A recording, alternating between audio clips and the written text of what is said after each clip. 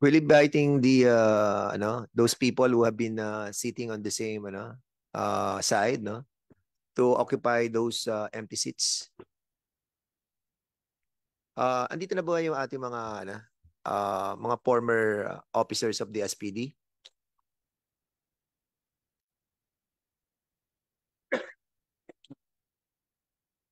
Kindly uh, uh, occupy the uh, the seats there. Uh. Sila General Natates, nandiyan na po ba? Nandiyan na?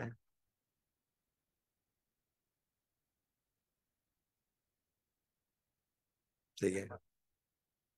Tama lang si Sir si Sir Romy ako.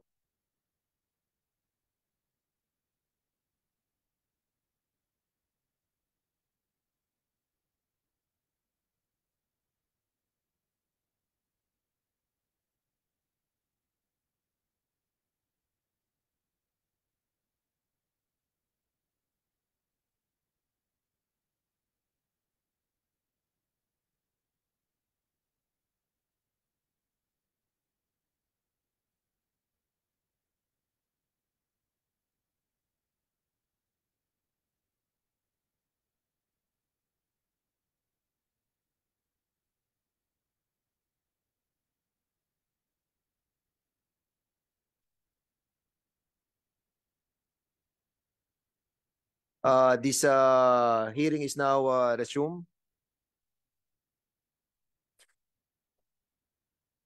So, um, continuation lamang po to nung ating pong uh, hearing uh, last, uh, when was the last time that we have the hearing? Comsec. January uh, 30. And um, accordingly, uh, we will be um, acknowledging again no, yung ating pong mga members who are uh, here today Thank you for uh, coming on this uh, committee hearing. Uh, Comsec, pakibanggit mo nga yung ating mga congressman who are here uh, today. Good morning, Your Honors. The following members are present today. Uh, the committee senior vice chairperson, Honorable Romeo M. Acob of the 2nd District of Antipolo City, Vice Chair Reynanto, Reynante U. Arrogancia of the 3rd District of Quezon, Deputy Majority Leader Erwin T. Tulfo of Party List ACT-CIS, Honorable Joseph Stephen Caraps Espaduano of Party List Abang Lingkod, Honorable Loreto B. Acharon of the Lone District of General Santos City, Honorable Jonathan Keith Flores of the 2nd District of Bukidnon, and Honorable Bonifacio Bosita of One Rider Party List. That's all, Your Honor. Thank you. Okay, so uh, we have invited again the members of the um, PNP, no? Uh, are they all uh, here right now? Uh, General, sino ba nandyan? Si General Artates, can you um, occupy the uh, the front seat? And um, yung mga members naman ng uh, former SPD, andito na sila lahat. Uh, andyan si Colonel Guevara, andyan na si Sergeant uh, Desden, saka si Democrito. Uh, where are the others?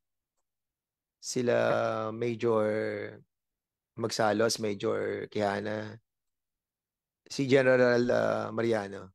Andiyan po ba? Ah, yan si General Mariano. So, sino pa po bang uh, si Major Magsalos? Andito siya sa custody natin, di ba? Si Sir, if I may, sir. Good morning, sir. Sige, Colonel Guevara. Uh, we we've been uh riding a Innova, so we move by trees. So they're coming. They're ah, okay. Salamat, salamat po. Thank you, sir. Okay, additional uh, uh, resource uh, persons that uh, we have invited are those coming from uh, what's the hotel? Es ano pangalan ng hotel? Espacio. Oo, meron tayo. Andiyan yun sa Espacio. And also uh Santo. Ah, okay. So uh, uh, for the information of the uh, body, uh, uh, last, I think uh, that was um, Thursday. Uh, oh no, last uh, Tuesday, uh, we issued a um, a warrant of arrest for the two deponents, no, uh, namely uh, Rainiel Makadat and also uh, Michael Nobe Nob Nobesia. And um, last Thursday, uh, when we were conducting our uh, hearing here uh, with a different topic, um, Deputy uh, Majority Floor Leader Erwin Tulfo called this uh, chairman, informing me about the um, uh, surrender of one of the deponent, uh, whose name is uh, Michael Nebosha. Nebosha. Ne- Nebosha. Nobesio. Uh, and uh, I told um, Congressman Erwin Tulfo to uh, appear in my uh, in my hearing in order for us for us to discuss the detail of the surrender, no, uh, surrender person uh, person. So uh, we have uh, agreed that uh, uh, we will be um, allowing the um, uh, deponent, no, si uh, Michael uh, Nobesio to be uh, in the custody of this uh, uh, committee. Uh, and thereby um, ordering uh, Secretary General who happens to be there as well uh, to put him in our uh, uh, custody. So now, uh, andito na po siya. So the day after, naman si Rainier uh, Makadat, uh, surrender also dito po sa Kongreso. And I personally uh, went here last uh, Friday to uh, administer no yung kanyang uh, pag-surrender and we uh, put them on a separate ano separate uh, uh, facility so now that they are here so we will be uh, conducting the uh, the oath of these uh, two uh, personality but at the same time we have invited also the ano the uh, uh the members of the ano no nung ano kayo no member of the ano ng uh, 1811, ando kayo sa loob, di ba? You were a member of the what? Family or what? Ah, sa house ano kayo? Housemaid, no? So, ikaw lang dumating. We have invited the three, ano? So, andito siya. So, uh, we also issued, no? Uh, but, but not a uh, warrant of arrest, but did we issue the warrant of arrest for Sergeant uh, Antonina? No, we did not.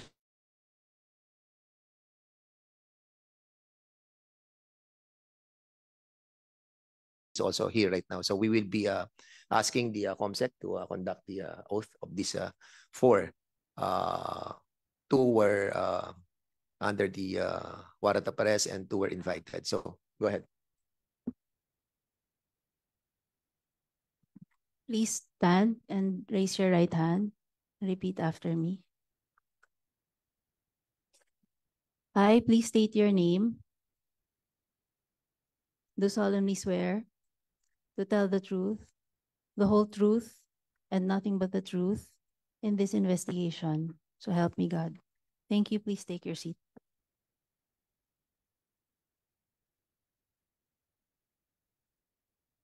Okay, so meron pa bang ibang mga naimbitahan today that uh, haven't uh, take their oath yet? Wala na po ba? So, uh, kung wala na, so we will be uh, proceeding with our uh, uh, hearing, no? So, may pakita lang muna ako sa inyong video, no? Para Chairman, Yes, uh, Congressman uh, Ah, Paduano. just a point of uh, inquiry. Mr. Chairman, uh, last hearing, we requested some important documents to some resource person, particularly uh, this representation asked for the submission of the duty service of all those involved. Have we received such documents from, particularly the DBIBM? The IBM. Kita ko po si yung head, si General Castel nandito na po. Can you refresh the uh, no, the content of your uh, request? Uh, it was uh, moved by this uh, representation that the PNP through the DIBM should uh, submit to this committee the record service of all uh, PNP personnel involved, especially uh, from gen- the head of the SPD down to those uh, PNP personnel and officers involved in this investigation, Mr. Chairman. Uh, I, I got the copy of the, uh, this is uh, from uh, Rodolfo Castil. You are the uh, OIC ng uh, DIDM, correct? Yeah, okay. You have present, you have given us only one copy to us, right? Only one copy, right? Okay, so uh, in a while, uh, Congressman, but for the meantime, uh, you can have mine. Okay. Thank you, Mr. Chairman. All right. So uh, what else? Uh, meron pa bang uh, other documents were asked as well, no? So ano pa ba yung mga dokumento that we uh, we ask as uh, yan yung tungkol dun sa ano no? Sa kung saan sila na na, na assign, right? Uh, sige. Okay. So uh So we will be uh, delivering the ano no muna. Asan yung asan yung ano yung anak eh. Ano ba? yun? Ah sige, ah, Congressman Akop. uh, following the line of uh, the request of the Honorable uh, Paduano, I think I also requested for the assignments of uh, Major Kihana and uh, for the PNP to find out whether elected public officials were killed in places where he was assigned So may we know if this has been complied with Meron ba? Hmm. Na-comply po ba ito? From uh, DIDM also. Sir, good morning, sir. May Go ahead. na-submit po kami kanina, sir. Uh, to the Regarding information sa of mga- uh, Chairman Ako, Yung sinasabi po ni... nandito po yung Kung ako, this sir. particular kay Kiana. Okay. Ah, ah, bibigay ko lang after. Thank you. Uh, The, the chairman also requested Napolcom to submit the accomplishment report to the committee pertaining to all dismissed police officers investigated by the committee. Yes, as a matter of fact, not only the NAPOLCOM, we asked also the IAS for that matter. So, uh, um, BC, Bernardo, have you uh, prepared the, uh, the list of those uh, dismissed uh, officials? But but I remember that you were saying that there were like uh, 800 plus that were dismissed, right? Uh, sige, BC. Yes, Your- yes, Your Honor, thank you. Uh, it's, uh, it's with the attorney, uh, Bustonera. He's, uh, he, he's just late, uh, Your Honor. But he's Ah, okay. coming. Yes, So we uh, will be waiting for the ano, no, the Yes, yung Your Honor. yung ano, yung uh, documents na. Thank you. Uh, si sa IAS, andyan ang IAS. Uh, Sir, good morning. Go ahead. For the uh, administrative cases of uh, police officers investigated by the uh, PNP Internal Affairs Service, uh, we have the records, but uh, I want to point out, sir, that the authority of the IAS is only recom- recommendatory. And then the decision we will be, uh, of the chief PNP on that administrative case, we will be following it up with the uh, office of the chief PNP, sir, through the delos of the PRM. we we have to get hold of that ano recommendation as well para at least we can verify uh, yung mga ginagawa ng uh, PNP with regards to this ano to these cases no? Uh, can we possibly get the copy of those uh, recommendatory ano report? Uh, I would request, sir, that uh, will be, I will be submitting the report to this committee, sir. yes and uh, you don't have to worry because that is only for the perusal of the uh, members of this committee. Uh, we will treat that as a confidential thing rest assured that we will not be releasing those documents Uh, yes, sir. if that is the intent of the uh, good gentleman from Antipolo No, uh, that was your, uh, uh, pursuant to the, that was your request, uh, the, the, the, the chair requested, uh, IAS and Napolcom to submit the accomplished report to the committee pertaining to all dismissed police officers investigated by the committee. Hindi po lahat. Yung mga inimbestigahan lang. ng committee na ito. Yeah, and the very reason for that, uh, IAS, was um, we all know that the uh, uh, the investigation of the uh, House of Representatives and even in the Senate uh, have done damage no, sa sa PNP organization. We all know that, and and we are being accused that um, nothing is happening uh, with all the investigation that we are conducting, and um, that is not only hurting you but hurting us as well uh, on our side, no, uh, all the um, the uh, investigation that we have conducted. Uh, I remember all the um, uh, proven ano, uh, evidences that have been manifested on all the hearings. Uh, as a matter of uh, reality, uh, I think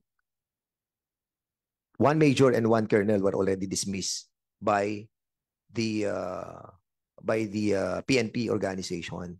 And 20 or plus more um, lower ranks were also dismissed from the service. And thereby we in this committee uh, we are doing our our job no? At nagkakaroon po ng magandang resulta yung investigation and uh, that's the reason why we wanted uh, that documents pertaining to the dismissed uh, personnel of PNP be submitted to us for us to report to the people that not only that this committee is doing their job, but the PNP as well. We will uh, comply, sir. The PNP Internal Affairs Ser- Service will uh, submit that report, sir. Okay, uh, thank you so much po. Uh, And last but not the least, uh, Mr. Chair, you also requested the Bureau of Immigration and Deportation to bring a copy of the replies to the letters pertaining to the alleged victims of human trafficking. yes, uh, uh, we have invited the Bureau of Investigation. We have invited also, huh? Uh, uh, yes, Bureau of Immi- Immi- Immigration. I think we have invited uh, as well the ano no, 'di ba, yung sa sa DSW, 'di ba? We have invited them. No. Ah, no. Also, but I think we had the reply coming from the uh, Bureau of Investigation, uh, Bureau of Investigation, Bureau of Immigration. Eh, IACAT and DOJ. We have the uh, well, I think this was the reply to General Mariano. Uh, but they haven't replied to our request yet, no? Wala sila. So this came from the ano, from the uh, SPD. Yung uh, reply nila sa sagot ni uh, sa tanong ni ah, sa ano sa um, sa letter ni uh, General Mariano. So I'll be ang alin? Ang BID uh, I think uh, what I got was the uh, letter of General Mariano to BID but the letter reply of BID to uh, General Mariano uh, I haven't got it yet. Kay General Mariano meron bang reply letter ang ano ang BID? Sa iyo? During good morning, time? ah, Mr. Chair. Meron lang po silang mga pinasubmit po na mga ibang mga documents pa at sinabit ko naman po. After which, wala na po, Mr. Chair. You have the copy? No. Ah, yes, sir. I will. Can you submit to this uh, committee, please?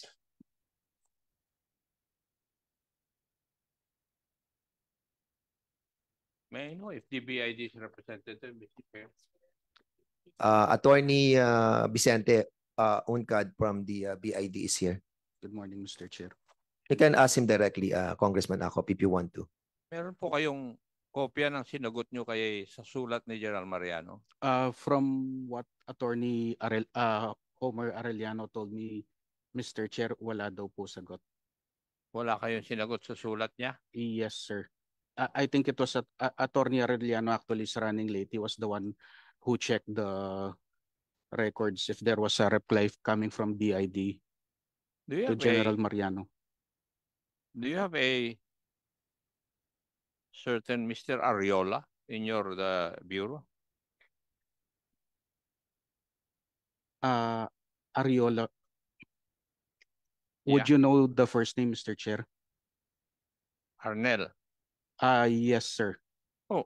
May mga sinagot siya. eh. Ah, ang pumirma, certain attorney, ikaw, attorney Ah, sir, Vicente I, I thought you were asking for a letter. If you were requesting for travel records, we already submitted Yeah, them to the this- committee this was the subject of the letter. Ito po yung hiniling Ah. ni General Mariano po sa inyo, di po ba? Ah, Eh, yes. yung Sagot po ninyo for each and every, bawat isang inchik. Sinasagot po ninyo eh. Yes, sir. Ang nagbe-verify si Mr. Ariola, Yes, sir. evaluated by Mr. Halili. Date and time, 21 September 2023 at 3.02 p.m. At kayo po ang nakapirma. Um, my apologies, Mr. Chair. I thought it was a letter, not an inquiry as to the travel records. I have two travel records that were submitted to the committee, Si- Mr. Chair. Kompleto ako nung kwan eh. Ebidensya. So, Mr. Chair, okay na. Ah, namin na na may sagot sila. Okay, so nasa Mr. atin Chair, na naman yung sagot Mr. Chair. ng BI na. Ah, yes, uh, Congressman May- Erwin may I Tulfo. Interject. Yeah. Just like to inform our um uh resource uh persons, if you guys are invited in a committee hearing, make sure that you are prepared to answer questions, okay? Hindi yung kailangan i-refresh pa yung memory ninyo because that's a no-no. We're inviting you here because may kinalaman ka sa kaso.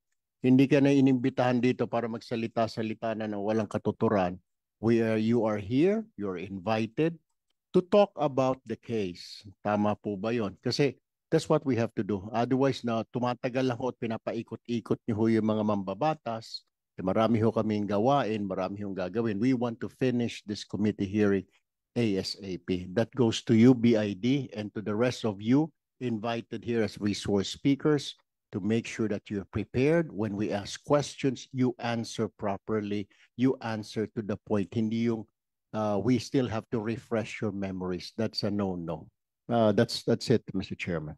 Thank you for that. Uh, well taken, ano, uh, Congressman uh, Deputy uh, Majority Leader uh, Erwin Tulfo. So uh, before I ano no we uh, proceed ano, I, I just wanted the ano the uh, the body to um, refresh our minds on the uh, statement of uh, of our uh, Chief PNP, you know, uh, si um, Chief PNP Acosta, Acorda. Uh, actually wala siya ngayon, no? So can you kindly put the video, please? Ano lang to, brief lang to mga kasama. So mga siguro mga two minutes lang to.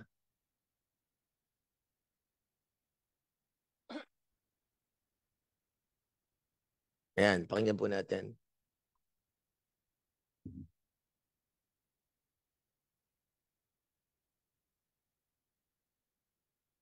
I will uh, make my manifestation that uh, maybe uh, will uh, this uh,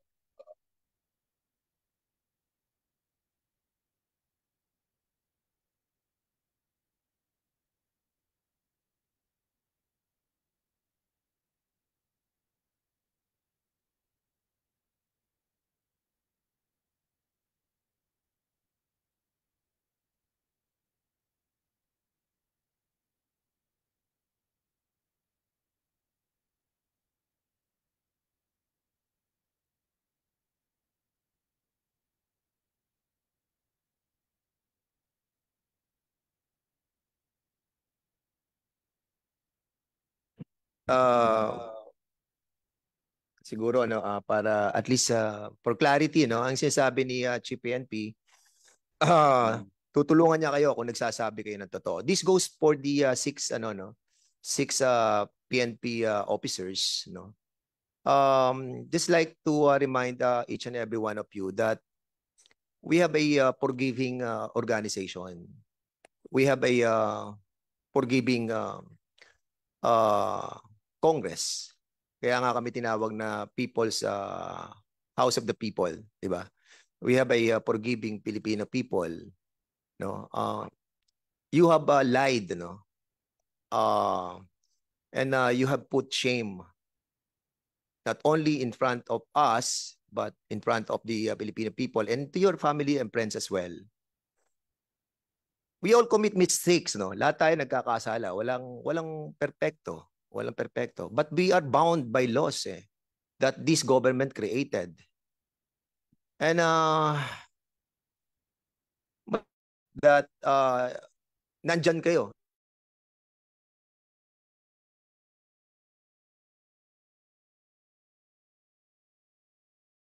I this is the time that you can rectify your yourself. Yung bravery is uh, nakikita yan sa truthfulness. And in lying, ness. At alam namin,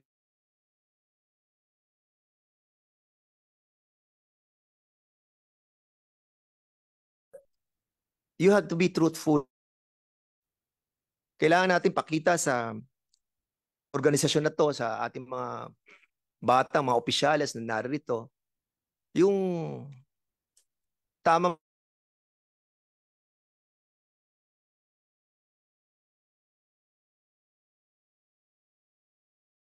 sa inyo na mga may matataas ranggo,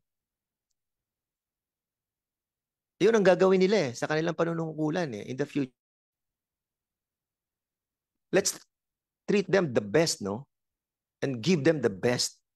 Pero yung mga kasinungalingan na nakita namin dito, and later on, we will be giving a lot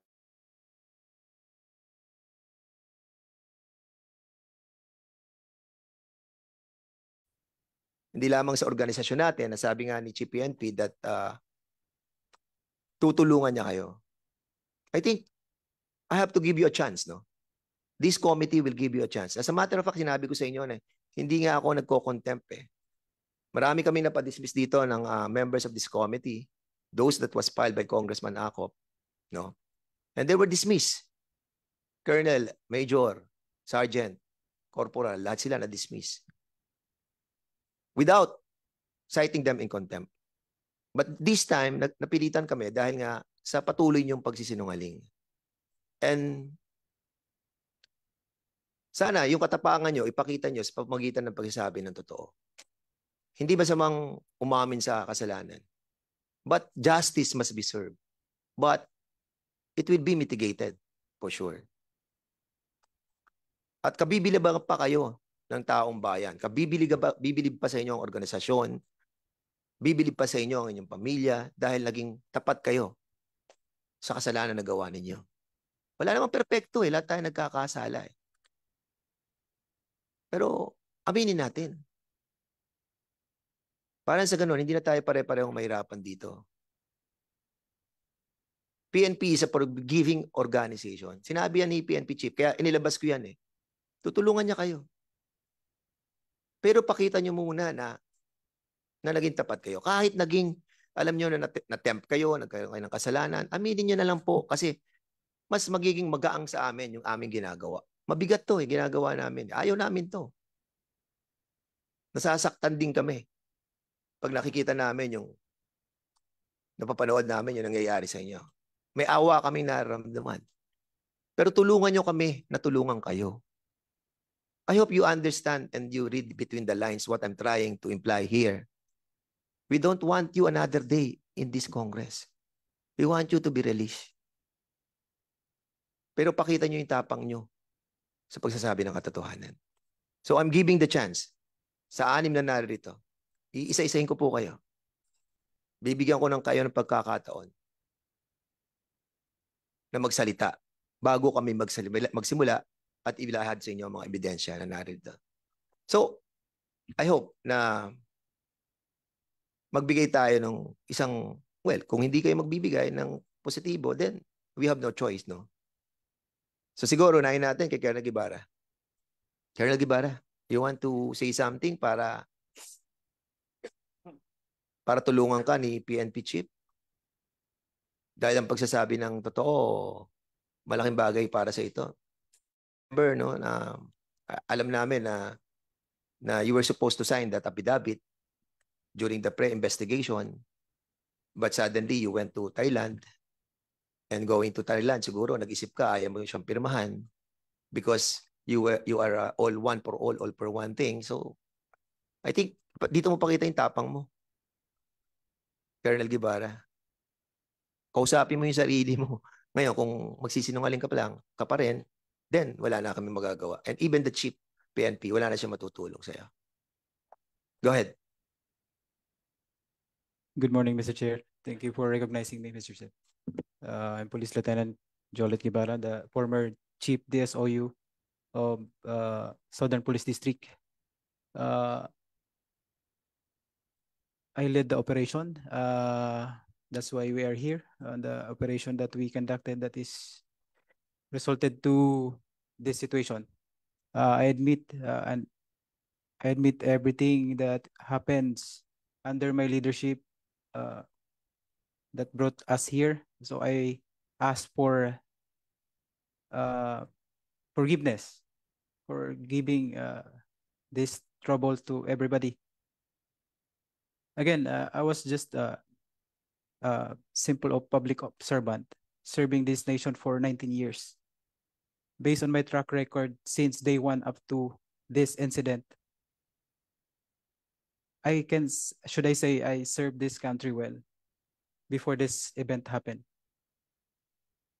I'm not making excuses. I'm not making any, any, any lie, uh, any, anything that uh, could save me. I accept everything. What's the consequence right after this? With all my heart and with all my conscience, because I did what I did.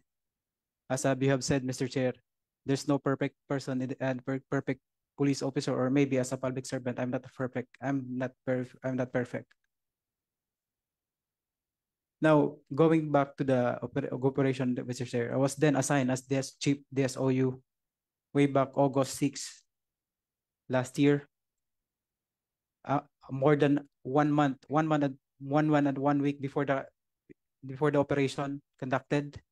It was already it was only my second operation.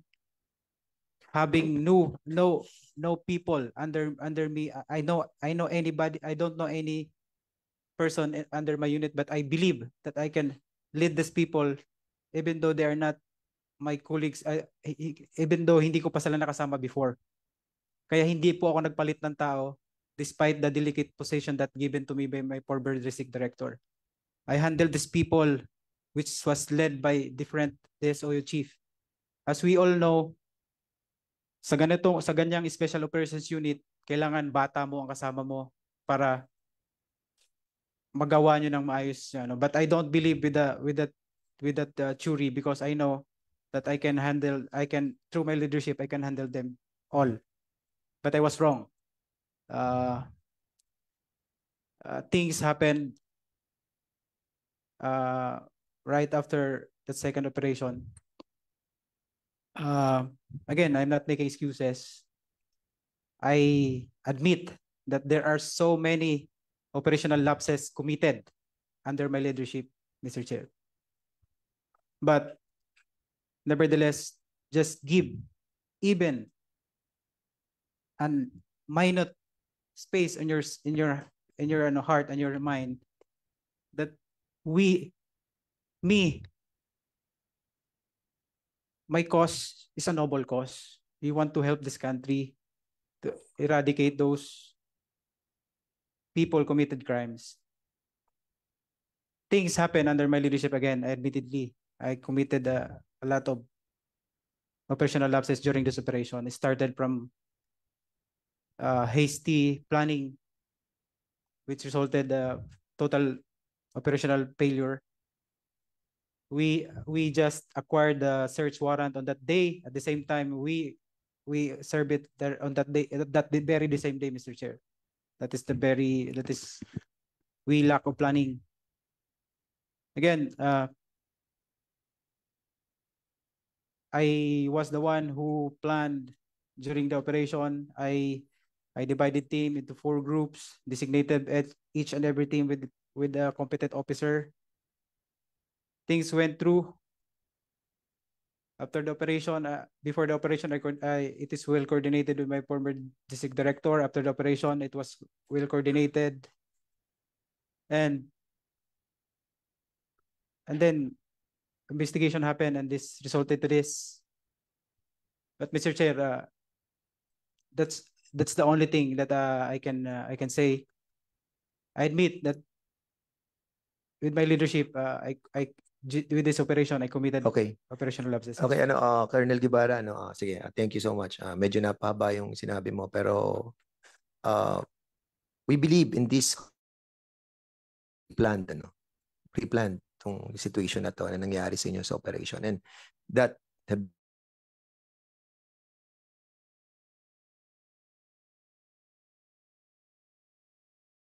alam mo,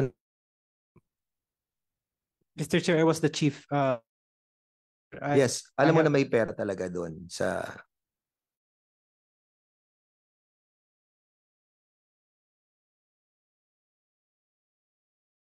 doon.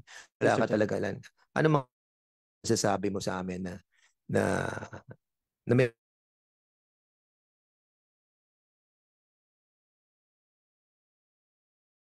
Mr. Chair.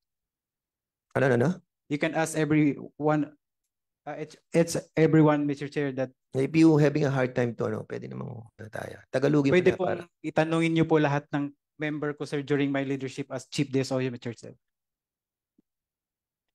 There was just an information given, given to me na meron pong silang target. Then sinabi ko po, sige, i-develop niyo po. I-de- ay, i-develop niyo, then let me know kung anong progress niyan. Sige. Hanggang ganun lang po ako, Mr. Mamaya Chair. uh, we will be asking you no kung yung mga bagay na nag-transpire no dun sa usapan nyo kasi if, uh, the chair would like to recog- uh, Barbers and uh, Congressman uh, Ortega. So in in a bit uh, we'll be asking you with that ano yung naging partisipasyon mo doon sa ano sa pre-plan. As I've said no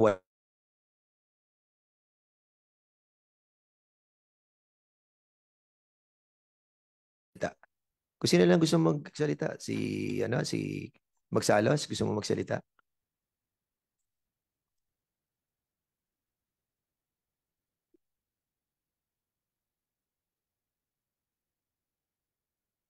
Uh, Thank you, Mr. Chair, and honorable uh, congressman and members of this committee. Uh, Thank you for uh, giving us a chance to speak. Uh, I am the, I am Police Major John Patrick Magsalos, the former substation commander of uh, Tambo Police Substation under Parañaque Police Station.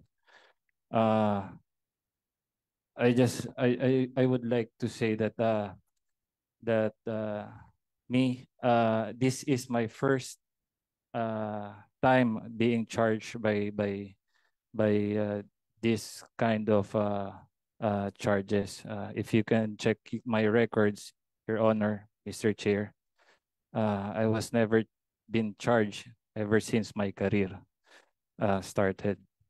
Uh, Mr. Chair, uh, we were only requested to assist the the the search warrant. With regards po sir sa ano sa planning, implementation, uh, search and seizure, filing of charges, we don't have any control with that because we we were we we are not the one. Your Honor, uh, admitted and the- at the first time we we never we never we never denied that nandun po kami sa taas but uh,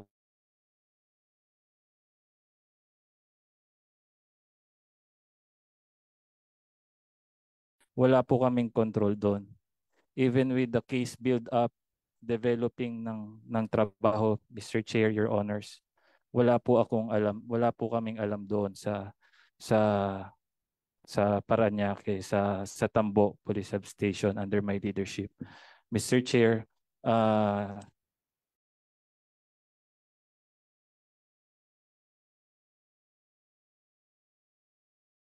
because uh, security, yung SWAT personnel, uh, we were only briefed that the uh, uh, the the search warrant to be implemented is uh, uh, con- considered armed and dangerous dahil po firearms yung yung subject. That's why may presence po ng SWAT po doon.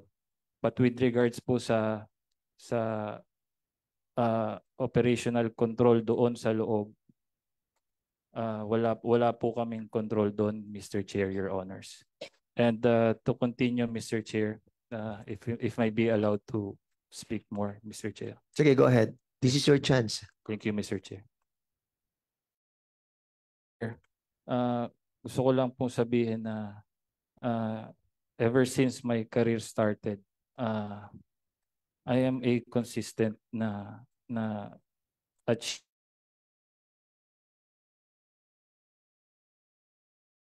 PNP organization. Uh, gusto ko lang i-cite yung last na na inano namin, Mr. Chair, Your Honor. During the Typhoon Odette, uh, we were able to organize uh, donation drive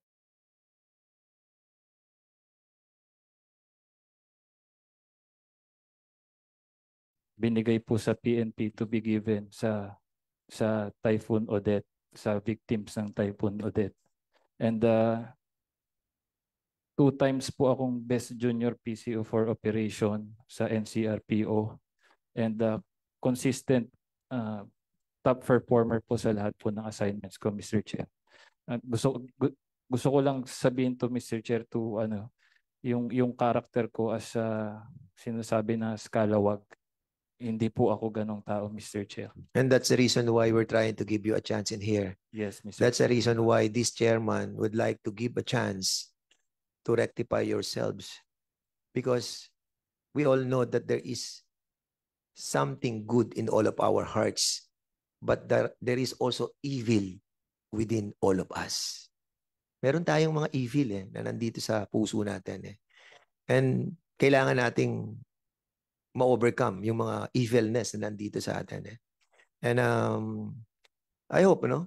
Nung pagbibigay ko sa inyo ng pagkakataon, uh, later on, kasi pag nagsimula na po ang mga congressman to present, no? And we will be uh, yung mga badges of uh, evidences na nandito, um, I hope makaya ninyo. But we are giving you a chance talaga. Uh, thank you. Major uh, Kihana. Yeah, yes, Mr. Chair. Good morning po. Uh, Your Honor, sa ating pong NCRPO Chief, sir. Good morning po. Ah, ah, first time ko na-assign ng ano ng ah, ng NCRPO SPD. So parehas kami ni Sir Guevara. Isang buwan pa lang din po ako doon sa SPD. And I was assigned as a Deputy ah, Chief DSOU. Ah, pangalawang operation pa lang po yung yung ah, nangyari. And ah, naniniwala po ako na may mga Your Honor, may mga lapses po kami.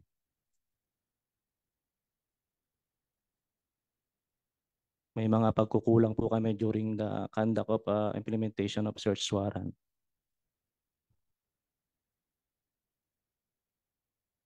Ah, 20 years na po ako sa serbisyo, ah, Your Honor, ah, Mr. Chair. Ah, sa lahat po ng napuntahan kong unit, pinipilit ko po na magbigay po ng accomplishments. Magagandang accomplishment po na nagawa ko sa mga unit na napuntahan ko, Your Honor, Mr. Chair.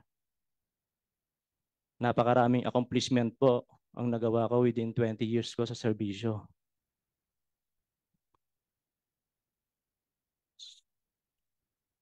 Sumusunod lang po ako sa order, Your Honor, Mr. Chair. Ginagawa ko po yung trabaho ko ng maayos. Gusto ko lagi mag number one ang napupunta akong unit.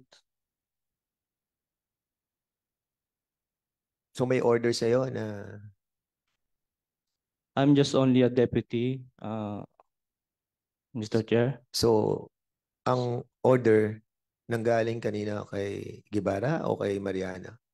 Uh, we're just only following orders from our superiors, Your That- Honor. Sino yung nag-order sa'yo? Of course, my uh, my chief to the SOU, Your Honors. Pero would you agree that all of this was pre-planned? Kasi lalabas eh, ano, Major Kihana. Lalabas siya. So, kaya nga ako nagbibigay ng fair warning sa inyo ngayon na before these members will start their uh, queries, lalabas talaga eh. So, I'm giving you a fair warning para at least wag niyo sabihin na naging naging uh, adverse agad ang uh, committee ito sa inyo. The reason why I'm trying to do this and let you speak is for you to really rectify na sabihin nyo na na nagkamali na kami, na, na pinlano namin, na natukso kami sa pera, those will, will mitigate the problem. Kasi kami, somehow, well, ako personally, ako, pag nakita ko sa inyo yun, Pag nakakita ko sa inyo yun, I will convince my members to uh, to ano, to withdraw yung ating pong uh, uh, contempt ninyo. But, pero pag hindi namin nakikita yon sa inyo, we will be having a hard time eh, to decide as well eh. Kasi alam na naman namin yung story eh, with all the documenta documentary uh, evidences, with all the uh, lower ranks who are trying to tell us their uh, uh, what happened inside. Tapos itong mga bagong mga witnesses na darating dito. So, alam na namin yung buong storya. So, ki Major Kihana, inutusan ka. Ano exactly inutos sa'yo? Ah, yung sa operation namin, Your Honor, ah, wala naman inutos na mali si Sir Jolet, Your Honor. Hindi ba mali yung 27 eh ilabas nyo na lagay nyo sa box, hindi nakasama sa inventory? I think that was wrong. Bakit nyo dinala? nang hindi nakita ng mga mga nag-seize, nag-investigate, nag-inventory. Mali yun eh. So, Major, may plano eh. Kasi mamaya, establish ni Congressman Acop yan eh.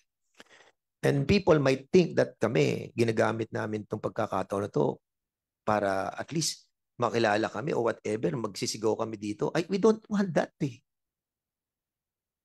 But that's the only way para masukol namin kayo. Kaya nga, ang sinasabi ko ngayon, this is your chance. Kasi after this, I'm sorry, pero wala na kami bibigay na ganitong pagkakataon sa inyo. Please.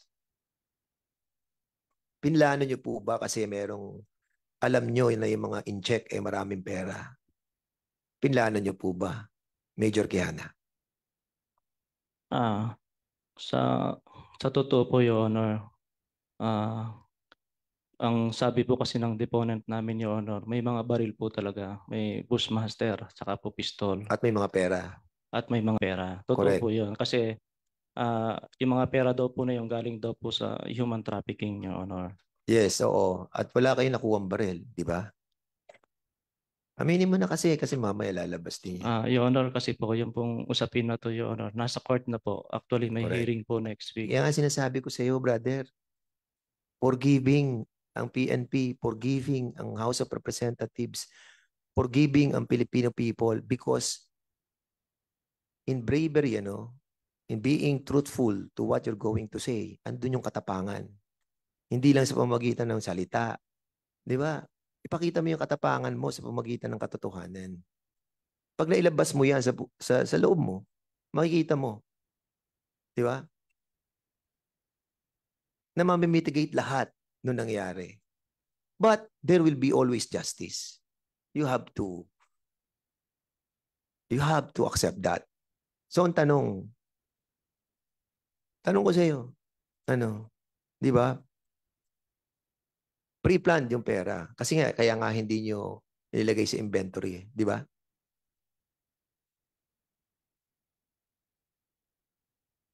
Ah, Your Honor, ah, in-inventory din po yung pera doon sa opisina, Your Honor. Oo nga, pero after two days. Di ba? After two days. So ayaw mo naman talagang aminin, ano, Major Kiana. Because after this,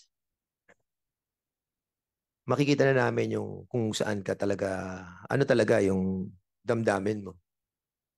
Kasi sabi ko, lahat tayo may evil in our hearts. And I believe na meron ka. Lahat tayo.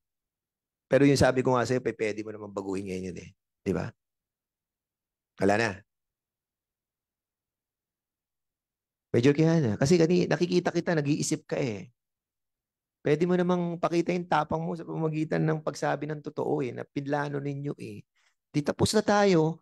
O, mag-usap na kayo nila Chief PNP. Anong gagawin sa inyo? Ang maganda, inamin natin yung pagkakasala natin. But justice will be served as well. Di ba? Major Kiana? Your Honor. Yes. Ah, ah. yung totoo po, Your Honor, wala naman po kami talagang pinlano na Okay. O sige, salamat na. kunin po yung pera. Okay. Sige. Thank you, uh, Major Quijana. So we'll go sa kay ano, kay uh, uh, Pio Quinto. Sige. Magandang umaga po. Perimeter security lang po ako. At wala po akong kinalaman sa kung ano man po akusasyon na binabato sa iba.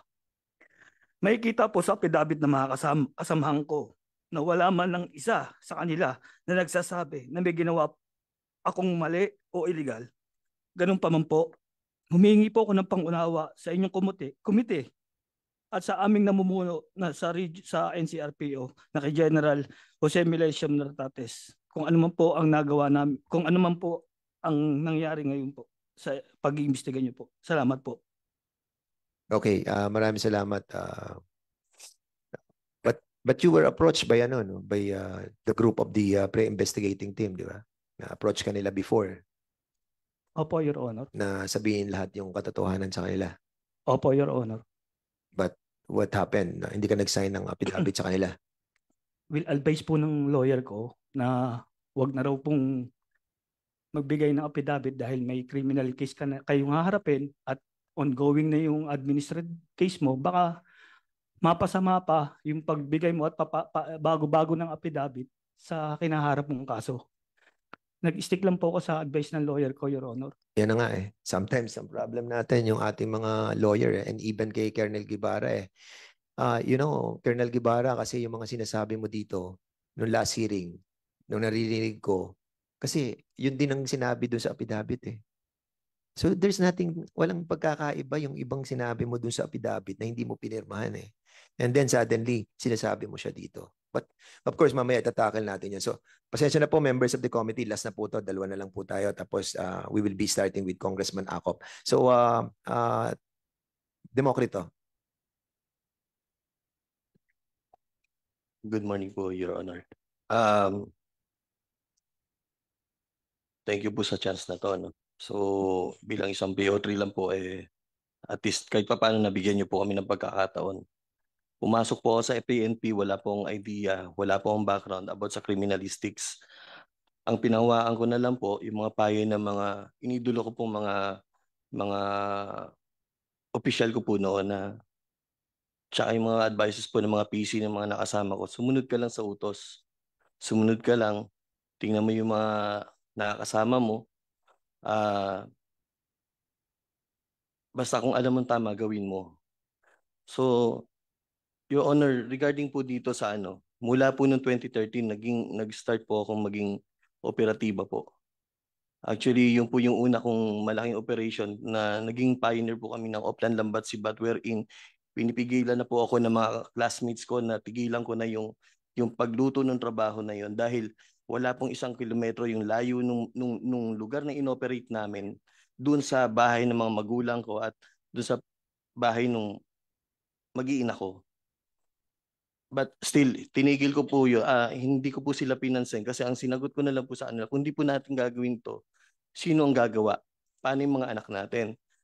Your Honor, gusto ko lang pong sabihin dito, aside from that, marami po kaming mga naging accomplishments wherein pati LGU sinuportahan po ako at inalalayan po ako ng mga ng naging hepe po namin yon.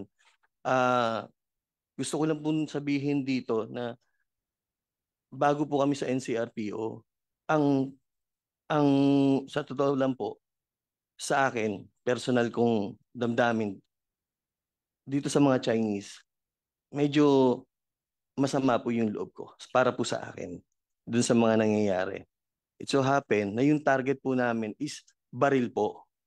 Baril po. At nandun naman po sa mga applications ng, ng search warrant po, nakita ko rin po may picture po si si Sirlin, uh, Sirlin, eh, si Boss Lin, na may hawak pa pong uh, mahaba niya. Ngayon, actually, ewan ko pong nabanggit dito, na aside from dun sa sinasabi pong apat na illegal arrest po namin, eh, na, kung napag-usapan po ba na meron pa po bang, may, meron pa pong ibang mga nahuling mga Chinese aside po doon.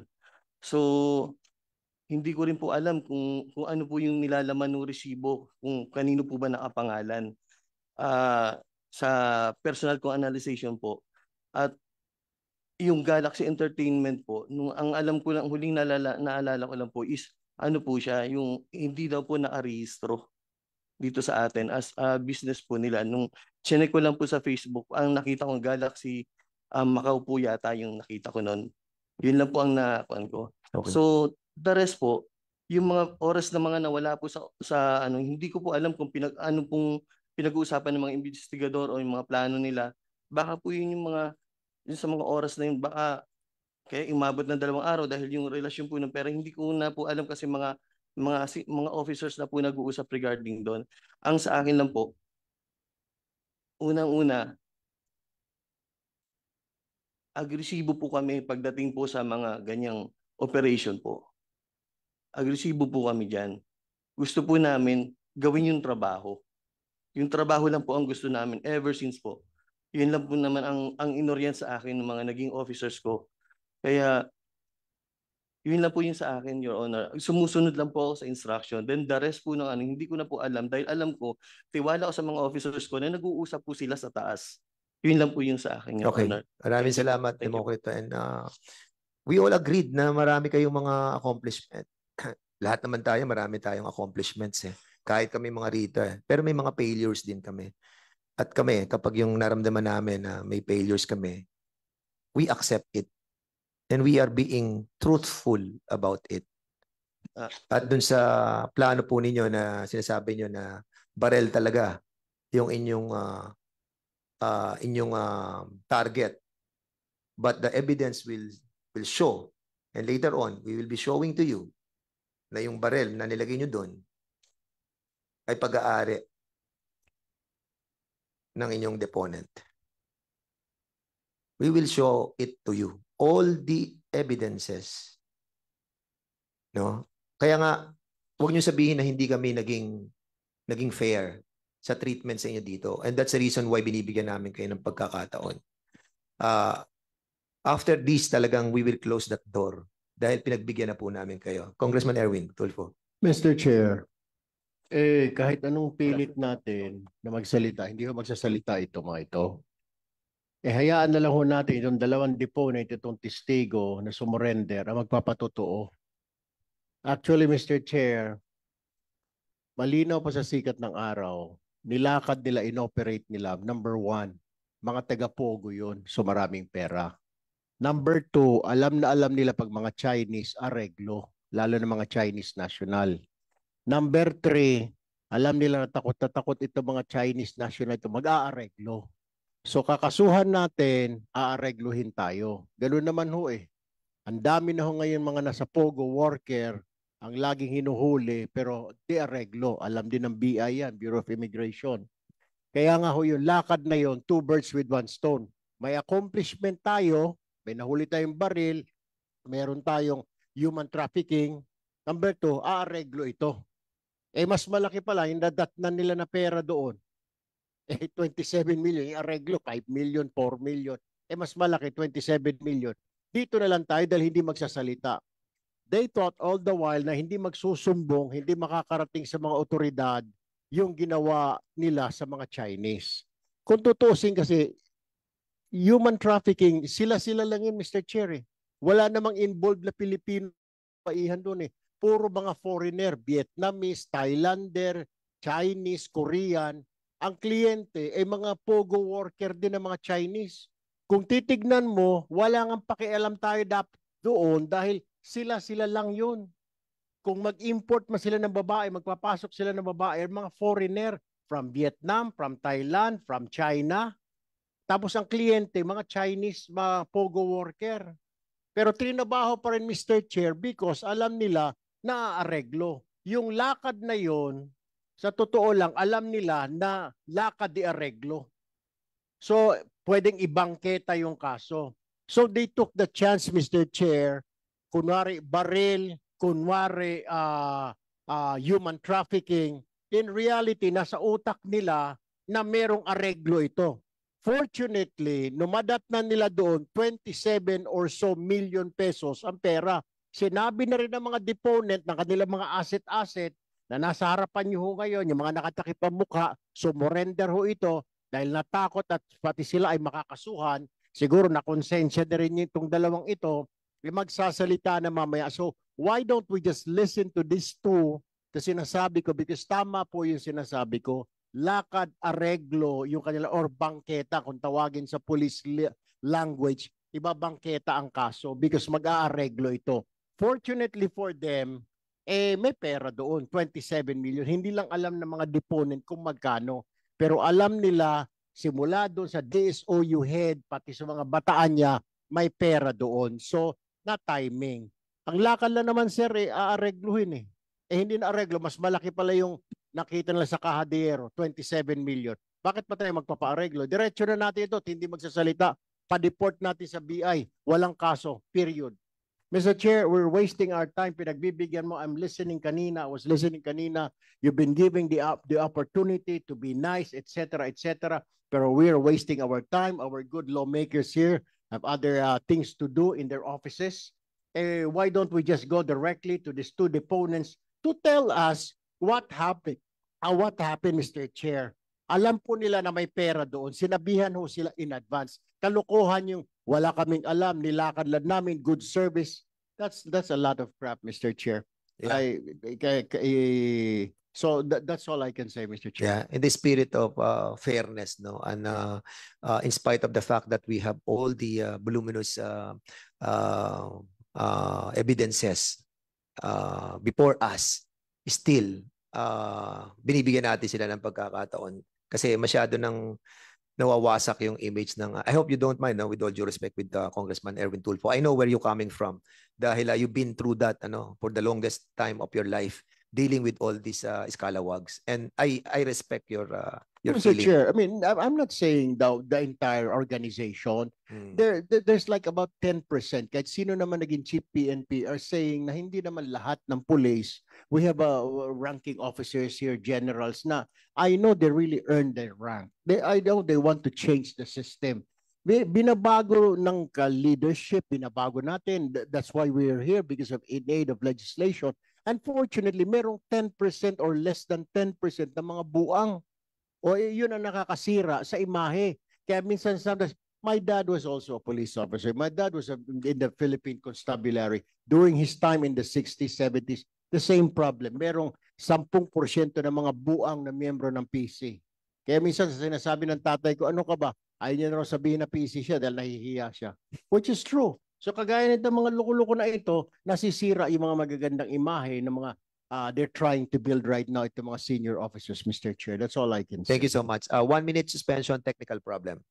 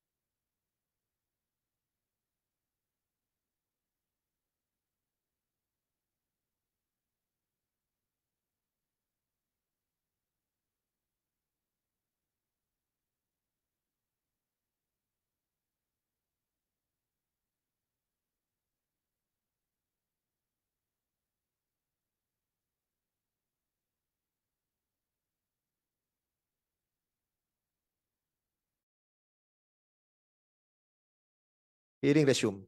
Uh, last na to. Uh, so, with all due respect with ano na, uh, uh, pasensya na, Congressman na uh, Tulpo. I know you're, ano, you're damdamin. So, last si um, Sergeant, the stand. Yes, sir.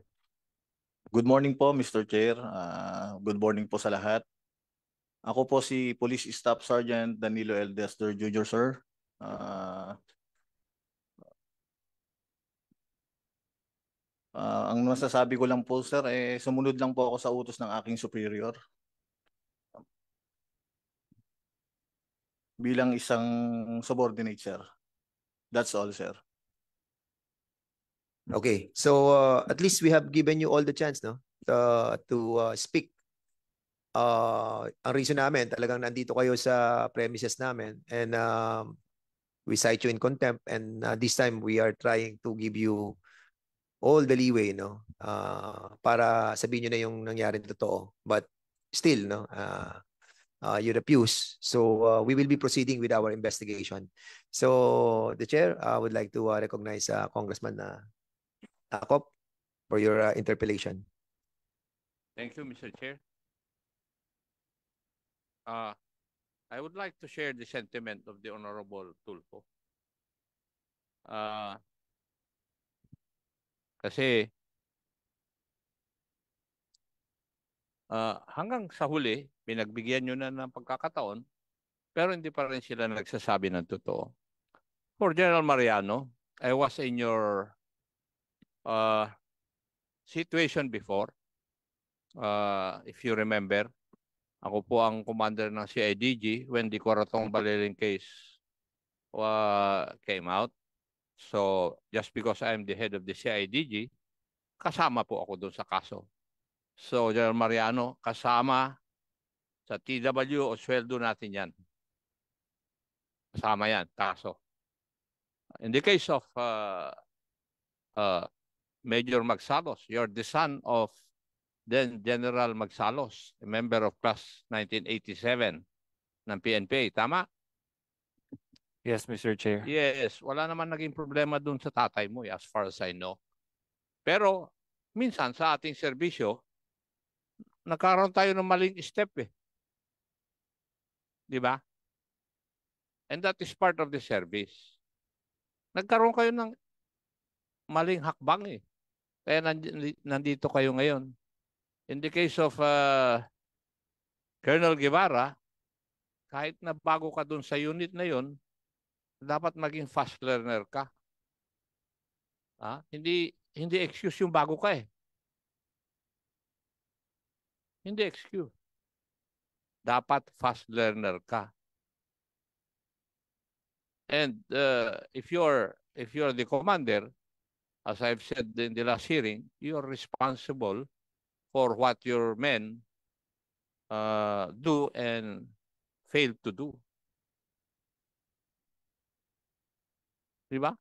Kayo naman, Desider at saka Demokrito, I can understand your point kasi loyal kayo doon sa boss ninyo, si Major Quijana, ikaw ang driver. Tao kayo.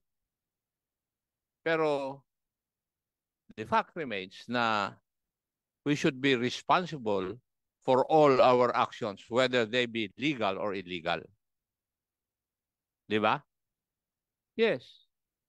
Uh, kasi, kung nabigyan po kayo ng trabaho, meron kayong protocol kung paano gagawin yon At kung lumabas po kayo doon sa protocol na yon, eh, magkakaroon kayo ng problema. Kagaya ng sitwasyon ngayon. Okay? Yun ang tandaan ninyo. Binigyan na kayo ng pagkakataon ng ating o ng aming chairman para magsabi ng totoo pero hindi pa rin. So, may ano Mr. Chair, Miss, uh, Mr. Antonino is present. Um, the last time we asked the presence of uh, Lord Jean uh, Antonino. And uh, fortunately, we have uh, him here right now. So you can directly ask your question. Uh, Mr. Antonino, uh, kayo po ay dating pulis. Yes, uh, Your Honor. At uh, ngayon, hindi na po kayo pulis. Yun po yung na-receive ko po, Your Honor, na dismissal po. So if you're dismissed from the, kung na-dismiss ka sa police, hindi ka na police. Simple lang yung tanong ko eh. Yes po, Mr. Chair. Ah, di ba? Huwag kang umiwas. Di ba? Ah, ikaw ang dating pulis, na nung pulis ka, ikaw naging daan ni ah, Mr. Michael Novicio at ah, Mr. Rainier Makadat na makilala nila si Major Quijana. Yes po, Mr. Chair. Paki-narrate kung paano mo uh, nakilala itong dalawa, si Mr. uh, Novecio at saka si Mr. Makadat. At paano nila nakilala si Mr. Kiana? Ah, thank you po, Mr. Chair. Ah, magandang umaga po sa lahat po. Ah, ito po ang totoong istorya pong na, ah, nangyari po diyan. Kung paano ko po nakilala to si Michael. Si Michael lang po pero si Rainier po hindi ko po kilala siya. Una po, ah, meron po akong pinsang gwardiya po dun sa Solimer. Yun po ay ah, pinapasyalan ko po. Ah, normal lang po sa magpinsan na mag ah, minsan makita po kami magkwentuhan. Ngayon po, ah bandang ano po, ah, gabi po 'yon. Ah, nung ako'y pauwi na po, neda, na may nadaanan po ako na sasakyan. Ah, yun po na bali nadaanan ko po dun si Michael.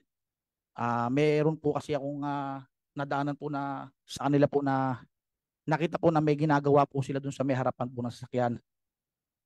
Which is po yung ano yung ah, plaka po. Ngayon po ah, bilang isang pulis, ah may instinct po tayo na kinotion ko po sila na ano po yung ah, ginagawa po nila diyan. At ah, nung ako po uh, bumaba ng sasakyan, upon verification, ah, tinanong ko po sila at narinig ko po kay Michael na nagsabi po siya sa akin na patay yari na.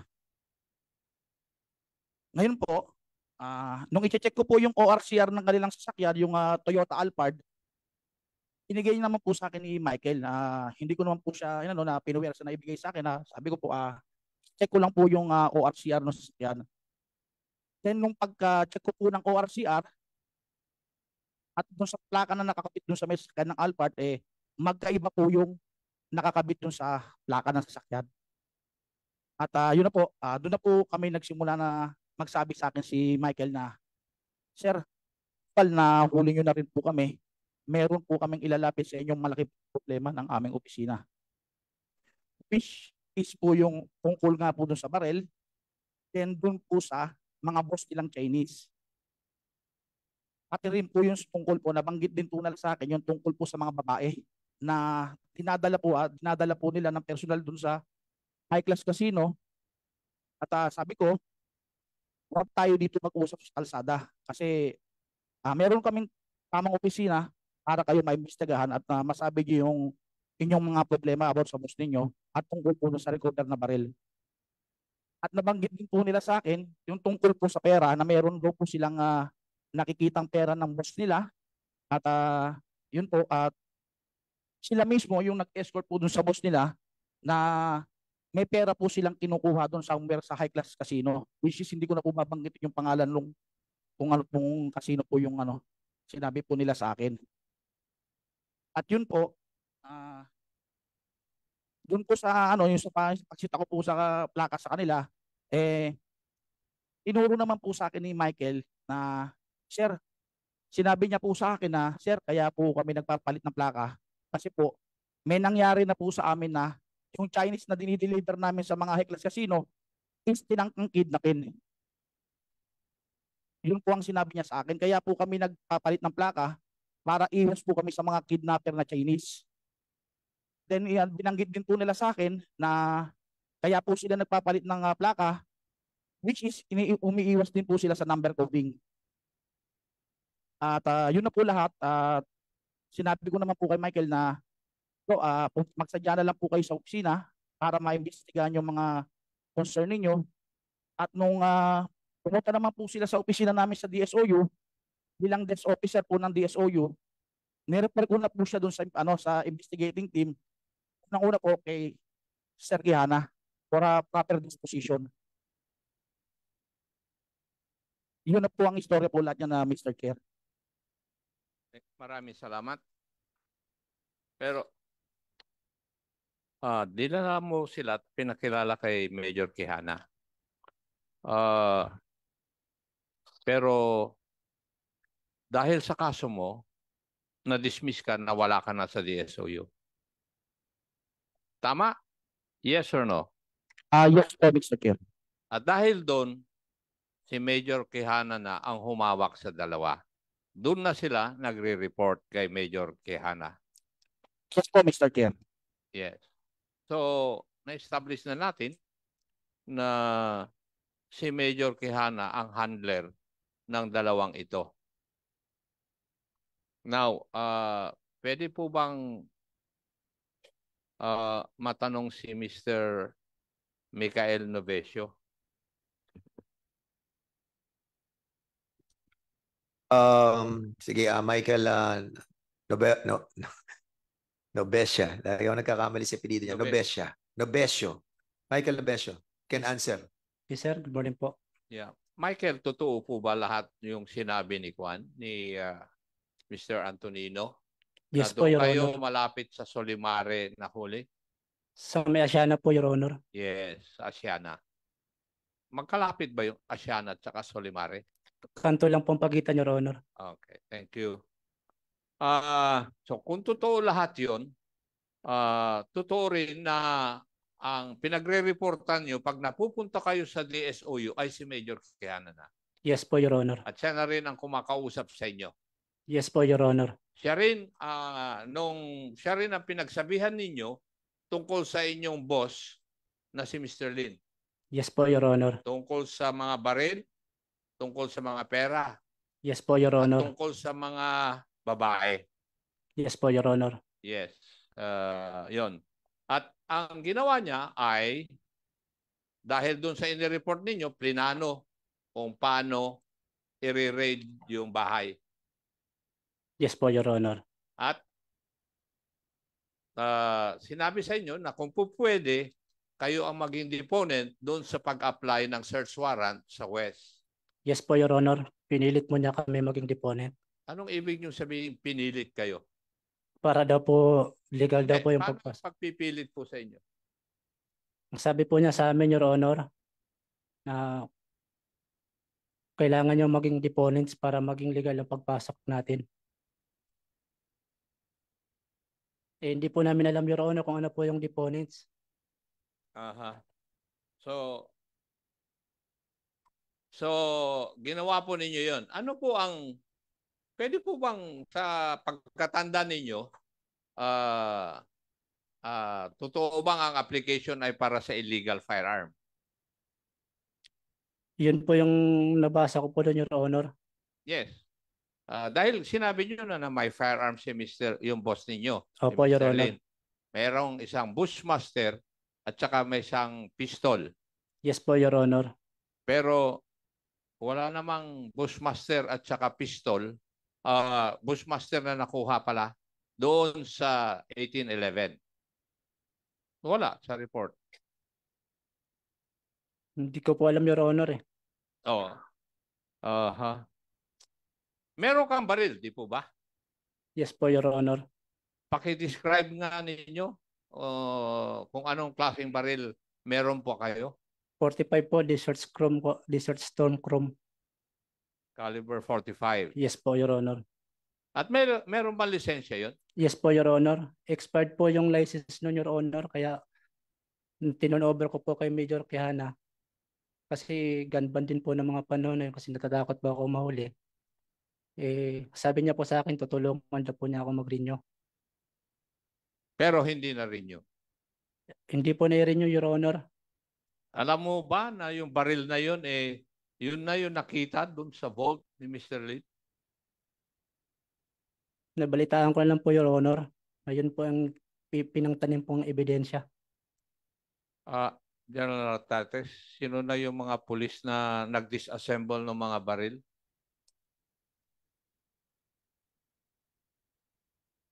So, nabalitaan mo na yung baril mo, nandun yung mga hinuli ng pulis o kinumpis ka ng pulis doon sa vault ni Mr. Lin yung boss mo. Opo, Your Honor.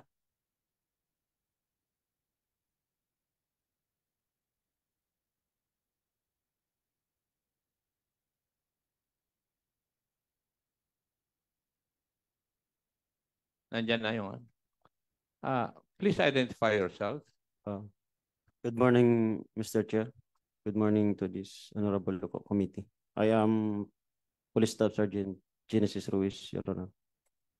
Ah, ikaw nung nag nakarang hearing, ikaw ang nagtestigo na kayo ang nagkalas nung nung baril na Desert Storm. Um, ganito po yung scenario, Your Honor. Ah, yung kwento. Ah, dumating po ako sa office. Binigay, inabot po sa akin ni Police Major Quijana yung baril na kahintulad doon sa nababanggit ng ating deponent na si Michael Navicio. Ah, yung Chrome, tas Desert Storm. Pero may serial number pa po yun. Hindi ko lang po talaga maalala kung ano po yung serial number. Pinakalas po sa akin yun po, Your Honor. Yun lang po. Tapos kinuha na ni Police Staff Sergeant Democrito. Demokrito. At si Sergeant Demokrito, ah, ah, siya ang naglinis ng baril para magmukhang kapanipaniwala na na ah, hindi lumang baril yon. Yes, Your Honor. Yes. Uh, which dinenay naman ni Sergeant Demokrito.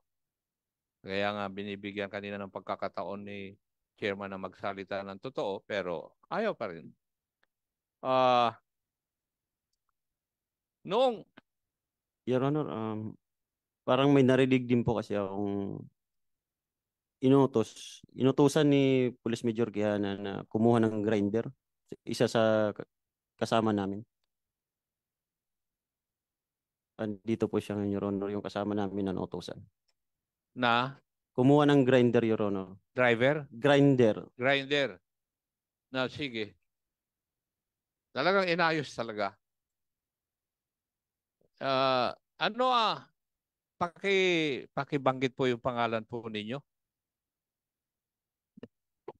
Ah, good morning po, Mr. Chairman, sir. Ah, ako po si Pat, Pat, Patrolman Elson Calupa, sir.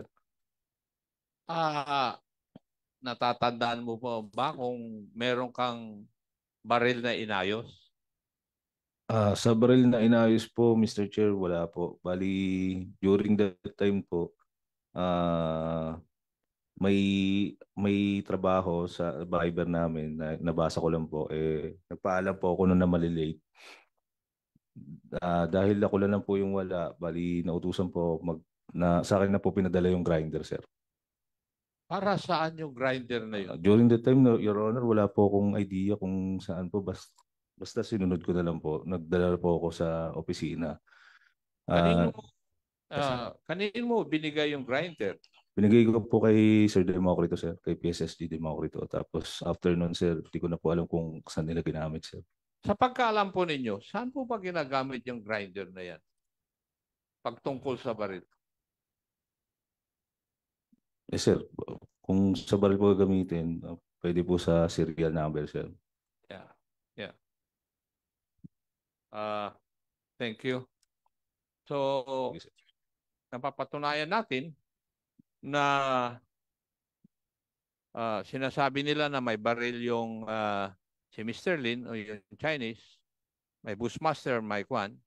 Ang pinagtataka ng representanting ito ay kung bakit kailangan pang magdala ng baril na pang-planting kung sigurado na may baril talaga yung ah, subject ng search warrant.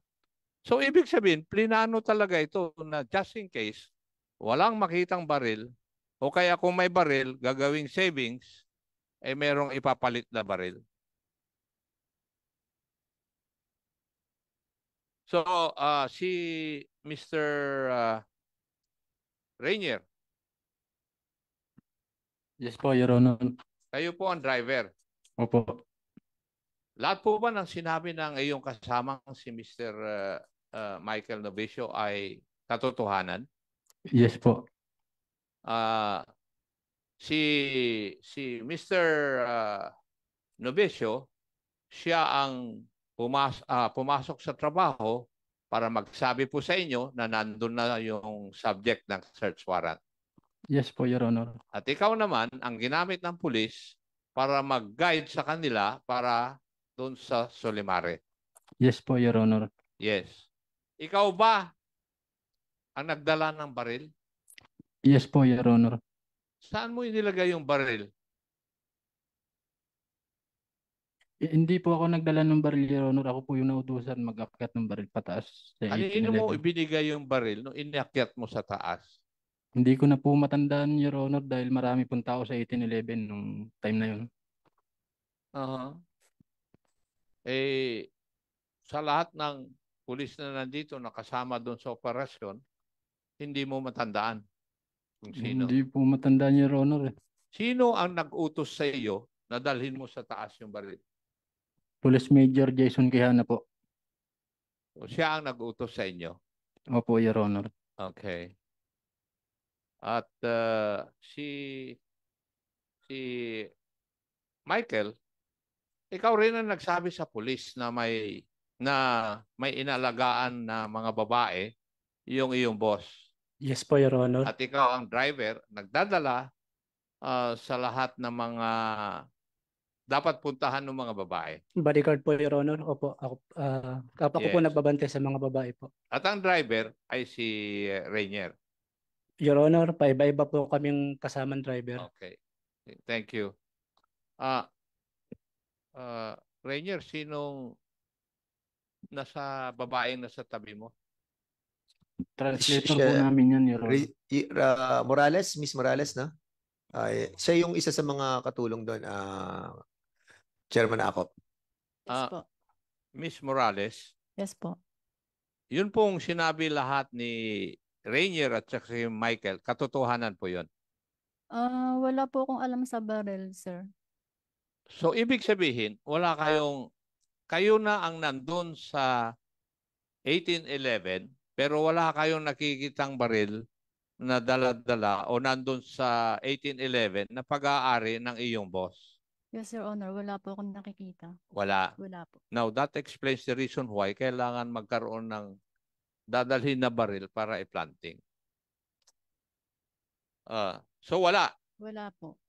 Wala kang nakita. I- ilang taon na po kayong nagsisilbi kay Six, Mr. Lin? six months pa lang po. Six months. Wala po kayo nakita na dala-dala niya. Wala po, sir. Okay. Mr. Chair, ay, Mr. Chair. Congressman ako, may kanting tanong lang ako doon. Six months ka doon, so, pero yung pag, pag, anong trabaho mo doon? Naglilinis ka ng, ah, Translator po. so, oh, nagta-translate ka, tapos naglilinis ka. Yung mga kwarto ba doon, napapasok mo lahat yun? Opo. So, doon sa subject na kwarto, alam mo naman na meron doon, ano, di ba, yung opisina, doon sa may CR. Opo, opo. Kasi doon nakuha yung barel eh, di ba? Opo. Di ba, saka yung mga magazine. Opo. So, may mga nakikita ka bang mga magazine doon ng barel? Wala, sir. Wala po. Hmm, okay. Uh, I have also here, meron sa akin na certification ng uh, firearms uh, Philippine National Police Forensic Group na yung baril na nakuha doon sa raid 1811 ay parehas nung baril na pag-aari ni Mr. Michael Novesio. Parehas. So, ano ang sinasabi nito? Na yung baril na nakuha dun sa 1811 ay yung baril ni Mr. Novesio, ni Michael, na ibinigay kay Mr. ah, kay Colonel Quijano or Major Quijano. ah Quijana. At yung grinding machine, ayun ang ginamit na pag-deface ng serial number dahil nakalagay dito na defaced yung serial number nung baril na nakuha doon sa Unit 1811. Vice Chair, can be can we be clarified ano para at least uh, i-clarify mo sa amin ikaw galing ka diyan. So uh, yung there are two ano eh two types ano on how to um, uh, identify yung yung barrel no. Una, syempre yung serial. So yung serial kapag binura mo na yung serial uh, parang wala ka ng chance ano para makilala kung sino may-ari nito. Pero with this kind of uh, certification coming from the forensic, dito yung cut- cartridge niya, saka yung uh, yung um, per shot is being recorded as uh, one way of trying to find out sino ang may-ari ng barel. At, at, at least to, dito, napatunayan natin na certification galing sa PNP, no? Ito yung ina-explore ni Congressman Acop na pinapatunayan sa forensic na yung baril na ginamit doon sa 1811 ay galing kay Michael na binigay ni Michael kay Major Kiana. So you can proceed. Pe- uh, can you confirm what I've said? Kasi hindi naman ako pulis eh. Tama ba yan? Yes. Ah, kasi may kanya-kanyang characteristic yung kwan eh. Yung bore ng ah, firearm eh. Ah, which I think hindi alam nitong mga pulis na ito. Ah, ah, ah, iha. Alam mo rin na ang trabaho ng boss ninyo ay dun sa pagkukuha ng mga babae sa kanilang mga customer. Yes po. At uh, totoo rin po ba na ah, may mga araw na nakadisplay lang sa lamesa yung pera nung boss mo?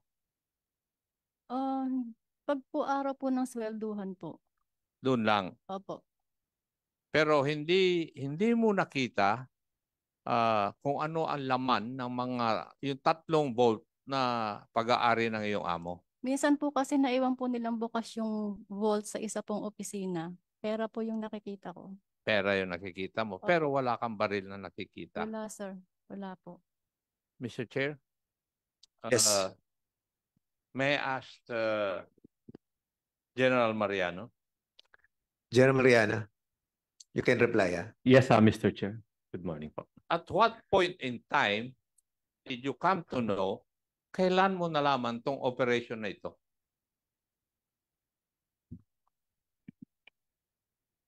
Nung tumawag po si Mr. Chair, nung tumawag po si Chief DSOU sa aking aid na mag implement po sila ng SW sa baril po. So, ano na ang ginawa mo pagkatapos nun? Pagkatapos po niyang tumawag sa aking uh, EDICAM at security officers, pinatawag ko po itong aking EDICAM dahil bakit sa kanya po nagsasabi. Kaya nung tumawag po, I reminded him dahil katatapos lang po ng uh, command conference namin sa Camp Crame during that day, Mr. Chair. At sinabihan ko po si Chief DSOU base sa guidance si Chief PNP na gumamit ng body-worn camera at mag-briefing at gawin lang po yung tama dun sa implementation ng search warrant, Mr. Chair. Nung natapos ng operation, what were your action? After po ng operation, nung nag-report po sa akin si Chief DSOU ng 9.42 ng umaga po. Immediately, sina- tinatanong ko po siya tungkol sa sa report, sa sketch report. At actually, bago po ako magising ng ah, alas 8 ng um- ang alas 8 ng umaga, meron na rin po siyang text sa akin ng alas 6:32 ng umaga. Sinasabi rin po na nagpaalam siya na katatapos lang po ng kanilang operation sa implementation ng search warrant. At mga 7.47 ay nagpadala rin po siya ng draft na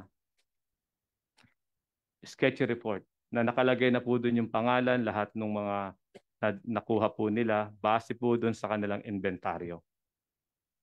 At dumating po ako sa aking ah, opisina ng 9.42 a.m. Andun na po siya. At ah, nag-request po siya sa akin ng mga additional investigator.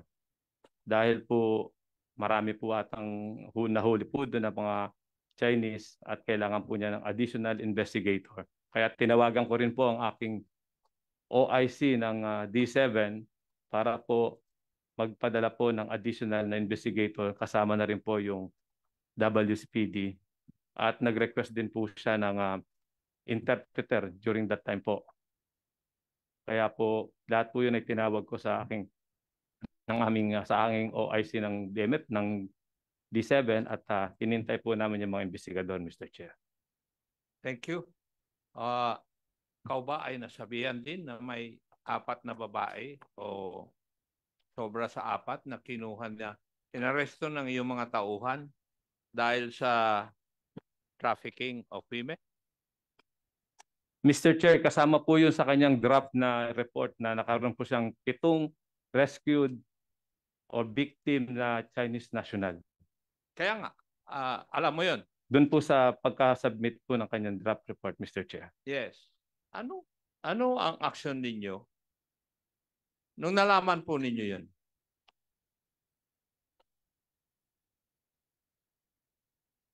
Yun po ay, ah, kaya nga po, ak- sabi nila na hindi po nila Ano na po ang action ninyo nung nai-report sa iyo yon? After po dyan, Mr. Chair, ah, nag, nagsumulat po kami sa BID, sa IACAT, sa DSWD para po sa custody ng, at, ng mga rescued victim po. Sino po ang sumulat? Sa sila po yung nagdadraft, Mr. Chair, ang DSOU at ah, ipapanik po nila sa akin para po sa coordination sa other agency. Yun po yung ah, ginagawa ko. For the verification of the true yung identity. Wala pong mga pinakitang passport o kung ano po yung, yung po sa kaya po nag-request sila ng, ng interpreter para po makuha po yung mga personal circumstances ng ating pong mga rescued and Yeah. team. Pwede po bang malaman kung alam po ninyo yung protocol kung meron kayong naaresto na mga biktima ng trafficking of women? Alam niyo po ba yung protocol? Ah, Mr. Chair, ito po yung unang Alam ah, niyo po ba? Opo, Mr. Chair. Kasi ang dami pang magtatanong na. Opo, ah, opo, Mr. Chair. Ano po ba ang unang dapat ninyong gawin? Pursuant to the 2022 IRR of the Anti-Trafficking in Person Act. O, bigla kang natahimik ano kasi hindi mo alam. Kung babasahin mo, hindi tama yung pinaggagawa ninyo. Diba? Mr. Chair. Pursuant to uh, the IRR of Republic Act 9208, Anti-Trafficking in Persons Act. Hindi mo alam? Hindi ko po kabisado, Mr. Chair. Yes. Opo, sir. Mr. Chair. Yun nga yung sinasabi ko eh. Opo. Sagot ka ng sagot, alam mo, pero hindi mo alam. Kaya tuloy, parang nagsisinungaling ka. Di ba? Kung nakita mo yung pagtatanong ko sa iyo, ano yung pinaggagawa mo? Tinatanong ko kasi alam ko yung dapat gagawin eh. Pag ganito ang krimen. Chairman ako, At ikaw, if I may. sandali lang. Sige. Eh, kasi na, nawawala yung aking- momentum, momentum. Oh, sige, go ahead, go ahead. Uh, Chairman Akop, sige, go ahead. Ah, hindi ba? Ah, kaya nga na-detain sila ng 14 days. Dahil yung sa yung hindi kaalaman ng batas. And ignorance of the law does not excuse anyone. Oh, hindi mo alam yung batas eh. Kaya dapat bilang commander, nag-research ka. Meron na ang sulat sa iyo ng mga abogado ng mga babae, ayaw mo pa rin maniwala doon sa sulat. And I have a copy of that letter. Mr. Chair, can I answer po? Teka, hindi pa ako nagtatanong. Hindi ba, inilipat. In order mo pa nga na ilipat sila. After four days, doon sa DSUU, inilipat mo sila sa tambo. Tama? Tama po, Mr. Chair. Yes. Ikaw ang nag-order? Dahil po nung ah, ah, Sagutin mo yung tanong ko. Opo, Mr. Chair, ay ako po nagpadala doon sa kanila. Nag-explain ka kaagad eh. Ah, ah, ikaw ang nag-order. And therefore, tama yung reklamo sa iyo eh, na isama ka doon sa kwan, arbitrary detention case na ifa-file nila. Kasi ikaw ang nag-utos eh. Na kwan, in spite of the fact na sumulat sa iyo ng yung lawyer na nila na dapat i-release mo na dahil wala kayong legal basis na na i-detain sila. Lahat ng sinagot sa iyo ng mga ahensya ng gobyerno ay wala naman nagsasabi kasi ang importante doon ay merong complaint na manggagaling doon sa naging biktima na ipinipilit ninyo na pirmahan ng mga babae. Yun naman ang nangyari.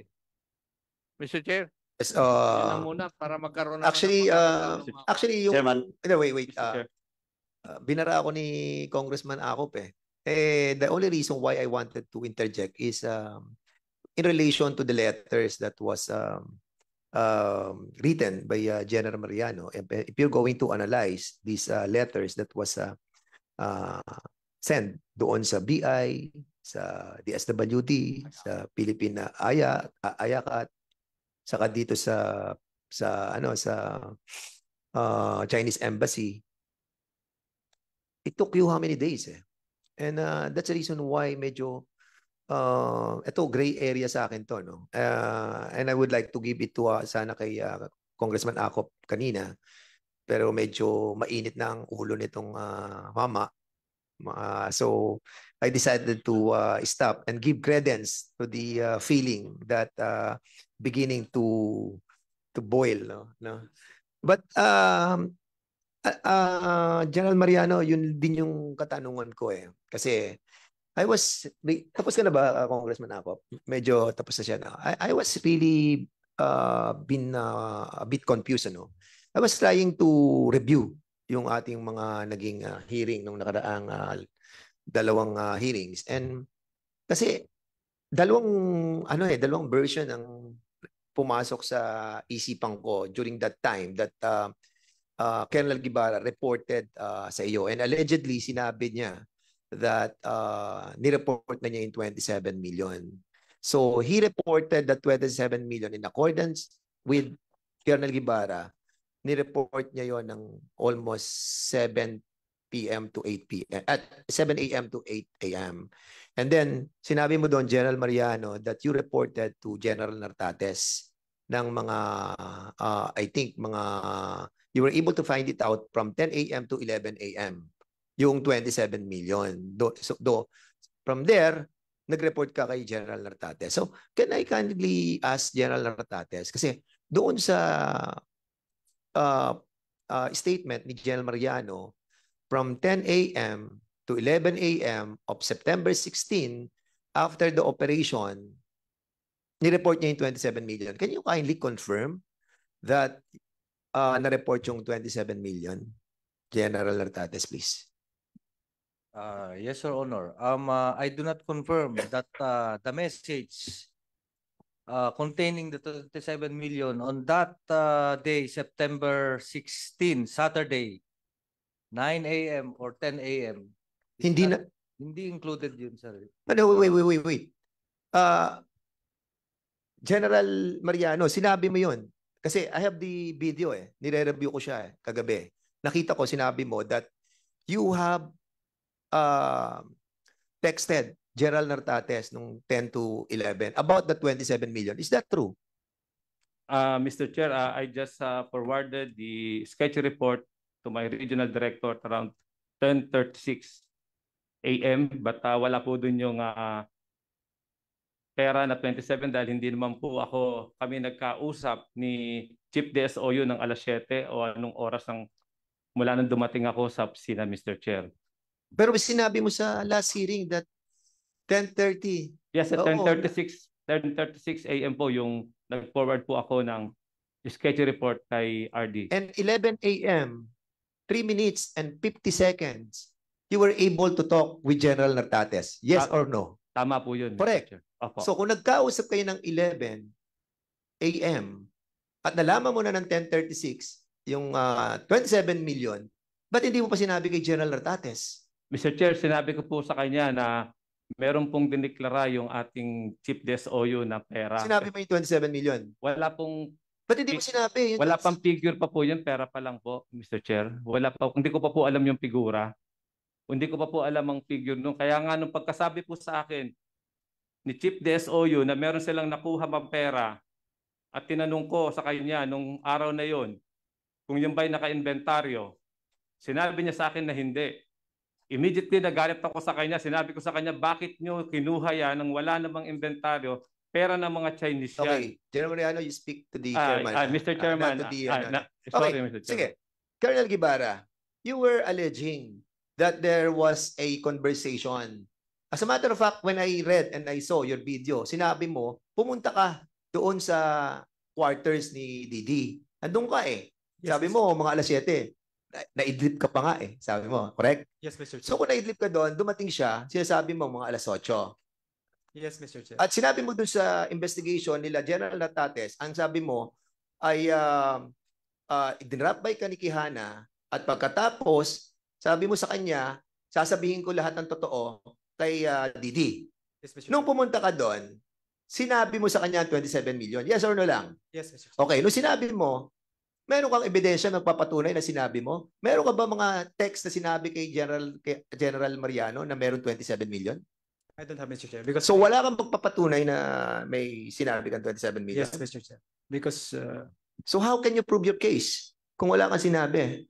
So yun lang ang sinabi mo kay General na kila sa pre-investigative uh, report, ah, sa pre-investigation, sinabi mo na merong 27 million na sinabi ka. yes, Mr. Chair. So ngayon sinasabi mo wala kang sinabing 27 million. Meron po sinabi, Mr. Chair. Ano ba talaga? Wala lang na Wala ka lang, ah, wala ka lang ebidensya Yes, na sir. sinabi mo yung 27 million. Sa sketchy report, hindi mo binanggit yung 27 million. Before making the sketchy report, Mr. Chair, but Ano oras pa sinabi kay ah, kay General Mariano yung 27 million? Exacting oras. it's around 8 to 9, Mr. Chair, when he arrived. The, the moment he arrived the quarters, Mr. Chair. Doon mo na sinabi sa kanya yung 27 million. Yes, Mr. Chair. Okay. Alright. Sige. So, uh, siguro, uh, Congressman, Chairman. um, sige. Okay. Anyway, Chairman, gusto ko lang ah, sundan yung ah, pagtatanong ni Chairman Acop doon kay sa dalawang deponent tsaka kay Antonino. Ah, kasi dito sa sinumpang salaysay ni Michael Novesio, he also confirmed that ah, indeed ah, yung baril, no? Michael, yung baril na nakuha doon sa 1811 ay pag-aari mo. Tama? Yes po, Your Honor. Yun pong nabalitaan ko na pinangtanim mong ebidensya, Your Honor. Sa, sa sinuong sa salaysay mo, ikaw mismo ang kumuha, inutusan ni Major Quijana na iakyat, di ba? Sa taas. No, Tama. Your, no, Your Honor. Sama ko. Ah, si... Pero ko... Yes. Ako po yung nautusan, Your Honor, na iakyat yung baril Okay. sa 1811. Ah, Michael, paano pumunta yung baril kay Major Quijana? Your Honor, ganito po kasi yun. Eh, expired po yung baril ko. Expired yung license? License po. Tinunover ko po kay Major Kayana. Sabi niya man po sa akin, tutulungan daw po niya ako mag-renew. Kaya sabi niya, after gun ban, balikan ko daw po. Eh, nabal- nabalitaan ko na lang po na yun pong baril ko ay pinangtanim pong ebidensya, Your Honor. So, Chairman, medyo ano ko to, nakaplano talaga. Kasi yung gagamitin nilang ebidensya just in case doon sa sa kay Mr. Lin ay baril ng bodyguard. Eh pero sabi nga ni ni naniwala din ko sa statement ni Congressman Tulfo na areglo to. Pero kung hindi maareglo, tuloy ang kaso dahil yung baril na nakuha kahit na deface na, of course may ballistic yan,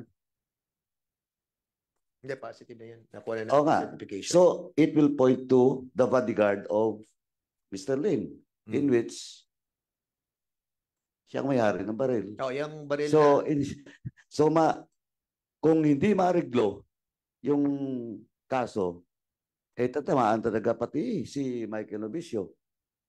Dahil dun sa baril, at saka yung boss niyang NSIC. Now, Sandali, uh, are you going to, uh, ano na, didiretso mo na yan? yung, Can you kindly ask the permission of the uh, next interpellator? teka, Chairman, sundan In ko lang relation, yung- in relation. Yeah, in relation Oh, to in relation. Chairman. Sige, Isa na, isa na, Chairman. Ako gusto ko lang i-establish na indeed, na yung baril na yon gagamitin talaga para ipitin sa kaso yung Chinese kasi pag-aari yun ng bodyguard niya na expire yung license. Hindi binalik ni Keanu, ni Keana. Eh malinaw na talaga yung scheme, yung buong plano, nandun na. Pag hindi nakipag-areglo, kaso, pagkaso, tatamaan talaga yung Mr. Lin. But anyway, now, ako nagtataka lang ako, Chairman, no? Sa tanong kanina ni Chairman Akop, dun kay Mr. Antonino, kay Antonino, tama po ba na August of 2023, nahuli mo yung si yung sasakyan ng Chinese, yung Alphard? Ah, Your Honor, ah, hindi ko po matandaan yung ano ah, exact date nung uh, nasita ko po sila. Pero pagkakatanda ko po is August po yun. August, okay. Yes po, Your Oh, Honor. Aug- August, okay. Now, kailan ka na-dismiss? Ah, Your Honor, ang pagkaka-receive ko po nung aking dismissal order is ah, January 5 po. January 5 Yes po, Your Honor. of 20, 2024. 2024. Ano yung kaso mo? Why- Bakit ka na-dismiss? Ah, sir, ah, yung kaso ko po sir, ah, yung serious illegal detention saka po yung aking ah, robbery. Robbery and serious illegal detention. Yung serious illegal detention, anong case yun? Filipino national o foreign national? Ah, Chinese ah, national po, ah, Pil- Pilip, ah, female Chinese national po. Okay, tama Mr. Chairman. Na-dismiss dahil sa Chinese. Tapos, eto, nung panahon, eto ah, nung panahon na nahuli mo yung Alphard sa sasakyan nung, nung dinadrive ni Rainier. Eh, dali, relax. Ano ang assignment mo nun? Sir, ah, correction po, ah, hindi po si Rainier po yung driver nung time na nasit ako po si Michael. Ah, hin- Sino? Hindi, hindi po Sino? si Rainier po. Sino ang driver? Hindi ko po kilala sir yung driver po Eh, time na paano mo, naki- paano mo nakilala si Rainier? Sir, ah, correction po, hindi ko po kilala si Rainier. Si Michael lang po ang aking Si nakilala Michael. nung time. Paano mo nakilala si Michael? Yun po, Your Honor, yung time po na nasit ako po yung uh, Toyota Dahil Alphard. nandun si Michael as Y- bodyguard. Yes po, Your Okay. Honor. Now, tanong, tanong ko, anong assignment mo during the time? Ako po ay bagong assign po sa District of Special Operation Unit po ng ah, Southern Police District. Bagong assign. Yes po, ah, Your Honor. Ilang araw? Ah, Ilang mga araw pa one lang? mga one week pa lang po ako, One week, ah, okay. Your Honor. One week. So sabi mo kanina, kaya ka nakapunta doon dahil may pinsan ka. Tama, na babae. Ah, yes po, Your Honor. Pinsan pong gwardiya po sa may Solimer mo mismo po. Pinsan mong gwardiya. Gwardiya po, ah, Your Honor. So, one month, ah, one week ka pa lang na-assign sa assignment mo. Tapos, ano ba, nagkataon lang ba na nandun ka nung mahuli mo yung Alphard? Yes po, Your Honor. Ah, pauwi na po ako ng bahay ko po at nadaanan ko po si ah, Michael na bilang po isang police instinct po, ah, meron po kasi siyang ah, na, may ginagawa po kasi doon sa may harapan ng Alphard. Then nung aking bibirektahin po, ah, meron po kasi siyang ina, ah, tinatanggal o inaayos po na plaka. Ngayon po, nung, nung uh, sisitayin ko po siya, narinig ko po sa kanya mismo na nakayari na. Sandali. Naka-uniform ka ba that time? Hindi po ako naka-uniform, ah, Your Oh, Honor. yung problema. Hindi, Mr. Chairman, kaya nga eh. Eh ako, Mr. Chairman, nakapagtataka na talagang coincidence lang na nandun ka. Coincidence din na nakita mo na may inayos si ah, Michael Novicio. Yes po, Your Honor. Eh pero after that, may nangyari na eh. Tapos may kaso ka pa, na-dismiss ka na pala. Nung time ng operation, nandun ka. Yes po, Your Honor po. Ano yung trabaho mo doon? Anong Ah, assignment mo that time? Desk officer po ako ng ah, DSOU po, ah, Your Honor. Doon sa 1811, nandun ka ba? Wala na po ako, Your Honor. Ah, September po ako nakulong. Ah, September 16 po yung operation, kaya hindi ko na po alam po ano pong nangyayari doon sa ah, i-operate po ng ating DSOU. Wala ka na. Yes po, Your Oh, Honor. pero you confirm na ikaw na pagkilala kay Michael doon, kay Major Kiana. Yes po, Your Honor, dahil nga po dun sa issue po ng ah, kambal plaka po na nasa takot po sila. Hindi ka. Pinakilala mo si Michael. Yes po, Your Honor. May, may plano kayo doon sa Chinese. Wala po kami plano po ah, yung ah, Kung pinakilala pa dahil lang sa kambal plaka. ah, ah, Kung, Your- kung kambal plaka lang ang interest mo, bakit ipakilala mo? Eh, ano na yun eh? Violation of registration ba? Plate ba? Dapat ka, LTO yan eh. Ah, hindi po, Your Honor. Ah, correction po. Ah, nung, sis- nung sinita ko po sila putol tungkol po sa kambal plaka po, ah, doon po nagsabi sa akin si Michael na, Sir, ah, total nahuli nyo na rin po kami. Meron po akong ilalapit sa inyo na problema po ng aming opisina, ng aming kumpanya.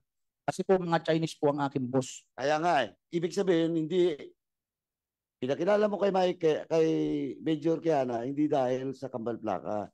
Dahil, dahil may informasyon kayo, galing kay Michael, na may, indeed, may mga illegal na ginagawa doon, allegedly. Tama? Yes po, Your Honor. Tama po. Oo. Pero Mr. Chairman, ako nakapagtataka lang, ah, plus, of course, yung record niya na-dismiss dahil doon sa illegal detention, Chinese din, may robbery pa, tapos coincidence lang daw na nandun siya, eh nandun yung pinsan niya na security. Ako, I doubt na baka pinagmanmanan mo na dahil doon sa informasyon na binigay siya ng pinsan mo. Eh, I do not believe in your, ano, in your uh, defense, uh, Mr. Antonino.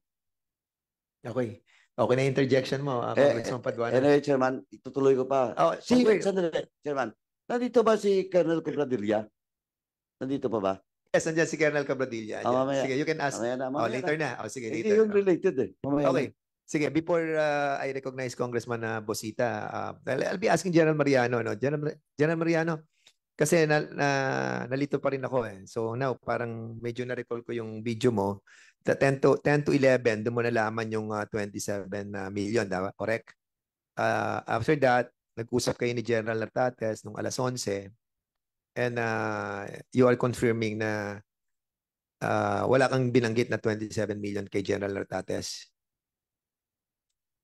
Wala po kong sinabi na 27 million kasi po hindi pa naman po sinasabi sa akin ni ni Chief DSOU po, Mr. Chairman, kung magkano yung pera na kaya po siya pinapagawan ko ng report. So, yun naman dinay ni Colonel Guevara Opo. na sinabi na niya sa iyo yung Opo. 27 million. In- At yun, dinideny mo naman na ah, wala wala siyang sinabi. Na Now, pe- pera lang po ang sinabi okay, niya, sige, okay.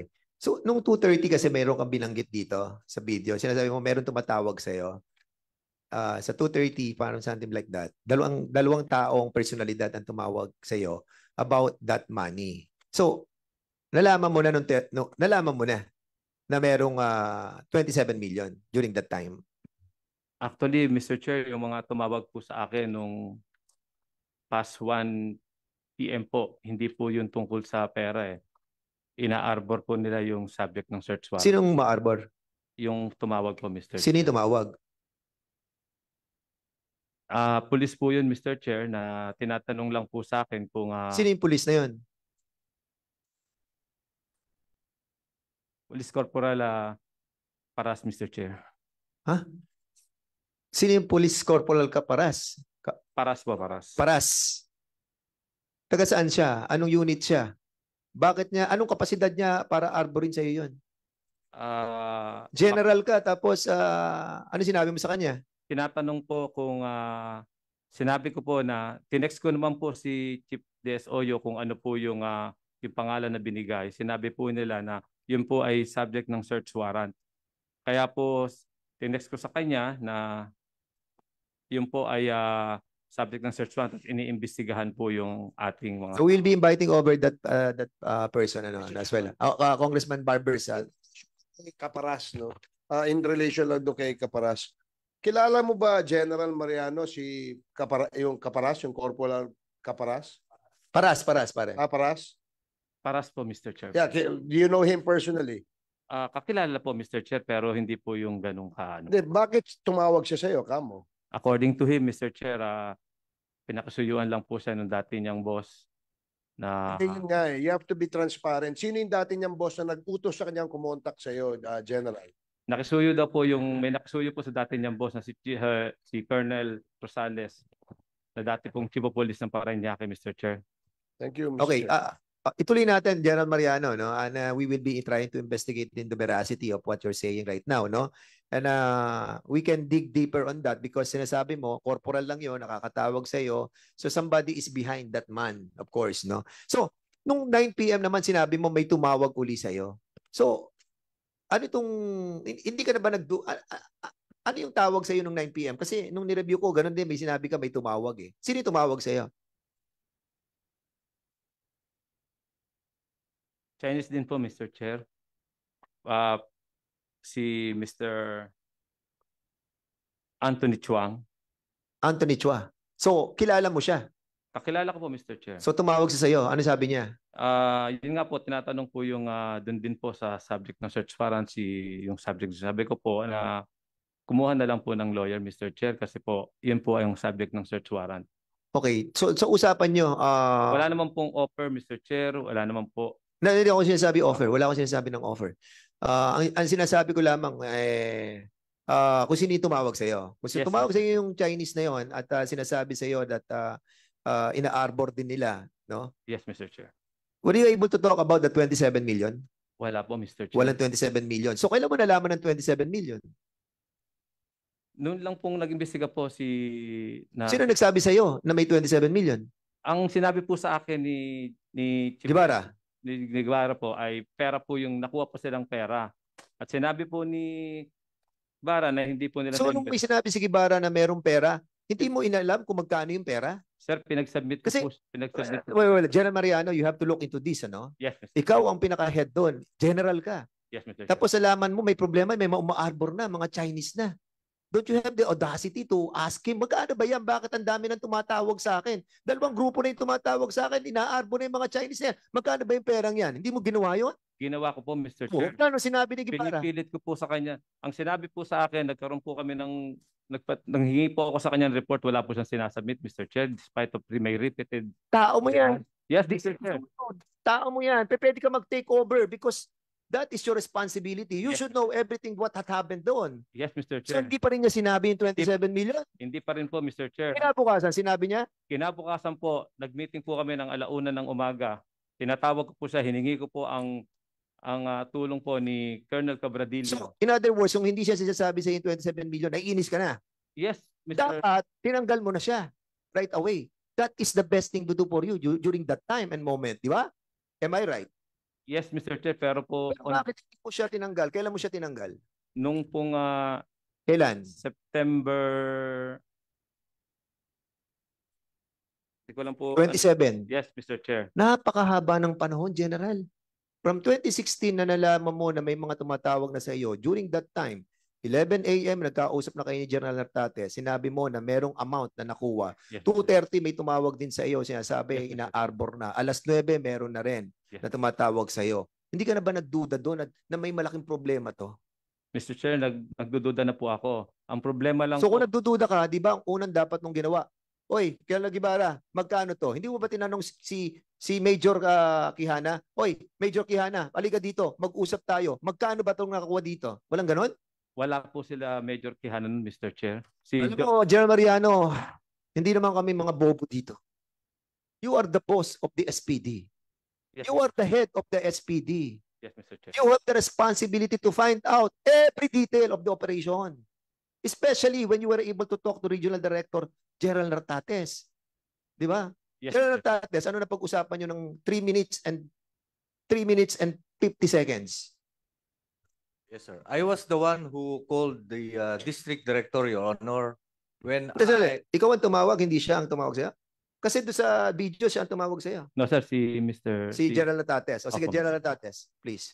Yes, sir. On that uh, Saturday morning, Kasi araw-araw ako or oras-oras or minu-minuto, nagbabasa ako ng mga spot report sent through Viber. Meron kaming Viber uh, uh, platform and then uh, nakalagay yan sa group para mabilis.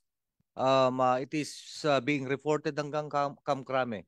Kasi nakakahiya naman tatawag sa akin ng Chief PNP or uh, the command group at the national headquarters or any stakeholders na kailangan kung ano yung situation dito dapat alam ko. So I make it a point as uh, um, the commander of the National Capital Region na babasahin ko isa-isa.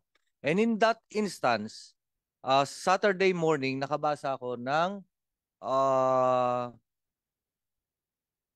SMS report, spot report through Viber uh, indicating na meron na-recover na dalawang barrel and uh, um, uh, human trafficking case, implementation of search warrant, and the seizure of 4.6 million.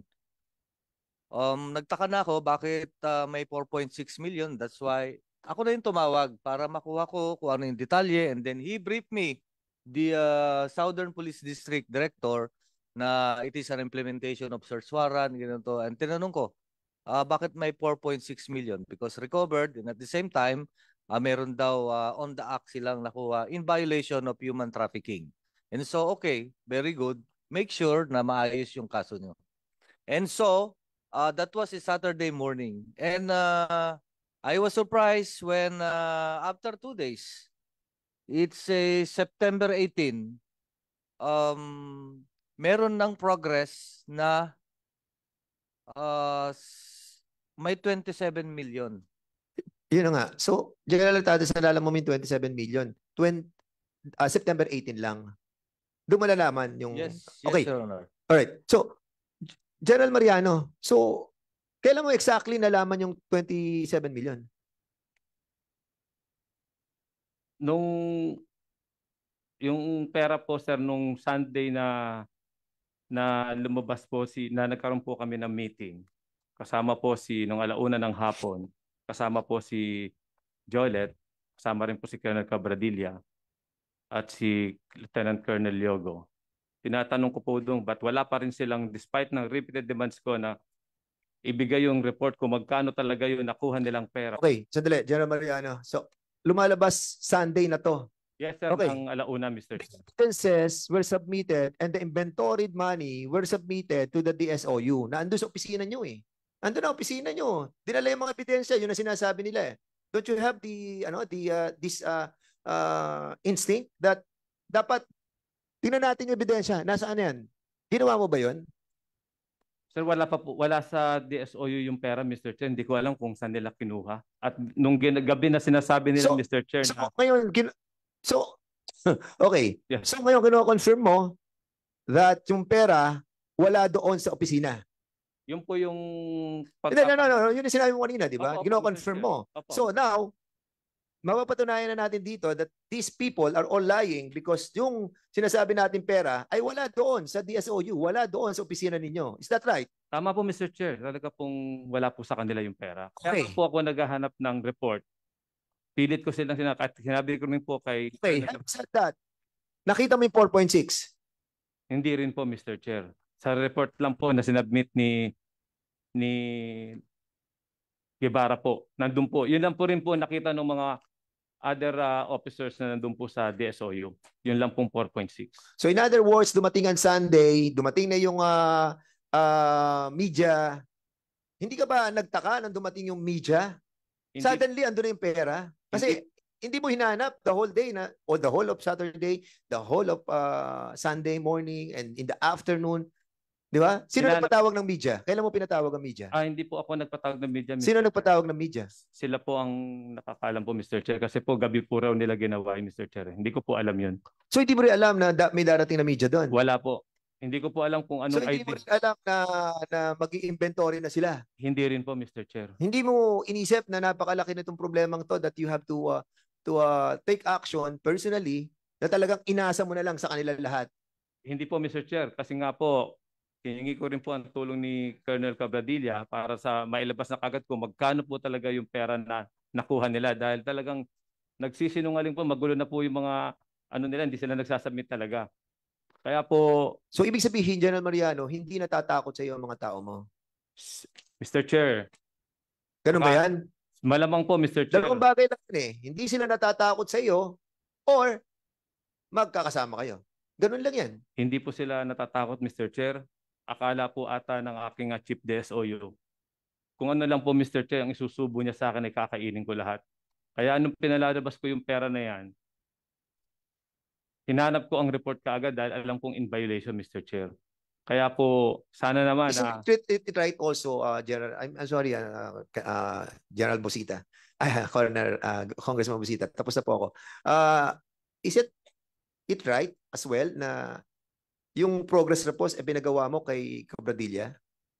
ah, hindi ko po pinagawa, Mr. Sino Chair. si, sino nag-utos kay Cabradilla na gawin yung pro- yung uh, second and uh, second? Wala pong nag-uutos. Ha. Humingi lang po ako ng tulong sa kanya. Bakit na, Cabradilla ikaw?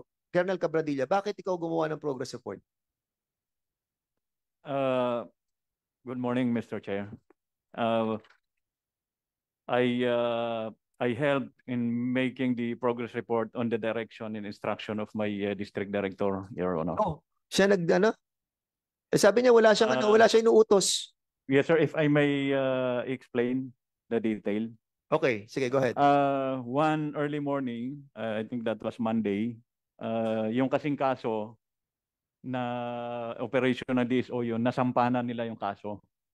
And pag kinabukasan, hinahanap na ni District Director yung report, Okay. yung progress report. And uh, dahil magkakasama kami sa quarters, doon din ako nakatira sa quarters niya.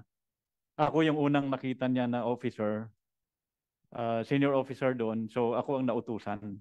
Pero, na ah, paki-facilitate mo nga okay. na ma magawa na kaagad yung report para masubmit dahil hanggang ngayon, that was I think uh, almost 9 o'clock in the morning, wala pang sinasubmit na report. In fact, well in fact, nasampa na yung kaso uh, kah- kahapon. Pero is that, that the line of your uh, position? Yung Ah. progress report, yung pagre-report ng ganyan? Trabaho mo ba yan? Uh, it- Controller ka, di ba? yes sir. I uh, Trabaho yun, pero alam mo, kapag hindi mo trabaho, hindi mo dapat gampanan, di ba? Ah, nag-uutos sa kanya si General Mariano. As I have said, I facilitated and helped. Hindi ako ang gumawa. Ah, kaming actually ang gumagawa noon si Master Sergeant Dilayon, yung investigator. Kasi nung inutusan ako ni District Director na i-follow up, tinawagan ko si, I think, I, I don't know kung si Major Quijana or it was uh, Lieutenant Colonel Guevara, tinatanong ko saan yung report and sino ang investigador na gumagawa. So sinabi nila sa akin na si Master Sergeant Dilayon, that's why Master Sergeant Dilayon was contacted at nag-report sa akin doon sa DD's quarters. Okay, Congressman uh, Ah. Akop wanted to uh, intervene. Go ahead. Yes, sir. Ah, kayo po ay controller. Uh, yes, Your Honor. Sir. Ano po ba ang trabaho at saka jurisdiction ng controller? To manage the uh, financial resources of the district, uh, Mr. Chair. Kasama ba yun yung financial resources na nahuhuli? Among other my duties and tinatanong kita. responsibilities are I'm asking you, kasama ba sa pag-manage ng controller yung pera ng mga nahuhuli subject of warrants uh, or search warrants? no, Your uh, Mr. Chair. Okay, bakit ka nakikialam? Uh, hindi po ako nakialam, Mr. Chair. Pakikialam yun? Hindi po ako nakialam sa pera, Mr. Chair. We are talking about the report, Mr. Chair. Pakikialam yung ginawa mo? No, I, I helped only in the making of the uh, second progress report, Your Honor. Uh, that, that's nothing to about about the Bakit money. ikaw ang uh, nagsusupervise ng paggawa ng second progress report? It was because I was instructed by my district director to follow it up, Your Honor. Ah, bakit hindi yung director for operations ninyo o yung director ng investigation division ninyo? Bakit ikaw? As I have said, uh, one early morning doon sa quarters, ako yung Bakit unang nga nak- ikaw yung eh? nakita Di niyang naman- officer doon. Sir. Tanong ko kailan o ano eh. Bakit ikaw ang nautusan ng iyong director? Samantalang hindi mo linya. Uh, it is up to the district director. Ako po yung inutusan niya, uh, Your Honor. I, I don't have any control on that, uh, Mr. Chair. Hindi mo sinabi na wala akong alam dyan?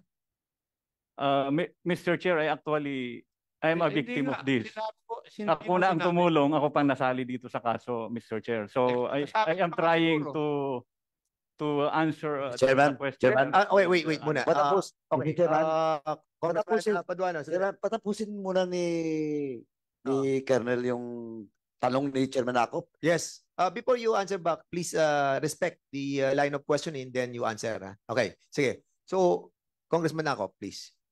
Wala, ako naging controller ako, iho eh. Pero hindi ako nakikialam sa mga bagay-bagay na hindi ko jurisdiction. Ikaw, pakialamero. Di ba? Bakit ka nakikialam sa isang operation na wala kang kaalam-alam? Is it true na... Uh, Maring, maring may alam ka. hmm,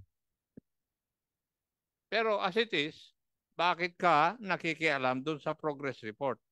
Kasi according to uh, to uh, Colonel uh, Police Colonel Guevara, uh, you were the one who asked him to go to a case conference at naging nervyoso si Colonel Guevara. That was taken from the informal investigation na kinondak ni General Nartates. Nandito eh.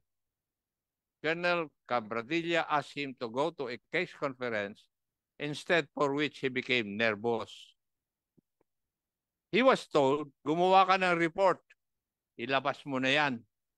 Even if he stated that he did not want to take out the money because to do so would mean that he will be held liable as team leader.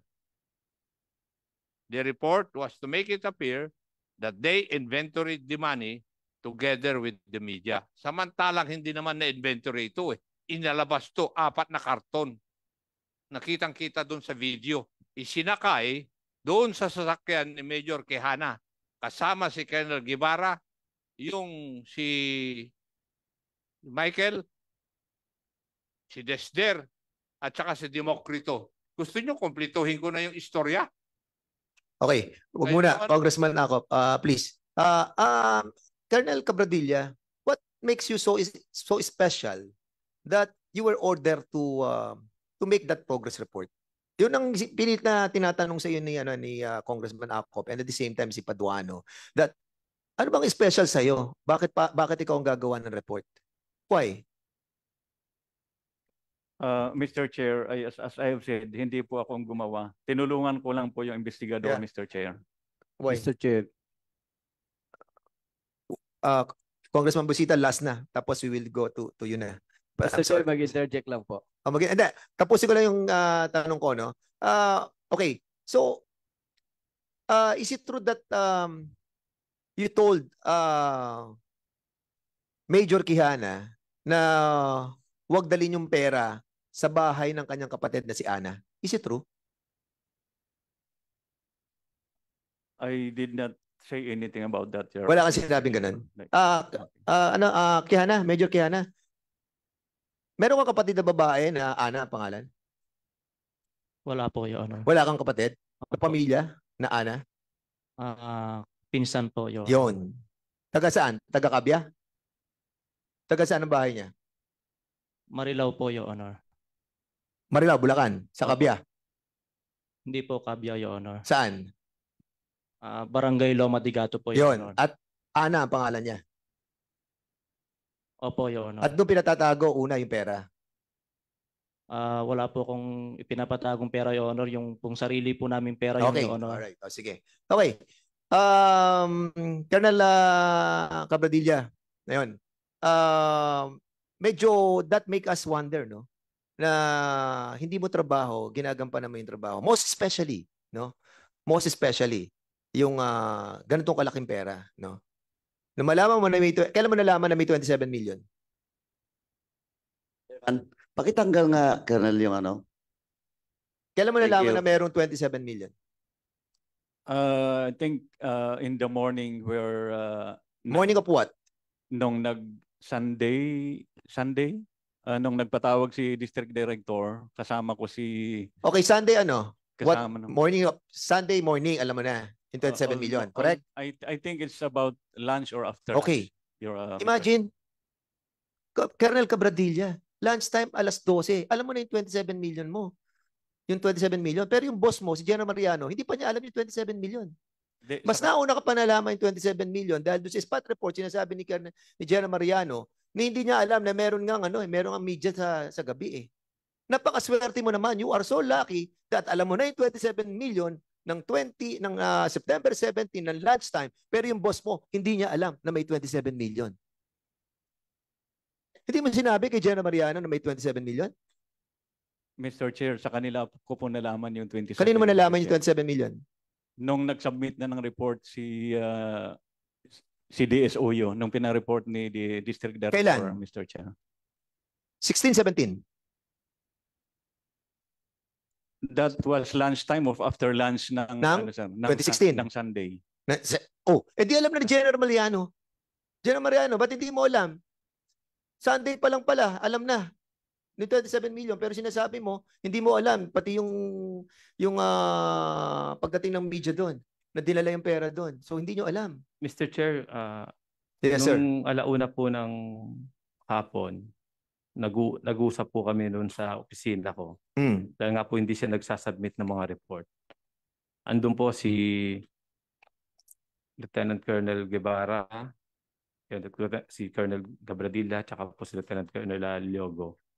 So, sinabi na yung 27 million doon. Namumblema po. Hindi, tanongin mo muna ako, General Mariano. Hindi po, Mr. Chair, wala pong sinabi doon si Lieutenant Colonel Guevara. No, Cabradilla, lunchtime yung 27 million. Sinabi po sa akin, Mr. Chair, ni Colonel Cabradilla, na namumblema po si So, si General Cabradilla, hindi mo sinabi kay General Mariano na may 27 million nung malaman mo nung lunchtime? General Cabradilla, hindi mo sinabi? General ah, Colonel Cabradilla, hindi mo sinabi kay General Mariano na may 27 million ng ng 7 nung ano, September 17? Uh, I think in during the meeting na nabanggit yung uh, yung uh, pera na yun, sir. O- okay, Yung so nabanggit doon sa 27. meeting. So ano si General Mariano? Uh, yes, sir. I am I'm not sure kung doon mismo sinabi Oh my 27 goodness. million, but about the money. Colonel Cabradilla, you are under oath. Ayaw na namin magpakulong dito. Let's pa lang, alam mo na, sinabi mo kanina, sa spot report sinabi mo may 27 million. Ngayon sinasabi mo hindi ka makasigurado dahil nag-conference kayo. Okay, granting na nag, nag-conference kayo ng alauna. O sabihin na natin alas 2, sabihin na natin alas 3, sabihin na natin alas 4. Okay, nag, nag-conference kayo. So nalaman nyo yung 27 million doon. Nalaman ba ni General Mariano na may 27 million? Yes, alam niya kasi yun yung perang So, General. Mariano, bakit sinasabi mo kanina na hindi mo alam? At Mr. nalaman mo lamang yan nung nagkaroon na ng progress report noong gabi na kung saan sakalang tinawag kay, uh, sakalang na-receive General Artates noong 18 ng September yung third progress report na sinasabi yung 27 million. There must be some, somebody lying. Yes, Mr. Chair. Oh, Mr. so- Chair, pwede pong Sige. paliwanag ko po. Nung alauna po ng hapon, hindi naman po nagsalita doon si Lieutenant Colonel Guevara, kundi si Colonel Cabradilla lang. Sinasabi niya po doon na namumblema po si Lieutenant Colonel Guevara kung magkanong pera ang kanyang idedeklara kasi namumblema siya doon sa mga alpha na bibigyan niya ng pera. Sinabihan ko sila na wala akong ano doon sa pera. Bahat ang importante sa akin, ilitaw nyo na yung pera kung magkano at sabit nyo na yung report ngayong araw na to. Kasi obligado na ako kay Adi mag-report dahil sinabi ko na kay Adi na may pera kayong nakuha. Alam nyo, alam mo, General Mariano, it doesn't make sense eh. Unang-una sinasabi ni ah, Colonel Cabradilla, nalaman na niya yung 27 million. Ngayon, nagdadahilan na siya, naiipit na siya. So sinabi niya, hindi niya ma- malaman kung sinabi yon doon sa conference na nangyari. Pero kanina tinatanong ko kung alam na, kailan niya nalaman. Ano sabi niya? September 17, lunchtime. Sinabi niya yun eh. Ah, Colonel Cabradilla, sinabi mo yung 27 million ng lunchtime, right? Tapos ngayon sinabi mo, hindi mo na sigurado kasi mukhang doon sa conference sinabi yung 27 million, di ba? So ngayon, dinedepensa ni General Mariano na hindi sinasabi ni Colonel Guevara yung totoong 27 million. But in accordance to what you have said a while ago, ha? Sinalaman mo na yung 27 million. Kaya nga doon nakapokus yung utak ko eh. So sinabi mo, mayroon ng 27 million. Dapat nasabi, na, alam na ni General Mariano, but General Mariano is trying to insist right now na hindi pa sinasabi ni Colonel Guevara yung 27 million. And prudence dictates, you are all in trouble already. At imposibleng hindi nyo tanungin yung pera. Eh si General Artates nga 4.6 lang nag-worry na eh. Oh, di more than that, mas lalo kayo mag-worry. Dahil yung inyong superior, nagwo-worry 4.6 million pa lamang. Hindi nga niya alam, akala nga niya 4.6 lang million eh. Pero because they have found several evidences that is beyond 4.6 million, he tried to investigate. Di ba? Pero kayo parang okay lang kayo, parang hindi nyo pa inaalam yung, oh hindi, oh sige, oh, yan lang. Hindi nyo pa inaalam. And that's worries us. Kasi, I don't know. I, I really don't know. Medyo, ako, bumigat na naman yung damdamin ko. Congressman uh, Mr. Mr. Flores. Chair, Mr. Thank you. Chair, may I? Mr. Chair. This is just in relation to that topic here, Mr. Chair, because at the last hearing, I categorically asked Colonel Guevara and General Mariano as far as that information is concerned. And it is on record in our last meeting, uh, Mr. Chair, that Colonel Guevara said that after their operations, he went to see General Mariano. And during that meeting, Mr. Chair, he said that he was directed by General Mariano not to include the 27 million. I also asked General Mariano, General Mariano, did you do, the order Colonel Colonel Guevara not to include it? He said, I did not do it. And then I said, who asked or who who said who mentioned not to include the 27 million? At that time, Your Honor, that was 10 o'clock, Mr. Chair. Colonel Guevara, is that correct? Yes, Mr. Chair.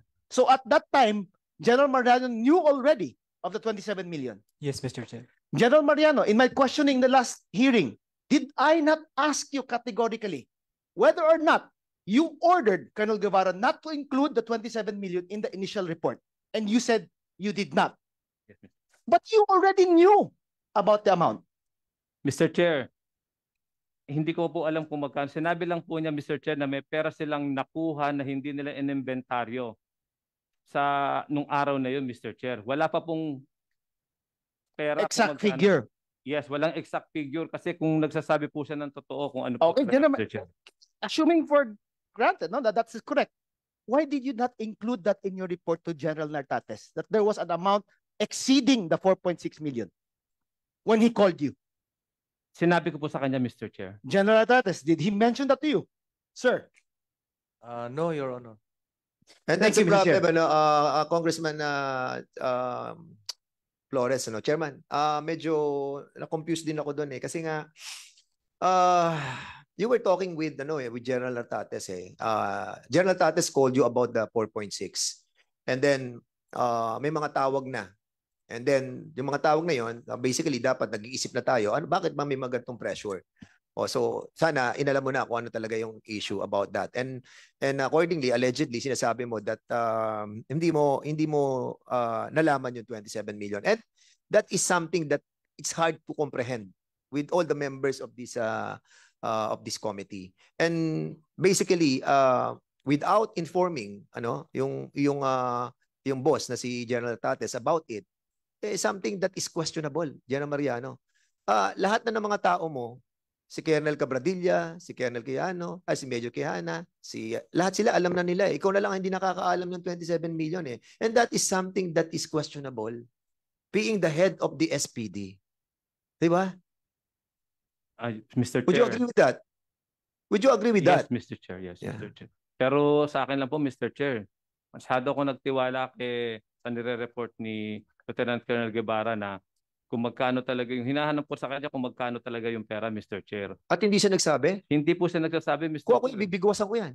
Yun na nga po sana, Mr. Chair. Eh. Ano, nabigitan General Mariano, you are continuing lying, ano? A- alam mo, wag, wag, General Mariano. Hu- Huwag kayong magsinungaling dito kasi nakikita na namin yung picture eh. Kasi unang-una, si, yung inutusan mo si Colonel Cabradilla, ayusin yung progress report. O, so, kung inuutusan mo si Colonel Cabradilla, nalaman na ni Colonel Cabradilla yung 27 million. Di ba? Siya ang pinagkatiwalaan mo, tapos hindi niya i-report yung 27 million sa iyo. That is highly impossible to us. Mr. Chair. All members who are here today are not convinced with all these alibis that you are manifesting in this committee. And stop, please. Stop lying. Ayaw na namin. Mr. Chair, hindi po Yes. ako nagsisinungaling, Mr. Chair. Sinasabi ko lang po talaga yung totoo ng kung hapon ng linggo. Sinabi po ni Colonel Cabradilla sa akin na namumblema si Lieutenant Colonel Jolet kung magkano talaga yung perang iano niya dahil namumblema sila dun sa mga bibigay nilang pera dun sa tennis. Sabi ko sa kanya, Mr. Chair, kung tapusin niya lang po ako. Hindi naman po nagsalita dun si Chief DSOE kundi si Colonel Cabradilla lang. At sinabi po niya doon na ilabas nyo na yung report. Kaya po, 16 pa lang, hinihintay ko na po yung report para po may sabi ko. Pero hindi na po nagsasabit sa akin ng report si Chief DSOU. Noong lunes na lang po siya nagsabit na dated 16 na nakuha lang po namin doon sa... General Mariano, kung, Yes, Mr. Chair. kung nung 27, nung ah, 17, nung linggo, linggo, alam mo na hindi na nagsasabit, hindi na sila sumusunod sa iyo, di ba? Hindi mo man lang ba naisip na dapat tawagan, kasi hindi na sumusunod sa iyo eh. Sabi mo eh. Di ba? Hindi, hindi, nila sinasabi kung magkano eh. Di ba dapat tinawagan mo na si General Natates para sabihin na, oh, sir, may problema ako dito. Kasi hindi na sumusunod ang mga tao ko sa akin. Ni yung, ah, yung, yung, yung ebidensya na sinasabi mo na hindi mo nakita dahil wala sa DSOU, hindi ka na ba na nag-worry doon? Di ba dapat tinawagan na natin si General Natates, Sir, may problema tayo dito. Pati yung ebidensya na sinasabi na, na more than uh, 4.6 million, wala dito. And even the 4.6, wala dito. Dapat sinabi na natin yun sa regional director. Wala dito ebidensya. Tapos hindi ko pa alam kung magkano yung sobra sa 4.6 at hindi na sumusunod ang mga tao ko. That made you concerned dapat. Mr. Chair. Sir Chairman. Ah, bigyan na po natin si Kwan, yung minority kasi siya dapat ang Kwan eh. Okay, sorry. Ah, ah, hindi nag, nag pum- pumasok lang, hindi ko na hindi ko hindi ko sinasadya pero Congressman uh, Bosita sige, you have the the floor. Thank you, Mr. Chair, and uh, thank you, Vice Chairman Akop, sir. At napansin niyo pala, sir, kanina pa ako, kanina pa ako nang gigigil eh. Ah, by the way, Mr. Chair, ah, good afternoon po sa ating lahat. Mr. Chair, bago lang po ako mag-interpolate, gusto kong sagutin yung ah, query ni Mr. Chair. Bakit daw nakikialam si ah, Colonel Cabradilla?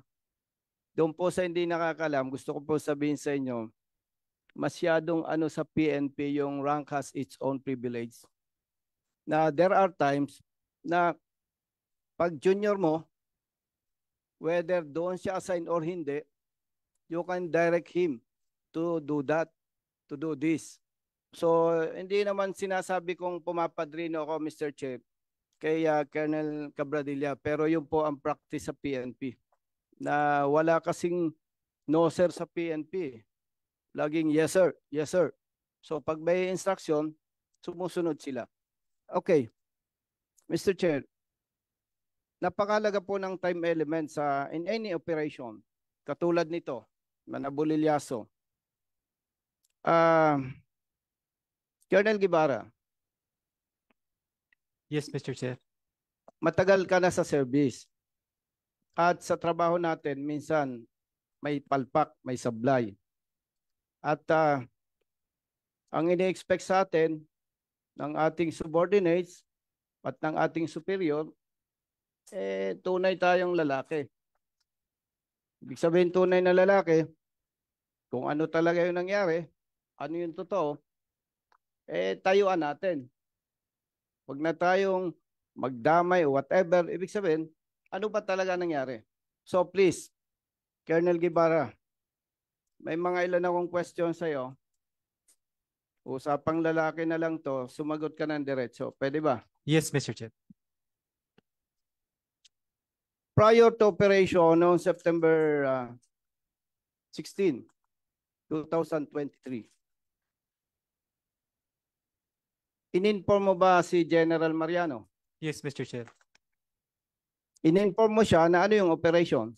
It was the implementation of search warrant. Okay, search warrant. Siyempre, pag ang commander, binigyan mo na information,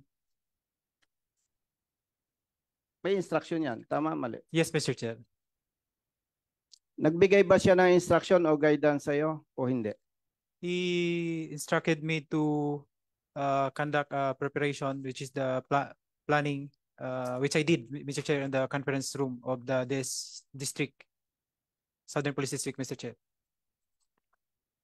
Ganun ba kaikli o may iba pa siyang nabanggit sa'yo? Uh, yun lang po, Mr. Chair. Okay. Ang operation sinagawa ninyo from uh, September 16, 12:30 to 5:30 in the morning. Tama ba? Yes, Mr. Chair. During the operation from 12:30 a.m. to 5:30 a.m. Tumawag ka ba kay General Mariano? Yes, Mr. Chair. Mga anong oras 'yon? It was uh, past one, Mr. Chair. So kung tumawag ka, anong sinabi mo? I informed him that the operation is already ongoing, Mr. Chair. Ongoing. Yes, Mr. Chair. Ano pa? That's the that's just that's the only thing that I have that I've said, Mr. Chair. So Mr. Chair, sabi po ni Colonel Guevara, on September 16 from 12:30 midnight to 5:30 a.m. tumawag siya at in-update mo siya ng operation. Tama? Yes, Mr. Chair. Wala ka ng ibang sinabi pa. Wala na, Mr. Chair. Okay. Totoo ba na nag-report ka sa quarters sa SPD noong bandang alas 6 pa o alas 7 ng umaga? Right after the operation, Mr. Chair, it is, it is between, uh, I was there at 7 a.m., Mr. Chair, but the good uh, di- district director is not yet there, Mr. Chair, so I have to wait on his arrival. Tapos na ang operation. Yes, Mr. Chair. Mr. Chair, nabanggit ko po yan, napakahalaga ng time element. Very clear.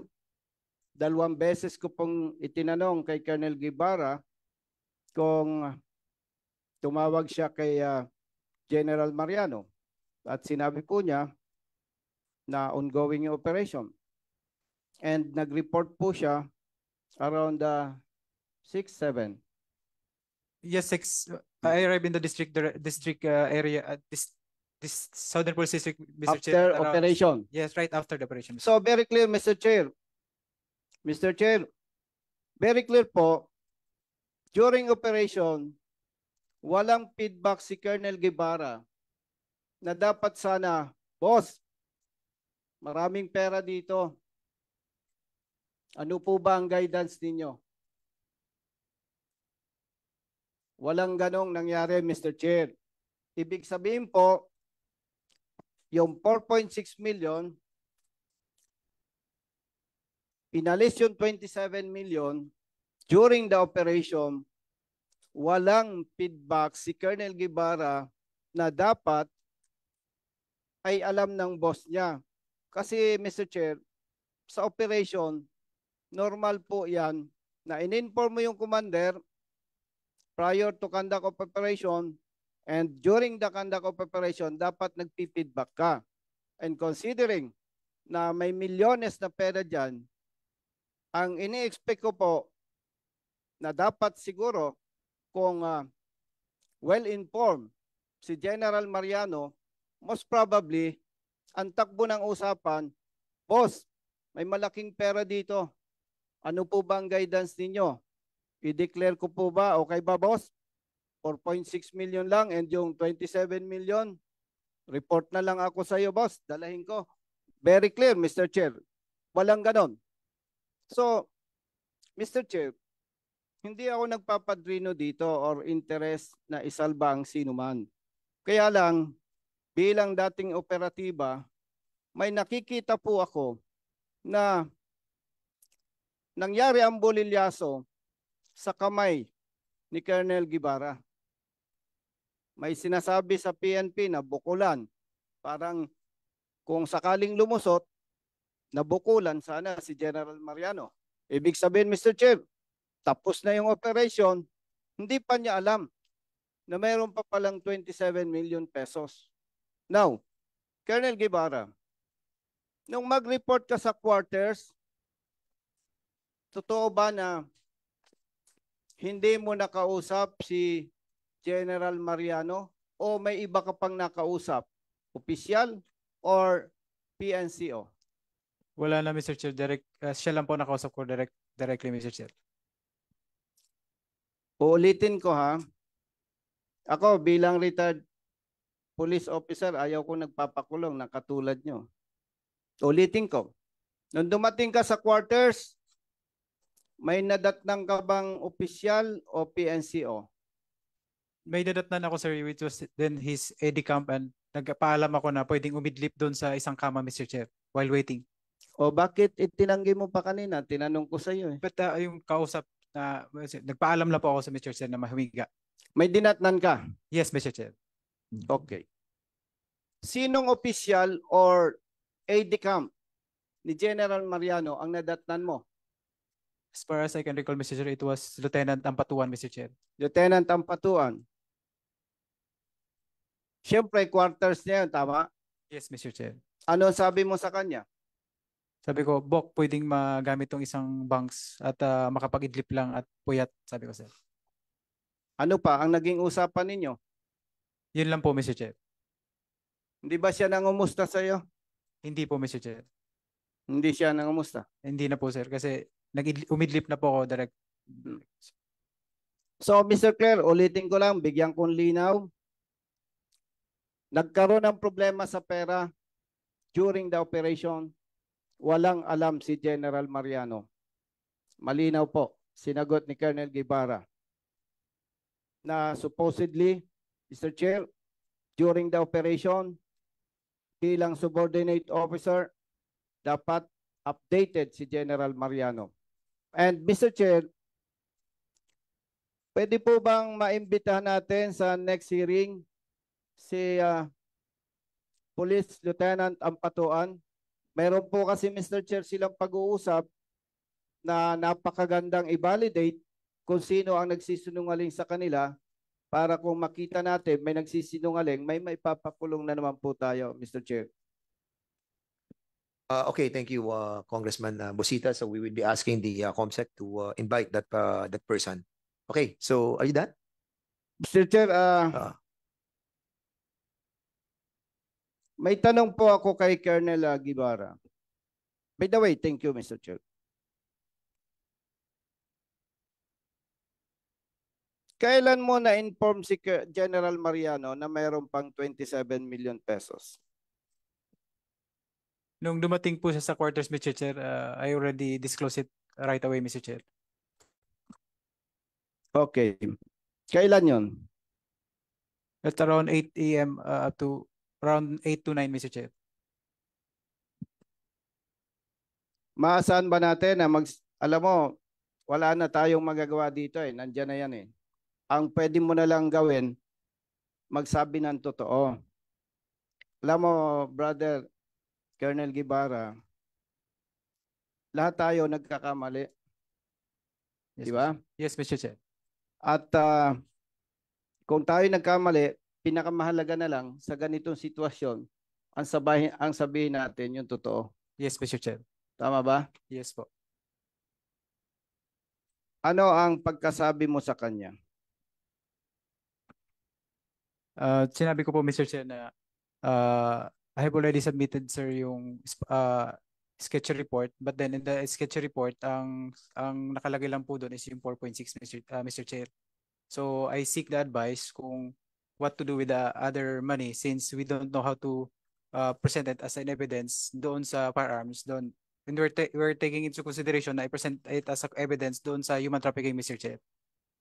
So yung sketch report na una, Yes, bago Mr. kayo nagkita. Tama? Yes, Mr. Chair. At doon sa sketch report, nabanggit mo ba yung 4.6 million? Yes, Mr. Chair. So, two points, Mr. Chair.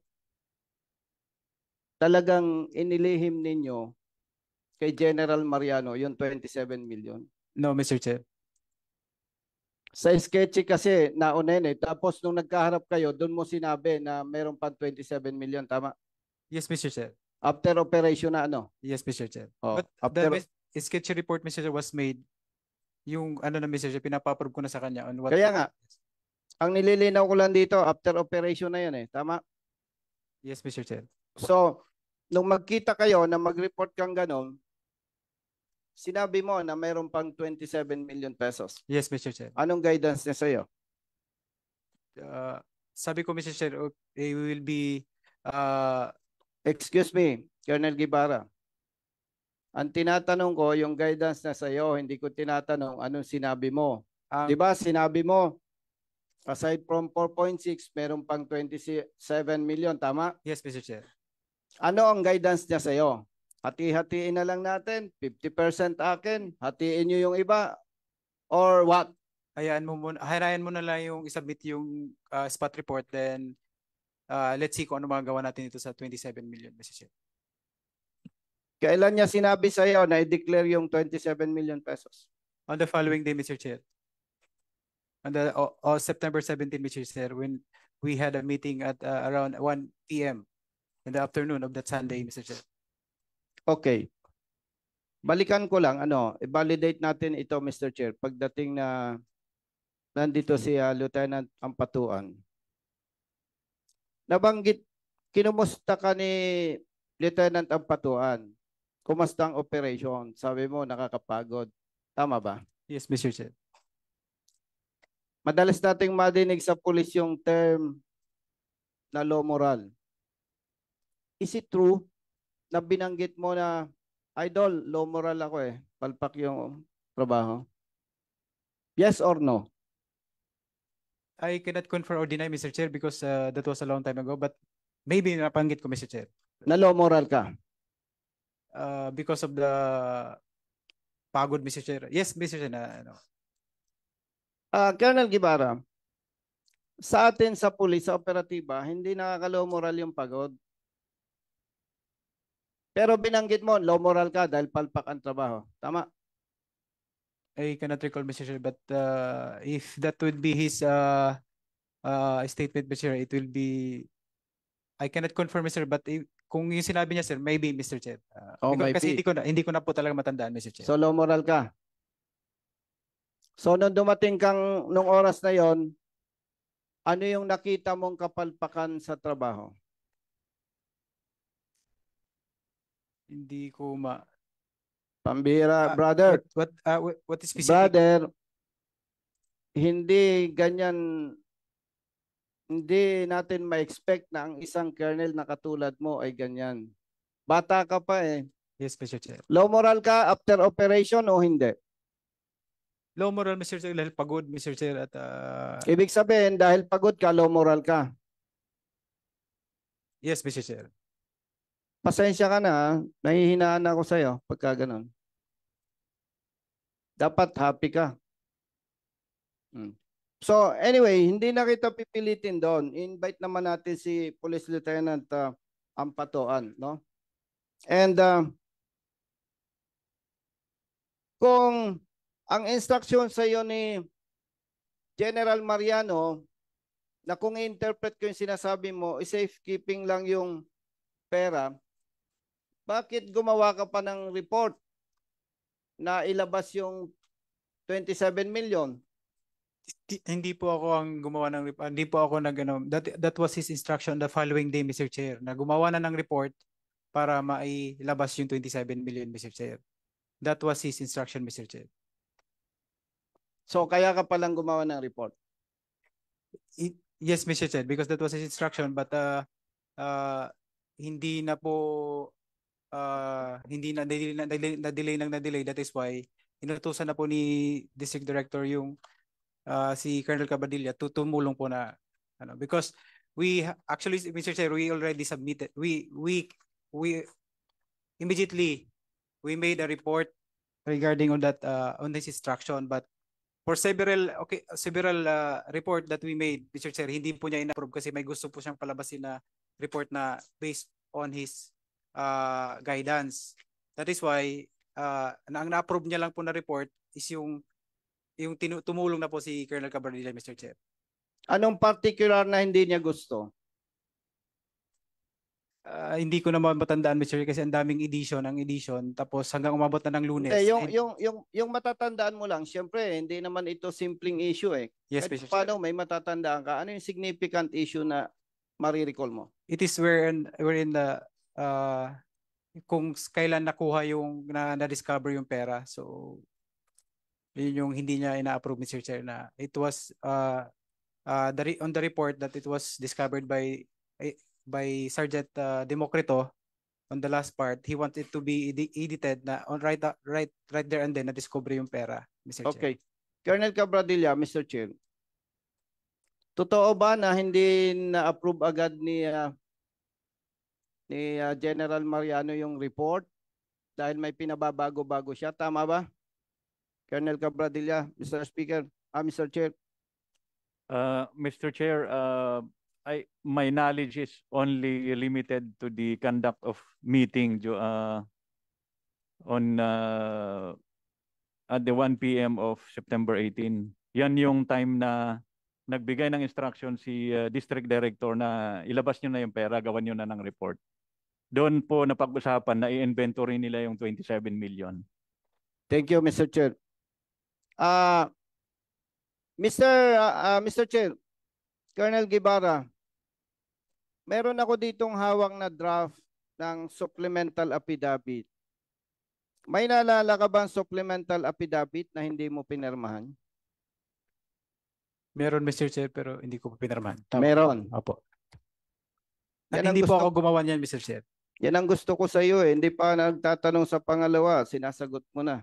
Parang gusto mo yung tanong ko. So, yung pinag-uusapan natin, Mr. Chair, na supplemental affidavit, hindi mo pinirmahan. Yes, Mr. Chair. Hindi ikaw ang gumawa. Yes, Mr. Chair. Sino ang gumawa? I have the personal knowledge, Mr. Chair, kung sinong gumawa. But uh, the- during that time, uh, it I was assisted by uh, Police Lieutenant Colonel Arino, Mr. Chair. Police Lieutenant Colonel Arino, Mr. Chair. Arino. Saan siya assign? Legal officer, Mr. Chair, ng NCRPO. Legal officer, NCRPO. Mis- Legal officer, NCRPO, under oath ka ba? Yes, sir. Yung pinag-usapan nating supplemental affidavit, ikaw ba ang gumawa o hindi? I was the one who prepared it, sir, after uh, informing Colonel Guevara that uh, his uh, uh, testimony would be uh, uh, pro- uh, gagawing uh, legal instrument, Mr. Chairman, sir. Legal instrument. So, very clear, hindi si Colonel Guevara ang gumawa nito. Question, Colonel Guevara, Mr. Chair. Bakit hindi mo ito pinirmahan? Uh, I was following the advice of my lawyer, Mr. Chair. That is why hindi ko po. Siyempre, ang legal officer naman ng NCRPO, hindi naman manghuhula yan eh. Tama ba? Yes, Mr. Chair. So may mga details dito, di ba? Yes, Mr. Chair. Aside from the advice of your lawyer na huwag pumirma, ano ang dahilan? Bakit di mo pinirmahan? That was just my decision, uh, that's my thinking during that time, Mr. Chair, that uh, it would be better na uh, hindi po mag-sign ng Wala ka bang napansin dito na questionable na hindi mo dapat permahan? Siyempre, kung ako ikaw at okay naman, pepermahan ko, babasahin ko eh. May nabasa ka ba dito na hindi hindi ka kumbinsido na dapat mong permahan? Personally, Mr. Chair, I haven't read that uh, uh, supplemental affidavit, Mr. Chair. Legal officer, NCRPO. Nung matapos mo ba ito, nasa NCRPO si Colonel Guevara? Yes, sir. After uh, the meeting with the, the regional director, sir, uh, I told him that uh, uh, we will be uh, faci- facilitating him to assist uh, to assist the uh, preparation for his document. And uh, I noticed that at that time, Colonel Guevara was already being evasive. Uh, hindi na siya ma mapakali if uh, if you allow me to use the vernacular. So sabi ko, uh, Colonel Guevara, baka kailangan mo kumuha ng lawyer. And uh, he did uh, follow my advice. Kumuha talaga siya ng lawyer ng gabing yon. Sabi ko, kailangan mong kumuha ngayon. And uh, after that, Mr. Chairman, uh, nasa legal office kami Actually, apat kaming lawyer doon, Mr. Chairman, na nag-uusap eh. Ang isang lawyer na hindi ko makilala. Tapos yung wife niya and uh, Attorney Santos, which is uh, with me today. Uh, explain ko naman sa kanila na uh, nasa kanila naman ang choice, Mr. Chairman. But uh, yun, uh, pinili naman niya yung choice na yun, Mr. Chairman. So, nung prepare mo ito, legal officer ng uh, NCRPO, magkakaharap kayo? Uh, yes, sir. Kasi that's, that's the transcription of the uh, testimony, sir. Hmm. Okay. Siyempre, nung ayaw niyang permahan, may rason siya. Nabanggit niya ba sa'yo? Hindi ko ma-recall ang specific na rason niya. Uh, but uh, nung dumating nga yung asawa niya kasi medyo na, na nervous yung asawa niya, sabi ko, uh, ma'am, baka pwedeng kayo na ma- mamili kayo, ma'am. Yun po yung uh, context ng statement ko. Because uh, I believe that uh, this statement is significant, Mr. Chairman, sir. Okay, thank you, Mr. Chair. Uh, last concern na lang, Mr. Chair. Yan, may second round ko pa naman. Yes, Mr. Chair.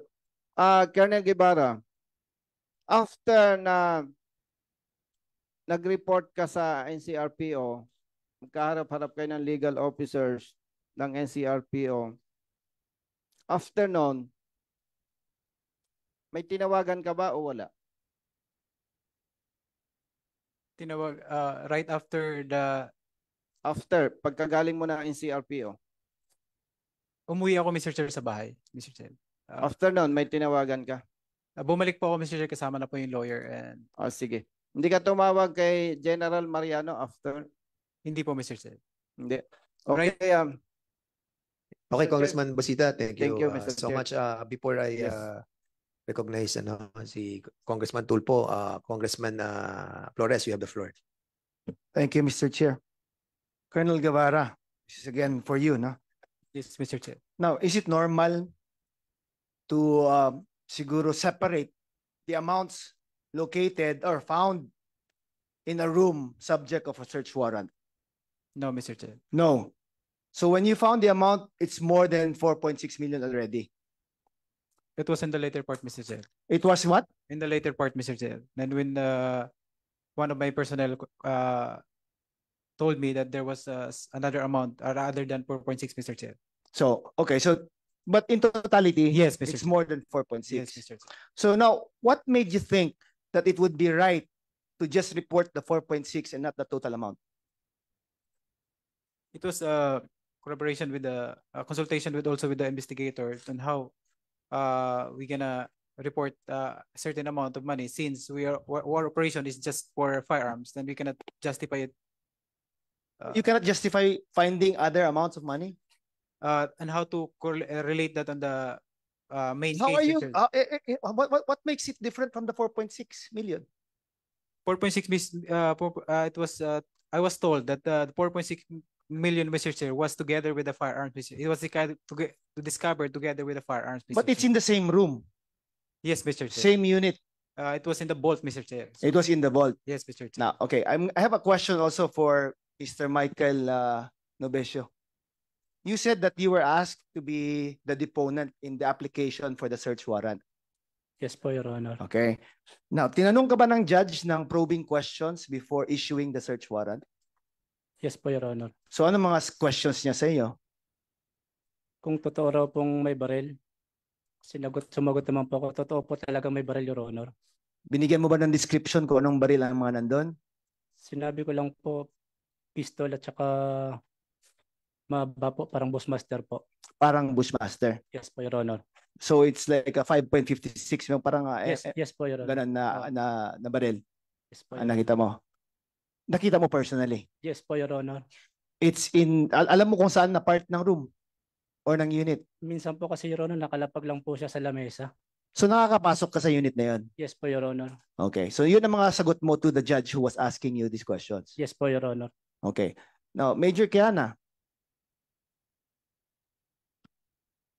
Yes po, Your when Honor. Michael sur- uh, surrendered the, the firearm that he had to you, no? Uh, what did you do with it? Ah, Your Honor, wala po siyang sinosurrender sa akin, Your Honor. At nasa court na rin po yan, Your Honor. Ah, sa court ko na lang po sasagutin, Your Sa Honor. court mo na sasagutin. Opo, pasensya na po, Your Honor. Okay, I understand. Now, General Nartates, I'll just ask you these questions. No? Kasi kanina, Colonel Guevara and uh, General Mariano gave conflicting answers. And I mean, I asked them, that's why I felt so insulted about it because I was the one asking the questions, Mr. Chair. eh. And I, I really felt na parang di ba in the last hearing. So I feel it was pretty much established that they talked to each other at around 10 o'clock in the morning. And in that conversation, Mr. Chair, Colonel Guevara categorically mentioned that he informed General Mariano of an amount that exceeds the 4.6 million. General Mariano even confirmed that, uh, Mr. Chair.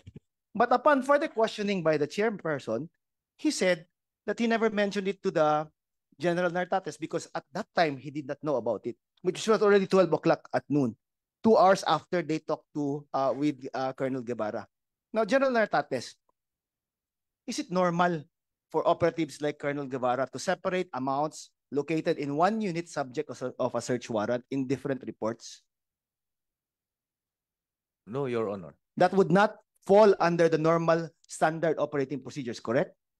That's correct, Your Honor. Now, what was the responsibility of General Mariano, uh, Colonel uh, General Nartates, uh, in as far as reporting the amount verbally uh, given to him, uh, the information verbally given to him by Colonel Guevara to you, as far as the NCR, uh, you being the uh, higher ranking officer to uh, General Mariano?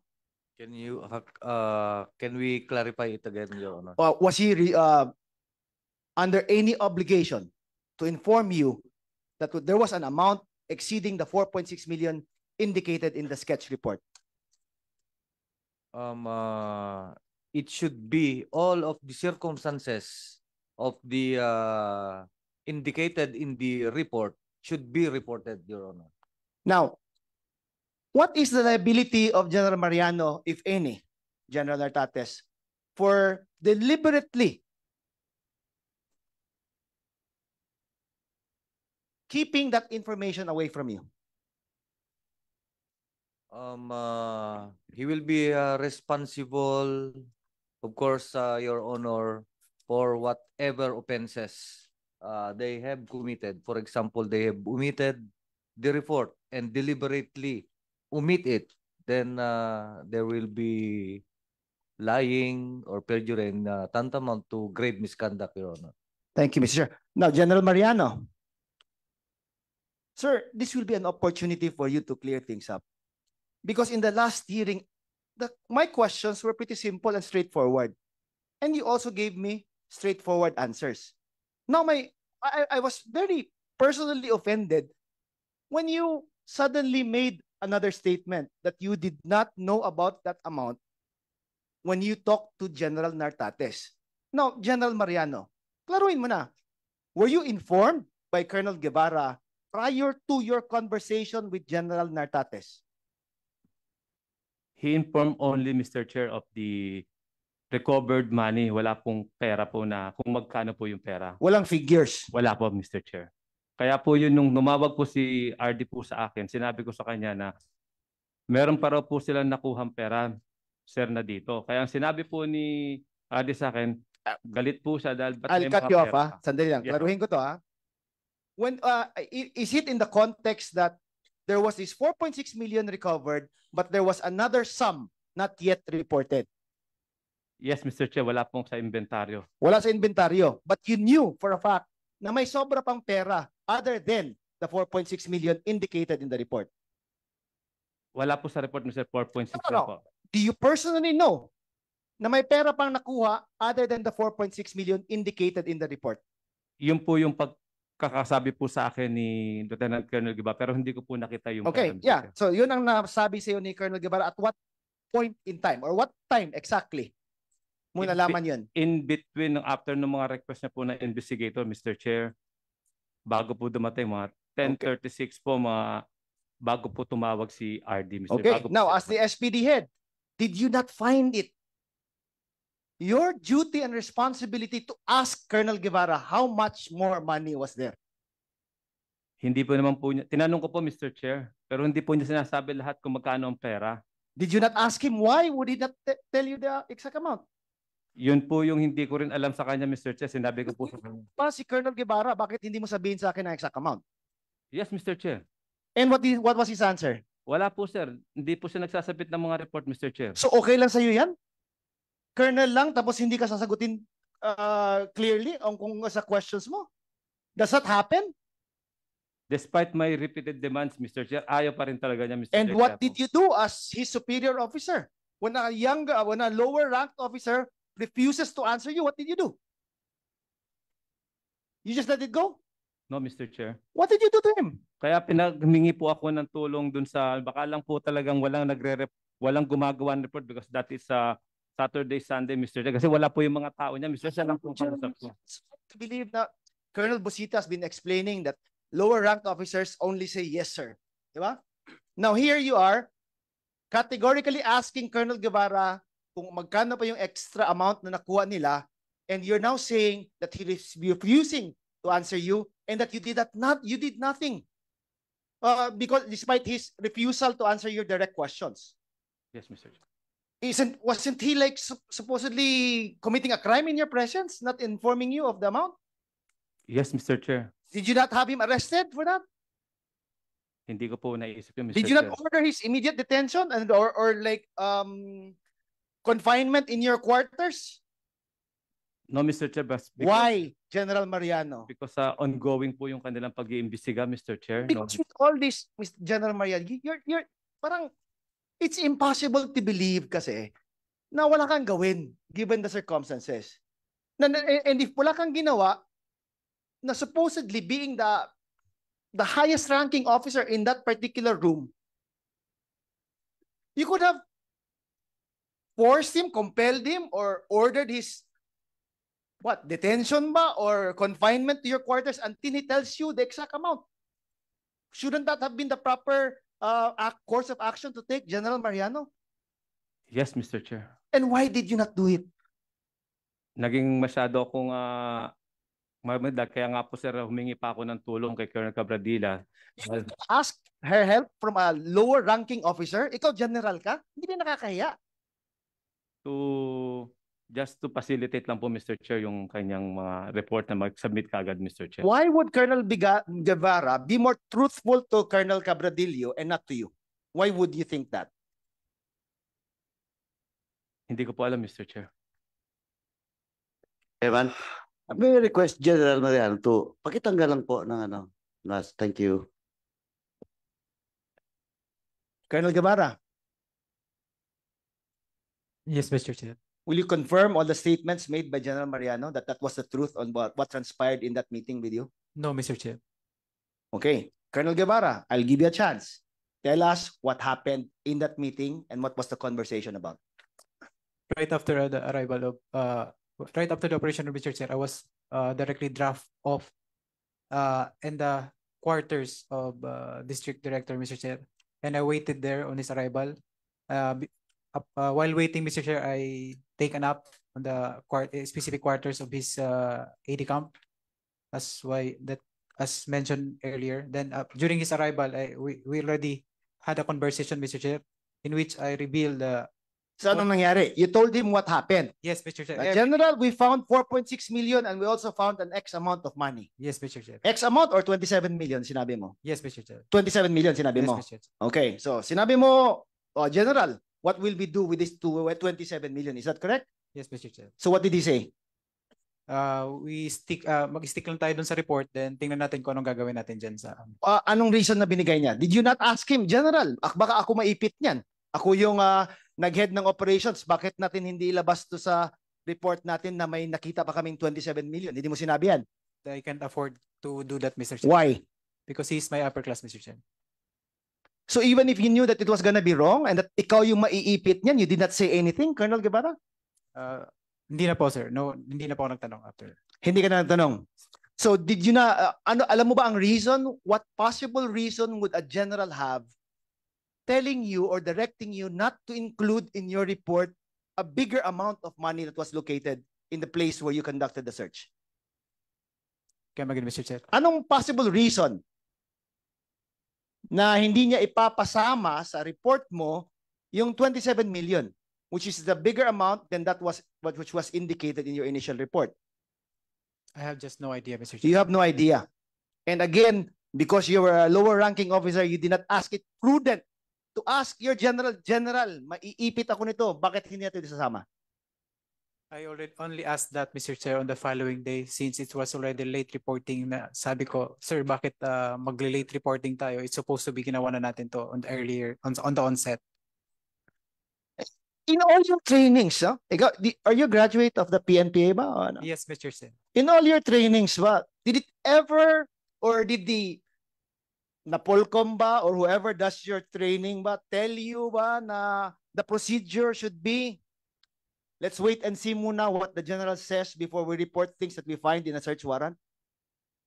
Not particular, Mr. Chair, but uh, there are written, uh, unwritten tradition that to There, there is what? An unwritten tradition that you have to follow the, your superior, Mr. to Chair. follow your superiors even if that order is questionable. Yes, Mr. Chair. even if that order is bordering to a criminal order, an illegal order.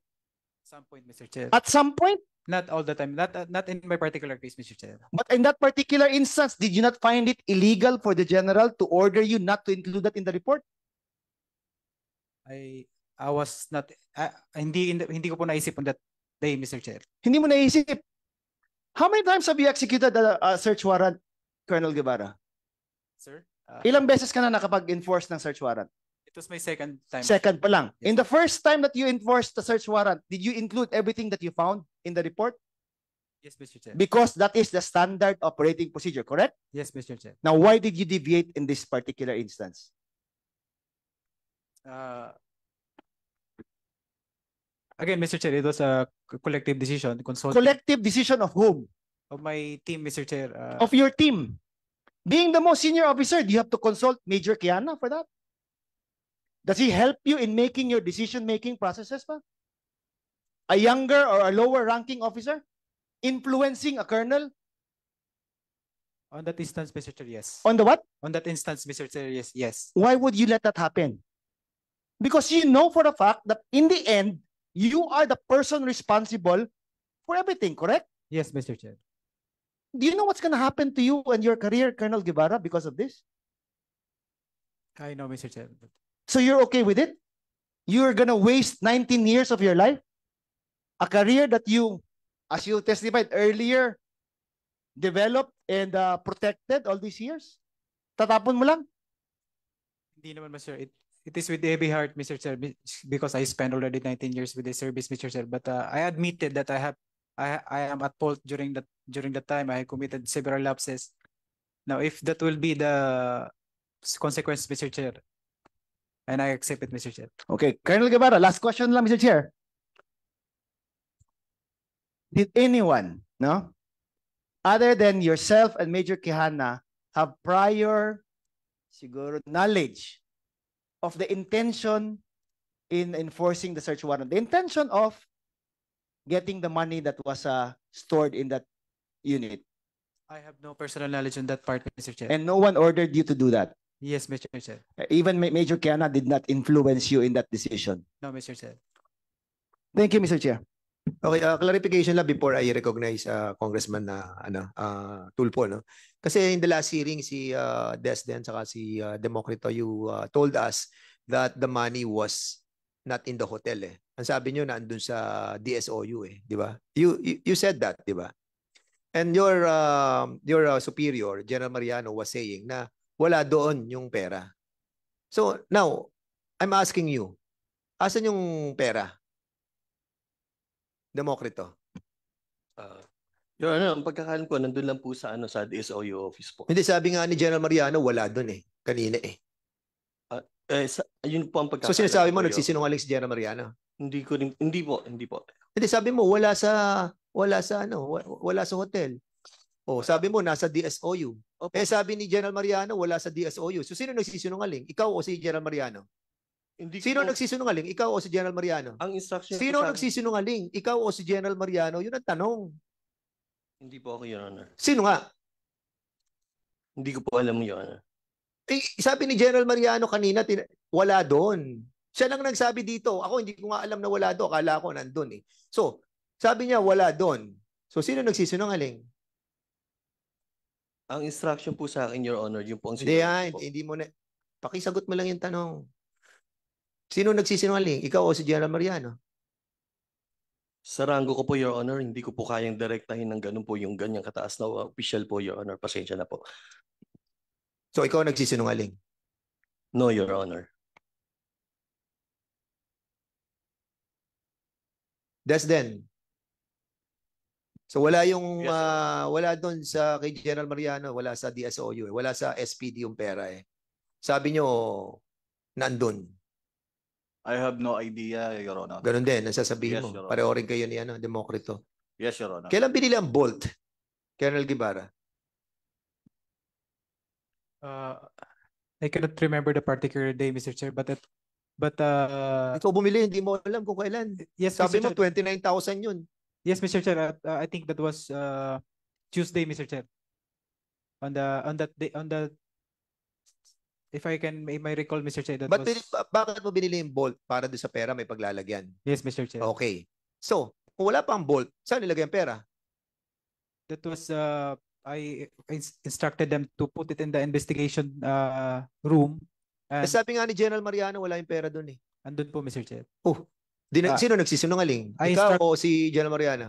I don't know, Mr. Chair. But uh, but I, my instruction was to put it in the investigation At ang room. sabi ni it was there. Mariano kanina, pati ang 4.6 wala doon sa ano sa It was there, Mr. Chair. Okay. So sino nga nagsisinungaling?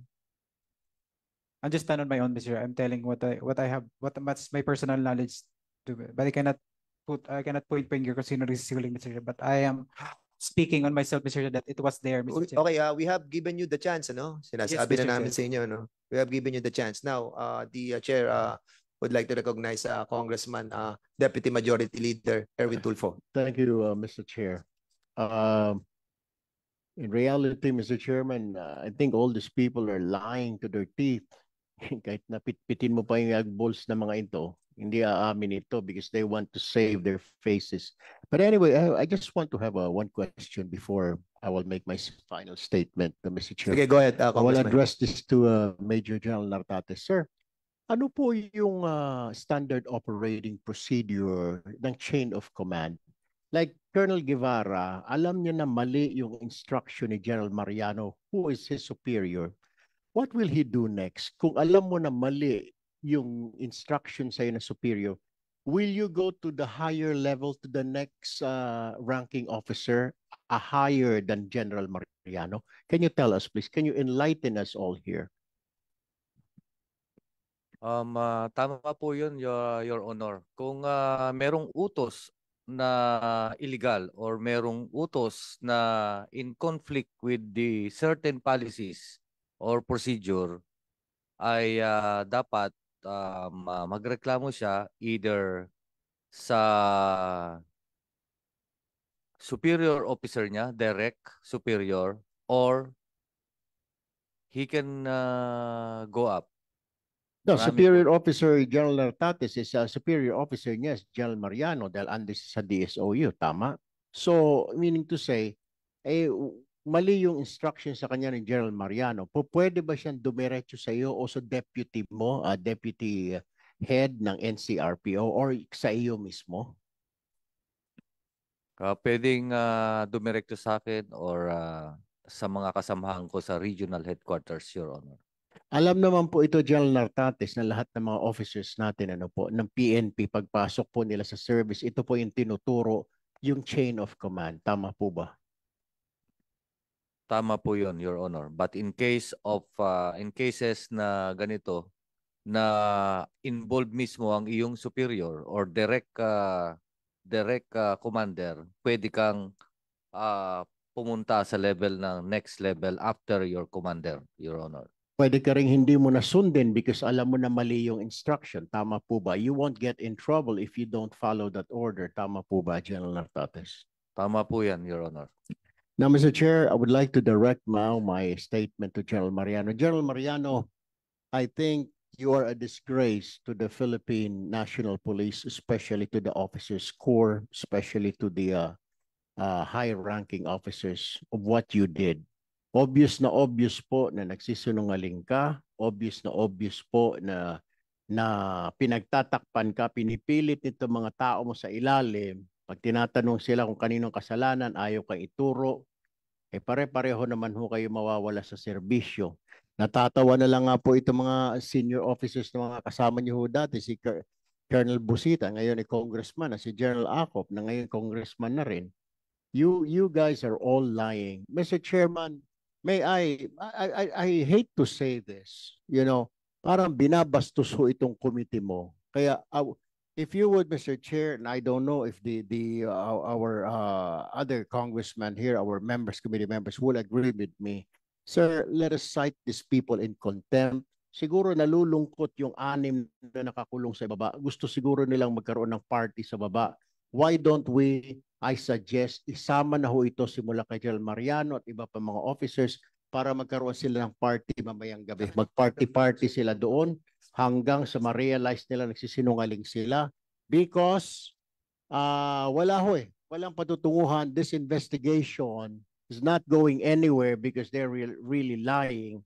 May mga testigo na ho tayo, ayaw pa rin magsalita. So, if you would, Mr. Chair, I would like to cite in contempt these other officers kasama si General Mariano. I hate to say this, but uh, we don't have a choice, Mr. Chair, para hong binabastos ang committee mo, pinaglalaruan, pinagtatatawanan, akala siguro mga batang paslit tayo dito sa Congress. So, we have to teach them a lesson, Mr. Chair.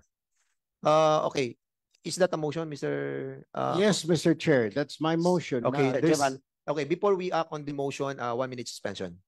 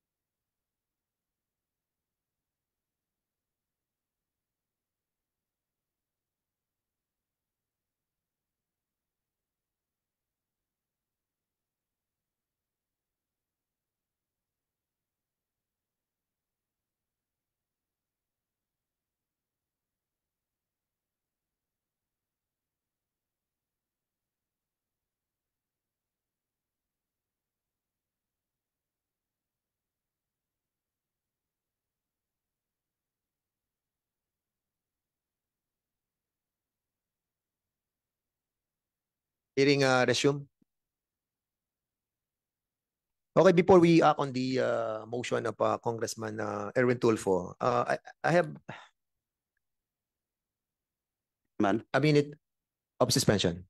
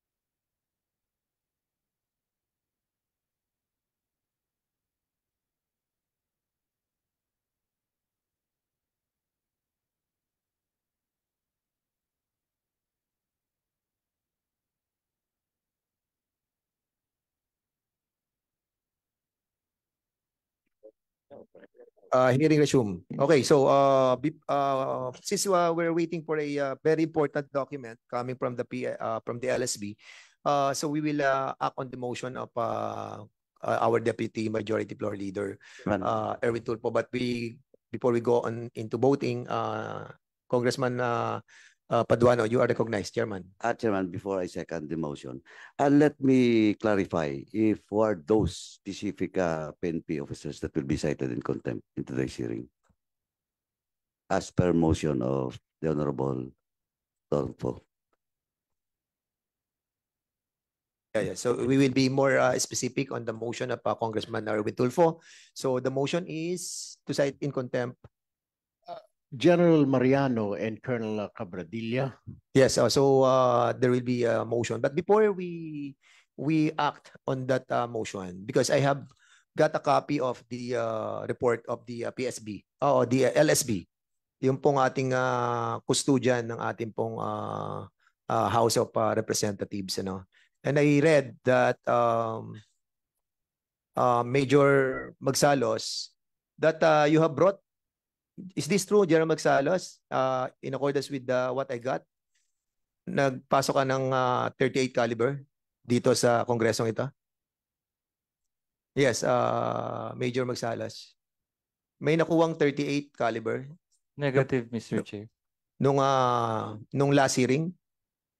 Mr. Chair, hindi po ako yun, Mr. Chair. So hindi ikaw yung uh, may dala ng 38 caliber. Wala po, Mr. Chair. So we are inviting our um, uh, LSB no para to uh, to find out no Yes, Mr. yung Chair. veracity ng report. So sige, you are raising your hand. Mr. Ah, Chair, may, may I, uh, yes, go ahead.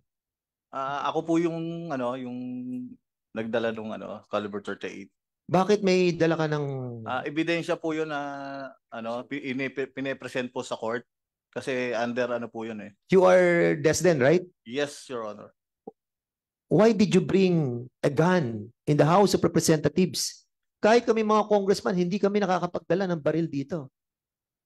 But you, I invited a resource person, have bring a gun inside the House of Representatives. Ha?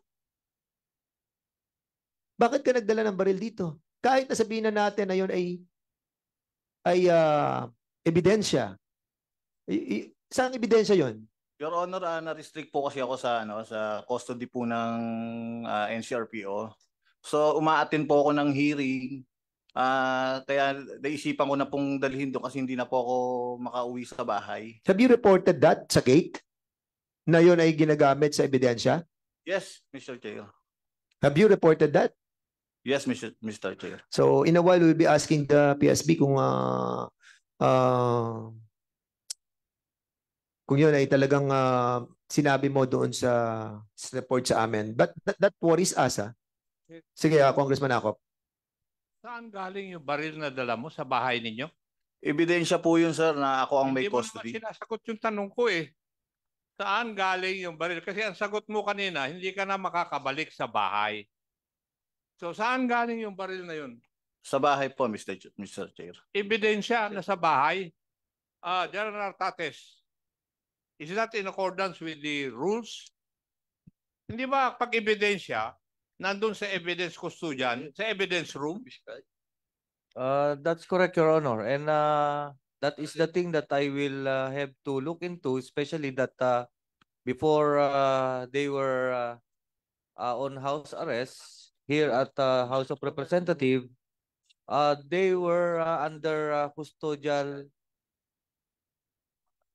uh, under uh, the custody of the regional headquarters, particularly at the regional headquarters support unit.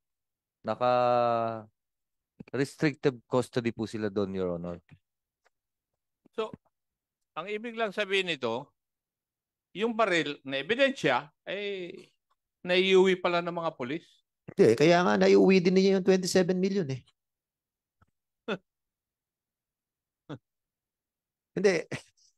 Binabasa ko kasi, kasi nag-worry ako, nag-report sa akin yung PSP na sinasabi yung barrel na ipasok. Actually, nakalusot sila sa ano, sa entrance. But nung dined, na, dinadala na sila sa detention, doon nakuha yung 38 caliber. And now, nare-reveal pa na yun ay for ev- evidence purposes. Now, galing sa bahay, dala mo. So, hindi ka ba mag-iisip? Di ba? If I may, Mr. Anyway, uh, antayin lang natin sa PSB. So, you wanted to uh, to speak? Ano, sige, uh, Ah. Desden. Mr. Chair, nung kailan lang po last ah, last week ah LSP. Nag, an- umatin po ako ng hearing, Mr. Chair. Ah, dala ko na po siya nung umatin ako ng hearing. Uh, ano, ano, again, again, I, I didn't get, it. Uh, come again?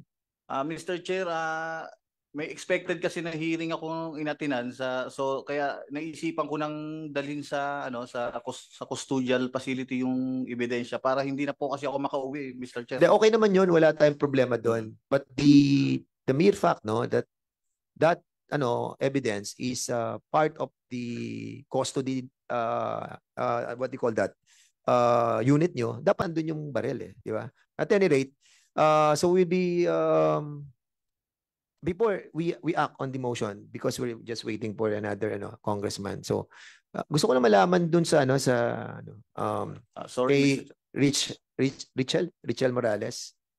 Um Yes po. kilala mo naman yung mga Chinese ano doon, di ba? Ah, mga boss mo, di ba? So you you know about the Rolex Rolex na relo po. nung suot nung boss mo? Di, di po ako Ah, so wala kang alam doon sa Rolex. Okay, si in si ano si ah, what do you call this si uh, Nobesio. Ah, alam niyo yung Rolex, di ba? Alam niyo ba hindi? Your Honor, hindi ko po alam, Your Hindi Honor. alam. Si Rainier hindi rin alam. Hindi ko rin po alam, Your Honor. I'm sorry ah, kasi mainit ako doon sa Rolex na yun eh. Wala kasi ako Rolex eh. Gusto kong makita kung gaano talaga kaganda yung Rolex na yun. So, uh, anybody who wanted to, ano muna? Uh, uh, Congressman na ano, Yeah. Paduano. Ay, ganito lang, Chairman. Kasi, ah, of course, ah, ah, si Congressman, Major, Deputy Majority Leader, nag-move na to silent contempt. Pero ganito lang yan, Chairman, ang ano.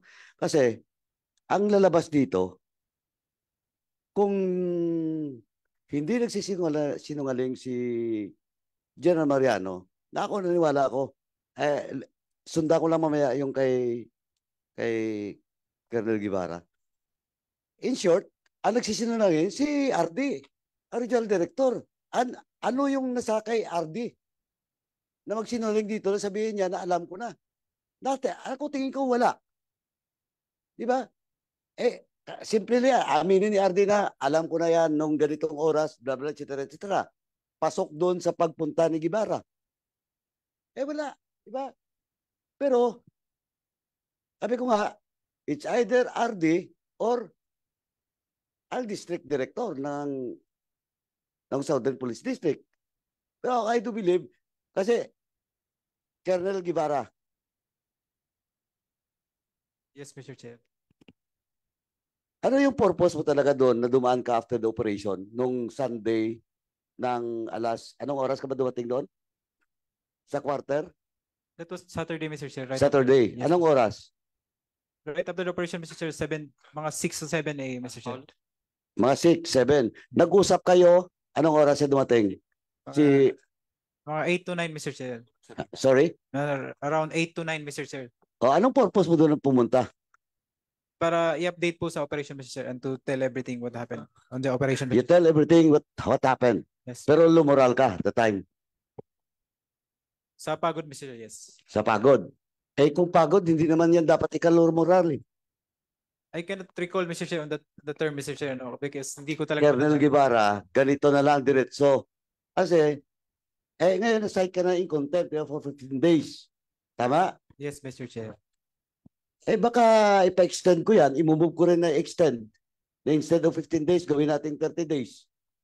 Okay, uh, so Hindi. Congressman Paduano, before you, no, no, no, no, you, uh, you, you, we will not allow that for the moment. No, I, I'm moving yet, Mr. Chairman. At yung sinasabi ko lang, sabihin mo na, lumural ka dahil palpak yung operation. Iyon ang i-report mo kay RD, you, ah, kay district director mo to seek guidance until you do. You can answer. Answer back, please. Mr. Chair, hindi po ako nagsabi sa kanya ng low moral ako, Mr. Chair. Ah, hindi mo sinabi. Pero sabihin mo sa kanya na itong nangyari, ang spot report is only 4.6 million pero may 27. Tama? Yes, Mr. Chair. Yon ang purpose mo, di ba? Yes, Mr. Chair. Oh now, Mr. Chairman, General Mariano is denying na ni-report daw yung specific amount ni Giberad nung oras na yon. Eh, ano ang mawawala kay Gibera? None. Why? Eh, lumabas nga eh. Hinilot lang nila eh. Pinalabas sa 27. Well, in fact, Mr. Chairman, and gusto ko lang i-confirm, Gibara, kasi the affidavit of Michael Nov Novesio. Novesio, Novesio Novesio. states na pagkatapos ng operation, magkasama kayo sa sasakyan, tama? No, Mr. Chair. Kasi Ranger, magkasama kayo, kayo Ranger, sa sasakyan. Opo, Mr. Chair. Sino yung mga nandun?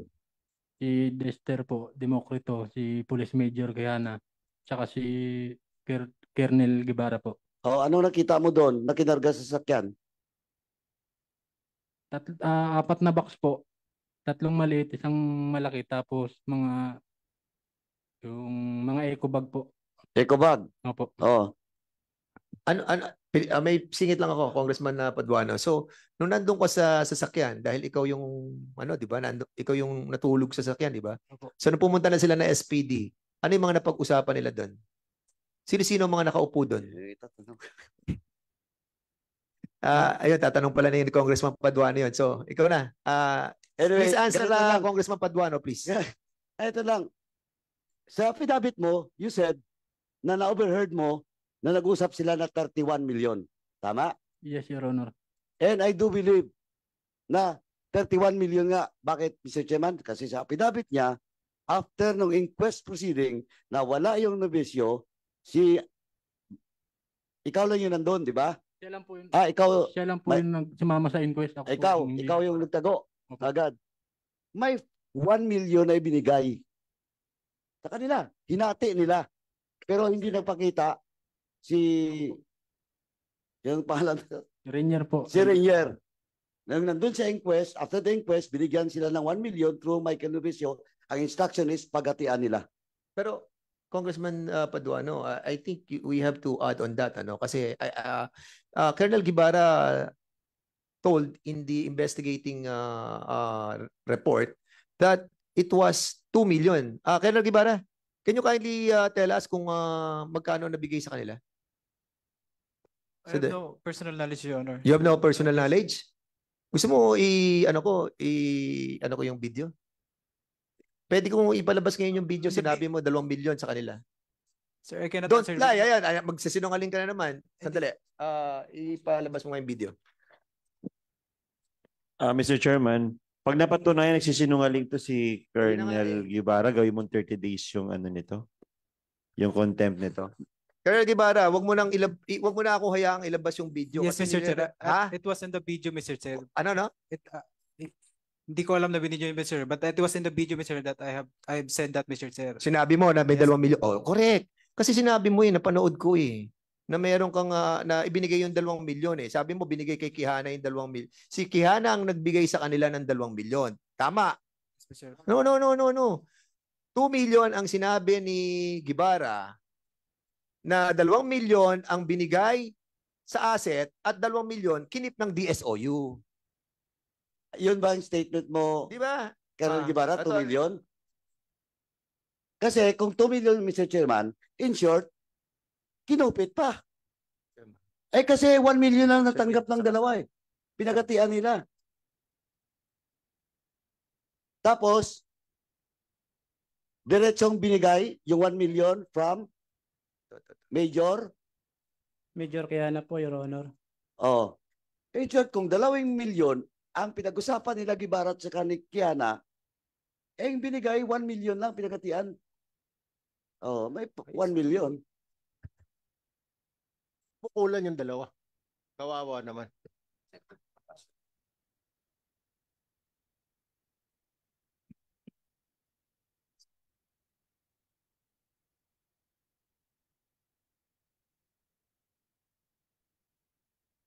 Pwedeng magtanong? Ngayon muna, pakinggan muna natin. Yung what?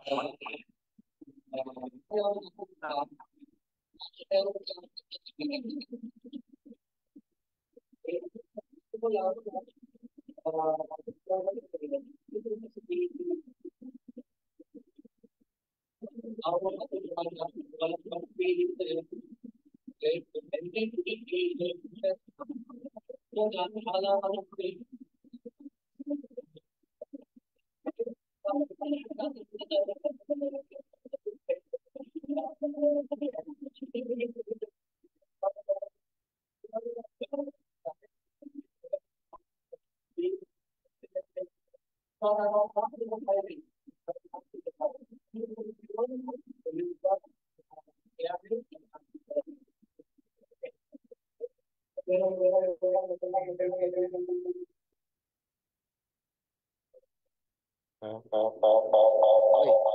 Sandali. So, since uh,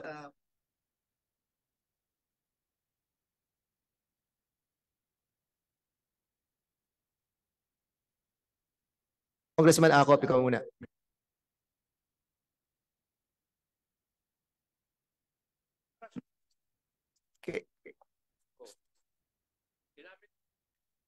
No, so hindi ko nalala hindi ko hindi ko swerte hindi mo hindi ko mahanap eh ah but maybe later. So Congressman Akop, uh, you have the ano, you have the floor please. Para maklear yung tanong mo, Mr. Chair. Ah, tinanong ni Colonel Mendez, ah, bakit kulang sa report? Tama, Colonel Mendez? Yes, sir. Yes, kasi ah, ang sinagot sa'yo 27M lang, di ba? Yes, sir. Yes. Tapos ang sagot ni Colonel Guevara, ah, dinala diyan sa asset, sir. Yung dalawa, sir. Tapos yung dalawa, sir, kinip namin, sir. Still nandyan sa ano namin. Yun ang sagot eh. Tama? Tama. Ito yung transcript nung pi- gusto ipakita ni chairman. So, nandito. Pwede na magtanong, Mr. Chair? Okay, so uh, basically 2 million ang binigay niyong asset. So, Major Kiana. So, yung 2 million na binigay sa kila Michael sa Rainier, bakit ang sinasabi nila is uh, 1 million lang? Nasaan na yung 1 million? Ah, Your Honor, ah, Mr. Chair, ah, wala po akong ah, binibigay sa kanila. So na- sina sinungaling tong mga nag, uh, i- nag sinama mo sa judge para mag uh, yung judge makapag-issue ng search warrant. So after na makasama mo sila ngayon, sasabihin mo nagsisinungaling sila. Your Honor, ah, sorry po, Your Honor. ah, nasa court na po kasi to, Your Honor. Ah, Okay, sa, sige, Sa court okay. ko na lang po sasagutin lahat, Your Honor. Pasensya na po talaga. Okay, sige. At yung uh, baril na sinasabi ni uh, Michael uh, Novesio ay uh, hindi yung baril ang ginamit mo.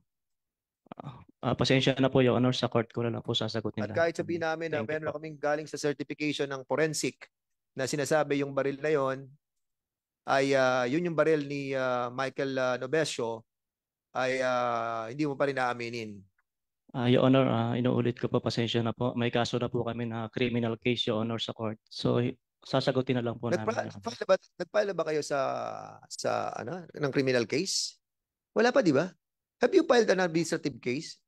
Can they invoke the right to uh, to remain silent while there is no administrative case filed and criminal case filed as well? Ka na. Chairman, Chairman. Yes, uh, Congressman Paduano. Kasi ang statement ni nagsasorry pa that he cannot answer the question because that is now in the proceedings outside of this uh, committee investigation. Hindi niya man sinabi but he's invoking sub judice. Now, sub judice cannot be invoked in this committee. Now, Mr. Chairman, eh malinaw na nagsisinungaling. Si Gibara nga, inamin na. Eh nandun mismo. Sinabi ni Gibara kay RD, ah, kay, kay RD nga na 2 million.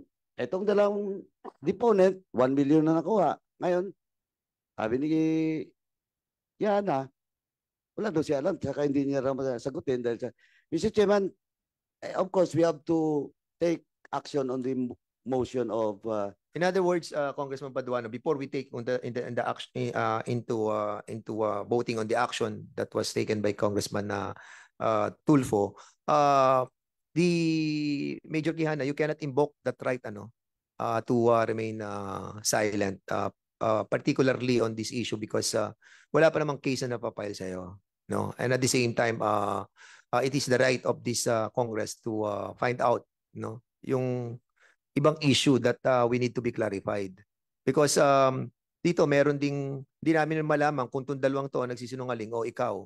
But sa dami ng pagsisinungaling mo, naniniwala kami na nagsisinungaling ikaw at hindi ang dalawang ito. Chairman. Chairman, kahit may kaso, You cannot invoke. Yeah, oo, they can invoke the sub judice issue, yeah. Kaya The- Chairman, The, the Supreme Court already decided on this matter and that's the reason why uh, nagiging lenient lang kami sa sa totoo lang kaya ako lang ina-accommodate. We are trying to be lenient, no. As a matter of fact, sinasabi na nga rito ni Congressman Akop, bumubulong na sa akin kanina pa eh. Eh talagang wala naman tayong mapipiga sa inyo eh. But in the spirit of fairness, no, kahit na kanina nagsalita na ako. Sa una pa lamang, sinabi ko na, bibigyan ko kayo ng pagkakataon, which I did. Binigyan namin kayo ng pagkakataon. Kahit na yung mga kasama namin dito, medyo nagagalit na dahil nga alam nilang nagsisinungaling kayo. Di ba? But, pero still, binibigyan namin kayo ng pagkakataon para lang makita ng ating mga kababayan na hindi kami hindi namin binibigyan ng ano ng ano bi- binibigyan namin lahat ng lahat dito ng pagkakataon and we're doing that until right now pero still, ganun pa rin ang attitude nyo. Continuing on lying. Di ba? And I, want. I really wanted to, ano, to, uh, to uh, pursue that issue of Rolex. Hindi ako makaget on do sa, sa Rolex eh. And I, I think Congressman uh, Flores, you wanted to explore on, on that Rolex kasi parang meron siyang alam eh. Sige, go ahead. Yes, Mr. Chair. Colonel Guevara. Colonel Guevara. Ah, hindi pa tapos? I'm sorry. Sorry, Chairman, ah, Congressman with the indulgence of Congressman Flores, kasi hindi pa ako tapos, pumasok ka. Chairman, ganito lang yan. This is, as of now, Chairman, as of now, this is just a manifestation from this representation. So, Mr. Chairman, sa parang ginagawa tayong tanga dito, especially ni Major Yana, Mr. Chairman, after we act on the motion of uh, Congressman Tulfo, this representation will move to extend the detention of Major Kiana until such time that this the committee report of this committee will be adopted in the plenary after the motion will be acted, Mr. Chairman. Mr. Chair. Sige. Okay. One minute suspension before we act on that uh, another motion. No, no, okay, okay. Before before before that, andyan na pala si, Co- si Congressman Barbers. Okay. Pertains to the motion of the Honorable uh, Paduano. Yes, okay, Congressman uh, Akop. And after that, uh, we will be uh, May this representation know uh, where they will be incarcerated? Ah, it's up to the committee, Mr. Chairman, and of course, discretion of the uh, chairman of this committee, just in case. Ah, after we act on the motion of ano. So we will be asking the ano the uh, uh, what what what ano what group is that? The uh, the uh, legislative LSB, the Legislative Service uh, Bureau, no? Security Bureau. We we we have to wait for them for us to find out yung yung ano natin, yung facility natin because uh, even the witnesses are here, no? Yung mga deponent. And uh, I think the deponent uh, should be uh, uh, we have to act on a motion because we have uh, issued a search warrant, uh, yeah, warrant of arrest for these people. So I need first, uh, a uh, later on, a motion for the uh, for the release of these two uh, individual, no. And I think it's uh, it's uh, better that we uh, turn over tong dalawa na deponents sa PNP, no? If the body will um, subscribe to the recommendation of this chairman, so later on we will have a motion on that. Okay po ba? Okay.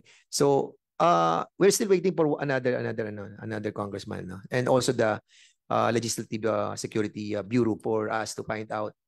Ha? No. Wala pa si Acharon eh. Mr. Chair.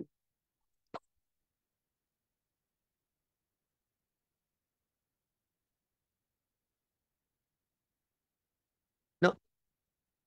Chairman, um, habang naghihintay tayo sa kasama, pwede bang magtanong ako? Yes, oo. So, if Congressman uh, uh, Flores, no? Uh, Yes, will, Mr. Chair. will allow Ah. Congressman na So the Vice Chair. Sige, uh, Vice Chair, muna. Ah, thank you very much, ah, Congressman Flores. Ah, Mr. Chairman, tatanungin ko lang po si General Mariano. General Mariano, um, siguro po sa haba ng ating mga hearing na ah, bilang ah, head ng ah, ng district that time, nakikita nyo naman po ang mga sinasabi ni Major Quijana. Naniniwala po ba kayo na itong si General Quijana ay nagsasabi ng totoo sa ating committee? Hindi po, Mr. Chair. Naniniwala po ba kayo na yung pong ating ginawang operation dito po sa ah dito po sa 1811 ay legit o ito po ay isang robbery? kung pagbabasihan po, Mr. Chair, ang search warrant, legitimate po. Pero kung meron pa po silang other na ginawa rin po, yun po talaga po ay pagnanakaw, Mr. Chair. Pero base po sa inyong pagkakaalam, dahil kayo naman po ang big boss nila, kayo naman po ang nakakaalam, ano po ang nakikita nyo? Nakikita ko po, Mr. Chairman, na inuna po nilang magka-interest sa pera kaysa gawin po yung kanilang trabaho. So Mr. Chairman, ah, sinasabi po ni General Mariano na naniniwala po siya na ito po ay isang um, may mali siya po ang kanilang ginawa at ini, ang interest po ng pera ang ano ang nangingibabaw dito, Mr. Chairman. So um tatanungin ko po itong si Rainer. Rainer, sabi mo kanina nagdala ka ng dinala mo ang baril sa 1811, tama? Yes, Your Honor. Marunong ka sa baril? Nakapako po kasi sa bag niya na mabigat tapos hugis baril po. Gaano kalaki yung baril na iyong hawak? Parang 45 po. Parang 45. Opo. Okay. Um, kay Mr. Michael uh, Novicio, sabi mo yung iyong baril itinurn over mo kay Major Quijana, pero nangako siyang i-renew na ang lisensya mo, pero nagulat ka na yung iyong baril ay hindi na nakabalik sa iyo at yun ang baril na ginamit na ebidensya doon sa raid. Yes po, Your Honor. Tinanong mo ba si Major Quijana noong time na nakita mo yung baril mo na nandoon sa mismong ebidensya na ginamit na ba't ginamit ang baril mo o inalaw mo itong gawing ebidensya? Ganito po kasi, Your Honor. Yung baril ko po kasi expired na po yung license at saka gun ban po. Eh ngayon, paba, sa pabalik-balik ko po ron, tinanong po ako ni Major Kiana kung may baril daw po ako. Masabi po, ang sagot ko naman po sa kanya meron sir, kaya lang expired sir. Ngayon sabi niya po sa akin, tutulungan daw po niya ako mag-renew ng license. Siyempre po sir, nan- naniwala naman po ako sa kanya. Sabi niya po sa akin, ibabalik daw po niya after ng gun ban. So ibinalik ba after gun ban? Hindi na po naibalik, Your Honor, kasi nabalitaan ko na lang po, yun po ang pinangtanim pong baril ebidensya, Your Honor. Okay. Ngayon tatanungin ko kayo, sino nagbigay sa inyo ng ng pera after ng operation ninyo? Si Major Kiana po, Your Honor. Magkano binigay sa inyo ni Major Quijana? Yung una po, 10,000, tsaka 1 million po, Your Honor. Yung 1 million sa iyo lang yon? Opo, Your Honor. Hati po kami ng kasama ko. So 5,000, para saan yung 5,000? 10,000 po, Your Honor. At 10,000, para saan? Dalawa po kami nakatanggap ni Rainier po. Para saan yun? Panggastos-gastos daw po namin, Your Honor. Ba't yung kailangan ng panggastos? Yun po yung binigay niya sa amin, Your Honor. 10,000 po muna, sabi niya po. Pagkatapos alam po ng inquest, bumalik daw po ako ng office. Tapos meron po siyang binigay po sa akin, Your Honor. Sa eco bag po. Pera po ang laman. Isang- Magkano? Isang milyon po, isang bundle po na tig isang libo, Your Honor. So siya ang nagbigay sa iyo. Yes po, Your Honor. Kayong dalawa mismo ang dalawang magkaharap na ito, pera ito, ibibigay ko sa iyo. Yes po, Your Honor. Dalawa lang po kami. Paano mo nasabi na pera ang laman? Kasi tiningnan ko na po siya, Your Honor. Bago ko po, bago na po ako umalis. Para saan yung isang milyon na yon? Yun po yung pinangako niya po sa amin, Your Honor, na kapag natapos na po yung operation, bibigyan daw po niya kami. Hindi daw po kami mawawalan, Your Honor. Okay. Major Quijana, lahat ng turo ay sa iyo tinuturo. Ikaw ang utak ng operasyon na ito. Yung sinasabi ni ni Michael Novicio na isang milyong piso na inabot mo sa kanya, saan ang galing ito? Ah, Your Honor, with your respect po. Ah, wala po akong inaabot sa kanila, Your Honor. Alam mo, Major Quijana, napakasinungaling mong tao eh. Hindi insulto mo ang talino ng mga narito sa harapan mo eh. Unang-una, Huwag mo kaming pagpapaikutin dito dahil ikaw dito ang mastermind ng nangyaring ito. Saan galing ang perang binigay mo? Your Honor, deputy lang po ako, Your Honor.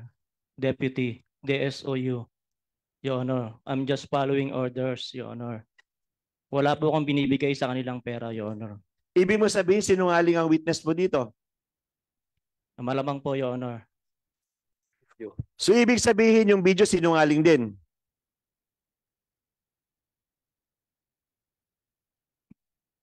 Your Honor, ah, hindi, hindi ko na po masabi, Your Honor, kasi wala naman po ako doon, Your Honor. Puro ka na lang hindi nasabi. Sa dami ng ginawa mong ito, lahat na lang hindi mo nasabi. So ibig sabihin, si General Mariano, ang kanyang obserbasyon bilang inyong boss ay mali din. Ah, Your Honor, ah, yun po yung kanyang pananaw, Your Honor. Pasensya na po. Alam mo, boss, Major Kihana, kapag nagpatuloy ka sa serbisyo mo, napakadaming tao ang pahihirapan mo.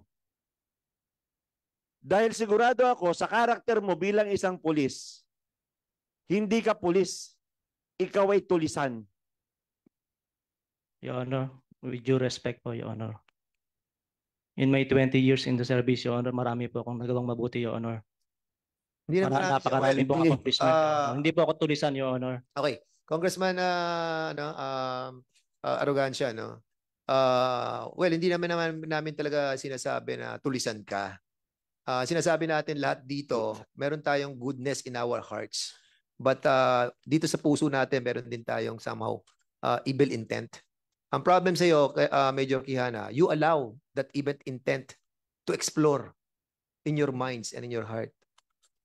Kaya medyo nakukuha ko yung yung ano eh, yung damdamin ni ah, Congressman na Arrogancia eh. Hindi naman to ganito magsalita eh. First time to na narinig ko ng ganito.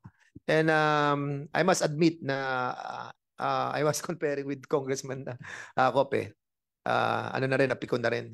Alam mo dito kami, mga congressman dito, hindi kami nag-uusap-usap dito. We research on our own. Because we have our own different minds, know.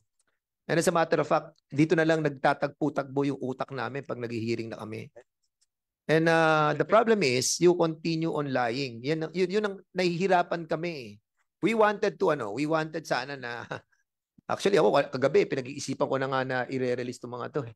Ang problem, patuloy pa sila sinungaling. That's the reason why I gave you a chance a while ago. Pinagsalita ko kayo.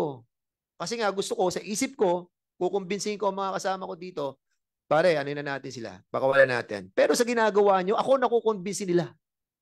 Sa totoo lang. Anyway, uh, Congressman uh, Ruela Peter Gonzaga, uh, we acknowledge your presence. And uh, there is a pending motion. So we will be... Uh, Mr. Chairman, tatapusin ko po muna. Hindi pa po ako tapos.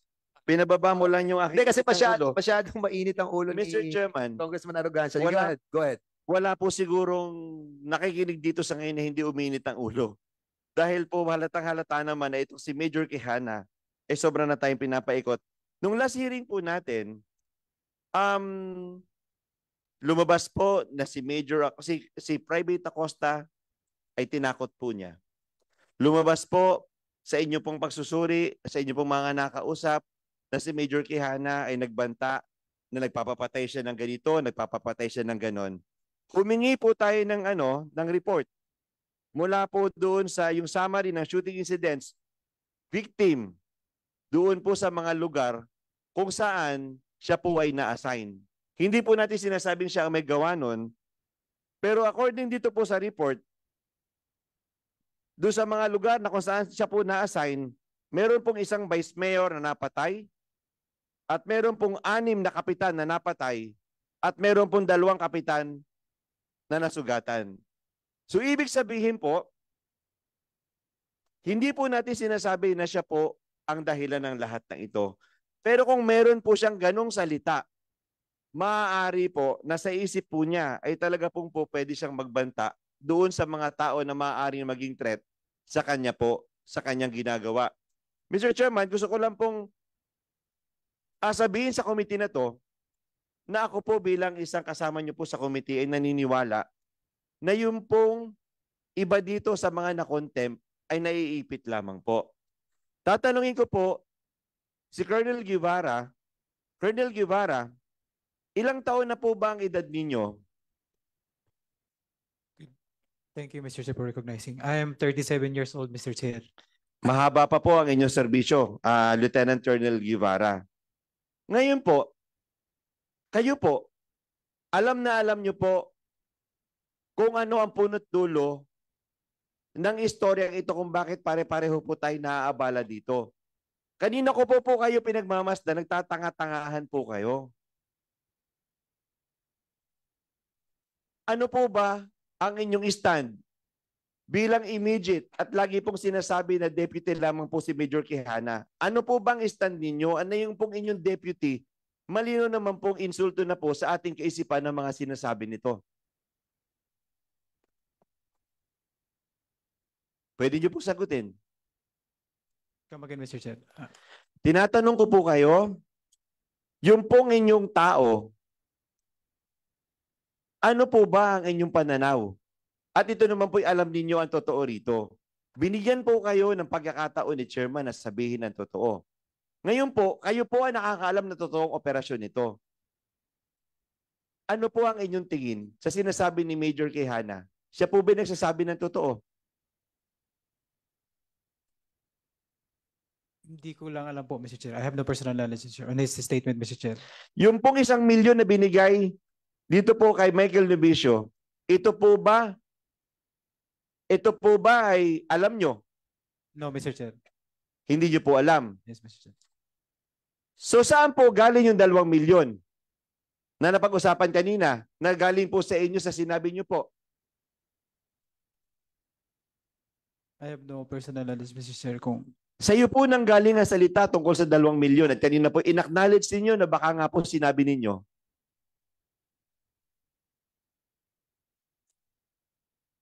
Alam mo, Colonel, tatapatin kita.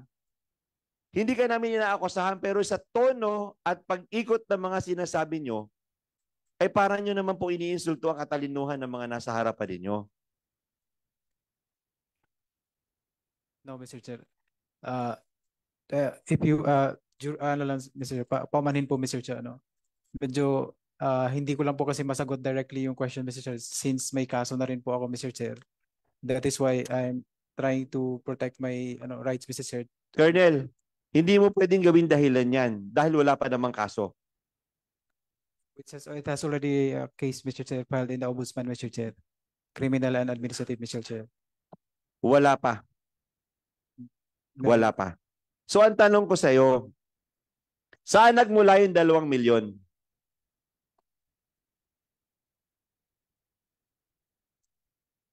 Hindi ko po masagot, Mr. Chair. Ah, sasagutin ko na lang proper forum, Mr. Chair. Mr. Chairman, wala po tayong malalaman sa mga taong ito. Sa tingin ko po ay kailangan na po nating um, pagbotohan kung ano po yung ating ano, kung ano po yung ating kaninang um, motion po ni Kagalang-galang na tulpo. Mr. Chair. Mr. Chair. At um, Uh, siguro po, uh, dagdagan natin ang ano niyan. Raising your hand. Uh, uh, uh, Congressman Bosita. Uh, Mr. Chair, with respect to uh, Deputy Majority Leader, na kung saan meron po siyang uh, motion to cite in contempt si uh, General Mariano dahil sa sinasabing uh, pagsisinungaling at uh, conflicting po kasi yung statements between uh, Colonel Guevara and uh, General Mariano.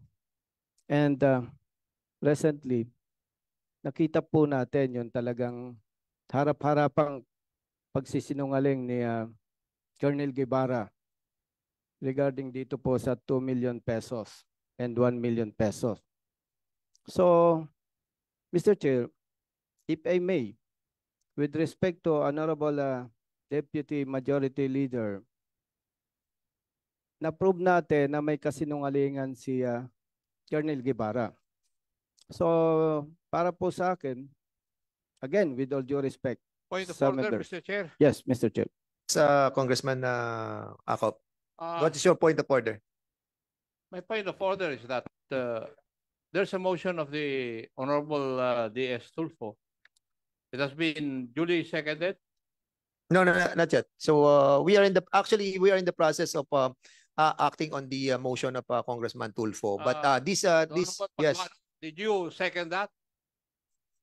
Ah. Mr. Chairman, for the record, I manifested that I will second the Yeah, yeah, yeah, motion yeah. if I- I ever understand. we will have a quorum. Oh, so this is the parliamentary this is the parliamentary parliamentary status of the motion. The motion uh, that was uh, moved by uh, Congressman uh, Tulpo uh, in accordance with our rules cannot be interrupted. That's the the uh, the basic rule. But the chairman allows that to be uh, interrupted.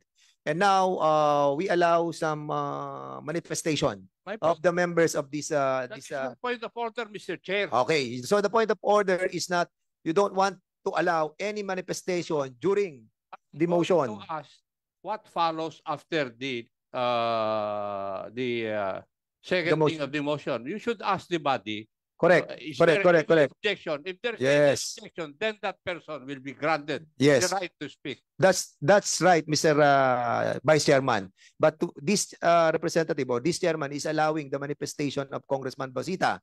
But if the body will not allow that manifestation, then it's a- it's uh, it's the right of the body to uh, interject that objection. But in relation to the motion of Congressman Tulfo, and there's a manifestation on the second motion, and this chairman allows the the uh, manifestation of uh, uh, Congressman Bosita, uh, we will allow that as long as there's no objection on that. And the point of order of uh, Congressman uh, Acop is that the proper procedure is for the motion to be acted upon by the second motion and the no objection. Since there is a point of order that by that was raised by uh, Vice Chairman Acop, we will not allow the manifestation of any of the members of this committee. Is that your point? No, I'm asking for your ruling insofar as my point of order is concerned. Yes, the point of order that was being asked by Congressman Acop. Of course, I allowed it. A while ago, we allowed the manifestation of the different uh, members. Now I allowed the manifestation of uh, the different members a while ago. But um, if there is a if there is, is a form of objection coming from the uh, good uh, chairman of uh, transportation, then uh, we will disregard the you know the uh, the manifestation of every uh, members who have uh, uh, given their manifestation. Uh, Mr. Chair, the way I look at it, the protocol is for us to to uh, vote. If there is no objection, the motion is carried. If there is one member who will object, then he has the right uh, to explain his. So we will be asking uh, Congressman Bosita if the form of uh, he's raising his uh, uh, his uh, point is a form of objection or a form of manifestation. Mr. And that's, the reason, and that's the reason why I want to hear. Uh, that's the reason why I want to hear, no? The uh, manifestation of Congressman Bosita, if he's going to manifest on, on the issue that uh, we will be tackling on the motion of Congressman uh, Tulpo, or it is a, a motion to object. But since there is still no uh, second motion, Let me and- finish my second Yes, of motion, course. Mr. yes. Chairman. Then let, if ever Congressman Busita will object to my, to the motion, my Yes, yes, I motion. understand that. I that's understand that. And that's the reason why I'm giving him the chance. So, alam naman natin that we have different minds in here and we are allowing the uh, the, the democracy in this committee. And uh, with that, I'm allowing him first to say, no? And if that is in in the form of uh, an objection, we will do it in the right in the right time, no? Since nandun pa lang naman tayo sa motion by Congressman Erwin Tulfo and haven't and had not been uh, seconded, so I'm allowing, no? I'm allowing. But the, the protocol, Congressman is Akop is right. Dapat yan, motion, second the motion, objection, then that's it. But we practice uh, democracy, eh, di ba? Sometimes we break our own, uh, no, not breaking, but we allow the manifestation. So, Congressman Busita, one minute suspension.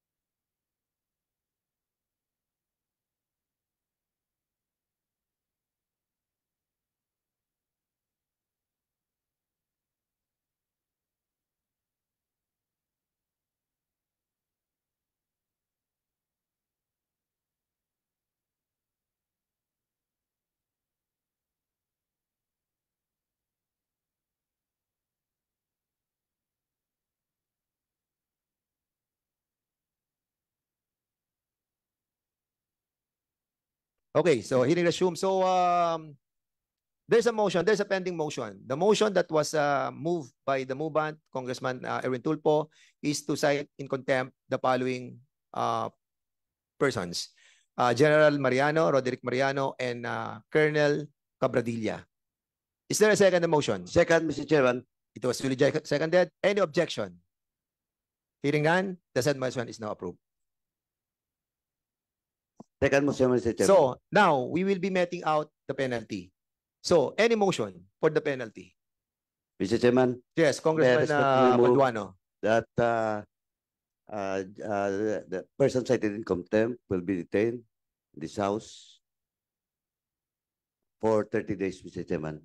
So there's a motion that the uh, two personalities mentioned uh, will meted out a 30 days um, um, uh, to be uh, delivered in here in this ano in this uh, premises. Um, any second motion? This was duly seconded.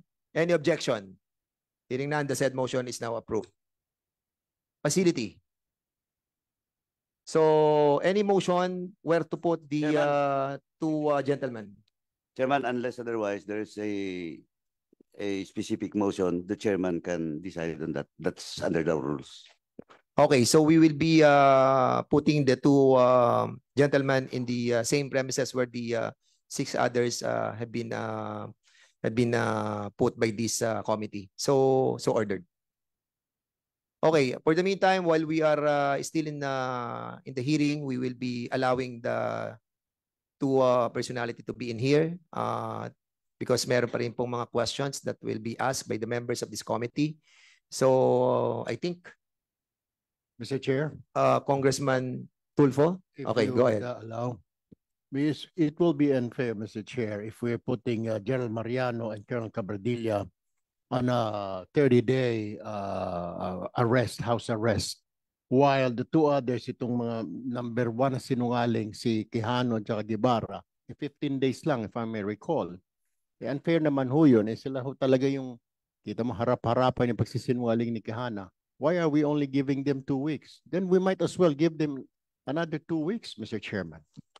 Is that in a form of a motion? Yes. Uh, okay, Congressman Erwin Tulfo, uh, have a motion to um, extend the uh, penalty that was meted out to these uh, six uh, uh, PNP personnel. Is there any second the motion? Extending it from th- 15 days to 30 days. There is a second motion. Any objection? Hearing none, the said motion is now approved. So um, it's duly been approved that uh, these uh, um, six PNP uh, personnel will be extending their stay here uh, until such time that uh, uh, they have um, uh, reconsider their statement in this uh, uh, committee. So for the meantime, so we'll Chairman. be asking question. So Chairman, Congressman Paduan. Uh, this is just a manifestation, Mr. Chairman, just uh, to remind and inform all those uh, PNP officers cited in contempt that you have all the right also to uh, ask for a reconsideration to the chair for this committee to reconsider your uh, detention in the House. That is your right. Thank you, Mr. Chairman. Okay, so um, aside from that, that we have acted upon, uh, this uh, committee would like to act on the um, warrant of arrest that was issued to these uh, two opponents, Michael Nobesio and uh, the uh, Mr. Rainier uh, Makadat.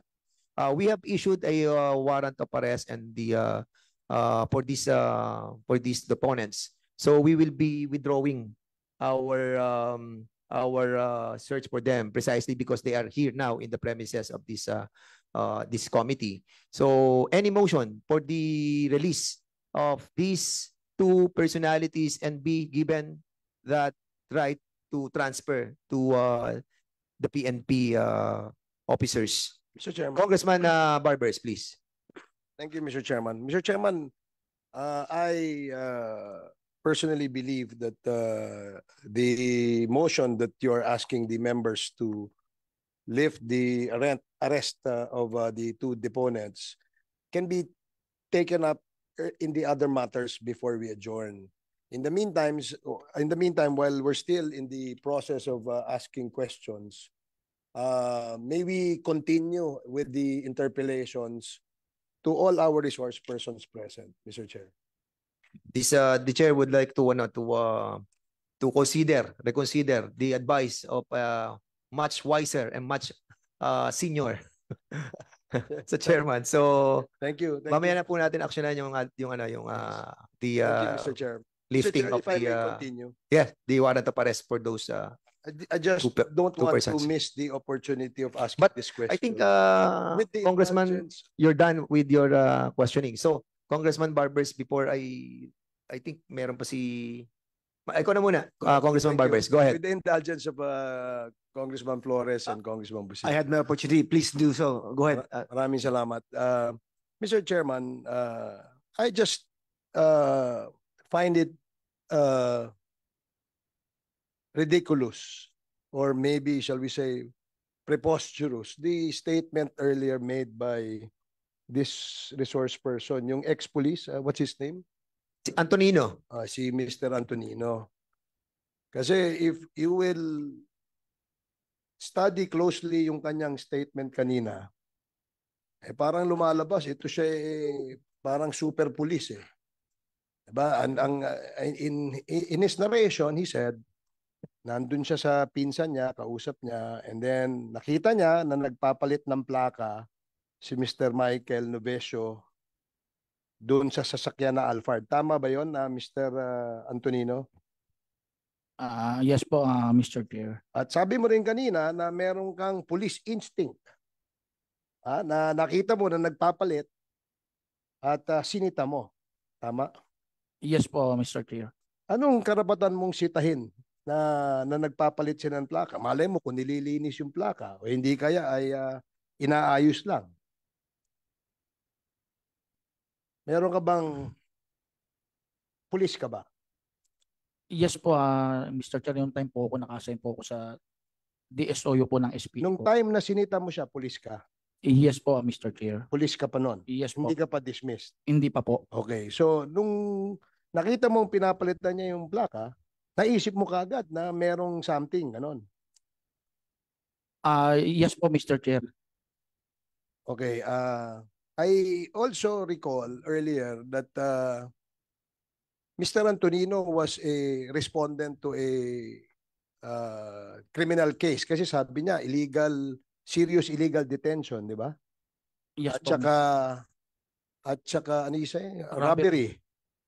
So, may I ask the NAPOLCOM, has the case of uh, Mr. Antonino been decided uh, already by the NAPOLCOM? Thank you, Your Honor. Based on our records, uh, the case of uh, Mr. Antonino is not been submitted to the NAPOLCOM. It may be at the level of the PNP, Your Honor. Ah, so it's still with the PNP. Still at the PNP, Your Honor. Okay. Um, so ngayon, uh, anong status ng kaso mo sa PNP? Ah, Mr. Chair, ah, dismiss na po ako nung January 5 po. So na-dismiss Meron na po kung ah, special order po. Then po, And, and what is that special order? na naka-indicate po doon na dismiss na po ako ng January 5. January 5 this year, 2020. Yes po, Your Honor. So he was already dismissed. And uh, NAPOLCOM has no records of that dismissal yet at the moment. Uh, Not at the moment, Your Honor. Uh, The PNP has a uh, power to uh, conduct a summary proceeding, Your Honor. The the Chief PNP, the Regional Director can uh, conduct uh, dismissal and can so order the dismissal of uh, the Without without passing through NAPOLCOM. uh, we give them the opportunity to discipline their own ranks, but even when uh, this uh, discipline has not been conducted, only then that we will come in. There is also a situation whereby they uh, they could appeal to the uh, regional appellate board or to the national appellate board. But If that has not been done yet, Your Honor. if the penalty is dismissal from service, uh, can the regional director and the district director implement uh, the the penalty to the subject uh, PNP personnel? Yes, Your Honor. In case of dismissal, that should be uh, executory at once, Your Honor. Okay, thank you for that information, uh, Attorney Bernardo. Uh, so, January uh, 5, 2024, dismiss ka na. May, may order na na dismiss ka. Yes po, ma, Mr. Chair. Anong petsa mo na sita sila, Michael? Ah, nung bagong assign po ako sa DSOU, ah, makakatanda ko po na month po ng August 2023 po. Okay. Uh, so, August 2023, January 5 na dismiss ka. Yes po, Mr. Chair. Nakita mo nagpapalit siya ng plaka. Anong pumasok sa isip mo? Nung nakita mo nagpapalit siya ng plaka? Ah, meron po silang ano, ah, pumasok po sa unang isip ko ah, bilang isang pulis, ah, dis- bilang isang dating pulis po, noong time na naka-assign po ako sa DSOU, eh, para po sa akin eh, meron po silang ah, kakaibang ah, ginagawa po dun sa ano sa harapan po ng kanilang sasakyan. Antindi naman ng police instinct. Kung halimbawa, nakita mo ako sa kanto, nagpapalit ako ng plaka. Anong iisipin mo sa akin? Ah, Kagaya ba ng iniisip mo sa kanila?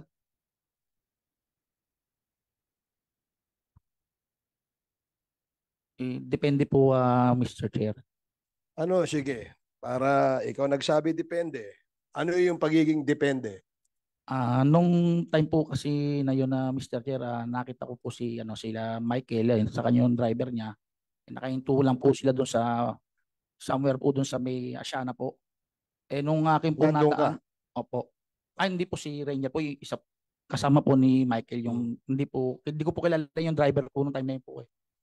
Ngayon po nung ah, napadaan po ako, napauwi na po ako, ah, nakita ko po sila doon sa doon nga po sa malapit po doon sa may ah, Solimer sa may Asiana, nakita ko po na meron lang po sila doon sa may harapan na ano na ginagawa may kinakabit po. Then akin pong sinita lang. Yung Sinita bang nasa gilid ng kalsada, highway, o tagong lugar, o saan nila pinapalitan yung plaka? ano po ah nasa nasa kalye po mismo po, ah, Mr. Chair.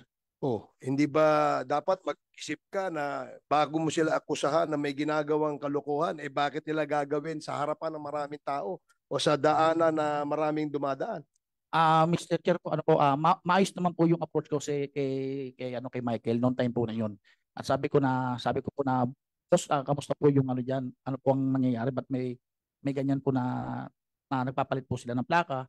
Maayos naman po yung approach ko po sa kanya. Oh, Then nung tapos, tinanong ko po nung papalapit na po ako kay Michael, ang sabi ko po, ang sabi niya, narinig ko po sa kanya na patay, ah, yari na. okay. Michael, sinabi mo yon patay na, yari na. Ha? Bakit mo naman nasabi yon?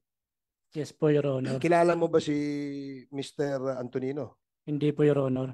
Naka-uniforme ba siya nung lumapit sa'yo? Civilian lang po, Your Honor. So bakit mo nasabing patay na, yari na? Kasi po yung plaka po namin na sasakyan, paiba-iba po, Your Honor.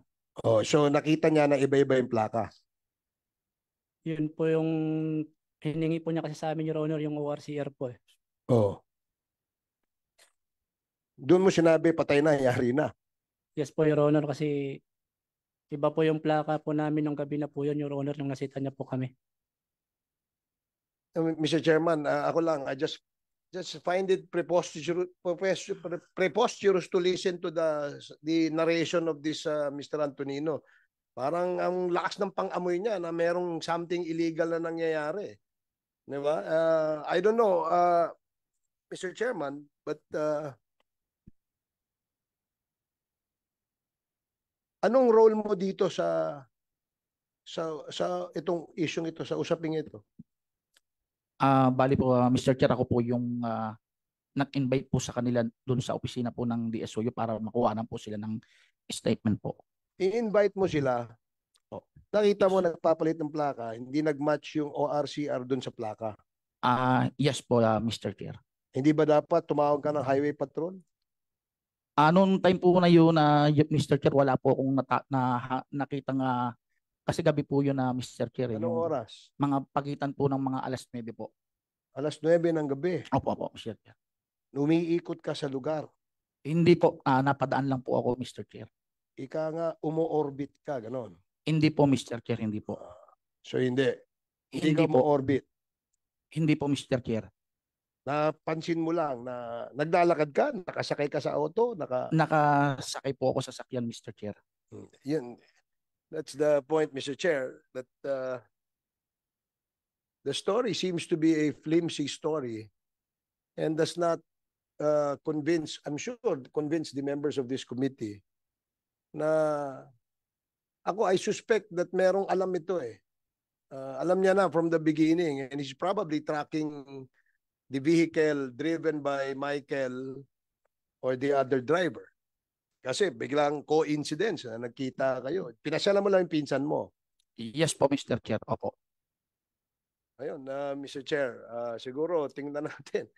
He can also be a welcome addition to the uh, House of Representatives Hotel if he wish to stay uh, in this hotel, uh, Mr. Chair. So I just wanted to put on record that uh, the narration of this gentleman is not believable, so to Yeah. say. I think uh, Sergeant uh, Antonino is under arrest. Ah, na- Naka ano ka ngayon? Naka-detain ka, di ba? No, no po, Mr. Ah, hindi ka na naka-detain. Opo, hindi po. Ah, okay. Sige. All right. Sige, ah so a while ago um pero yung, di ba, dismiss siya, pero yung criminal case mo, may criminal case ka ba? Pending? Yes po, Mr. Chair. Opo. Tuloy po. Tuloy. sorry, active ano ka ngayon? Active ah, PNP ah, ano? Dismiss na po ako. Ah, Mr. dismiss ka Chair. na ngayon. Opo, opo. Hindi ka na nag-appeal. Okay. Hindi ka na po nag-appeal. Ah, bali po ah, galing po ako ng ano, nagpunta po ako ng ah, dilos po ng NCRPO.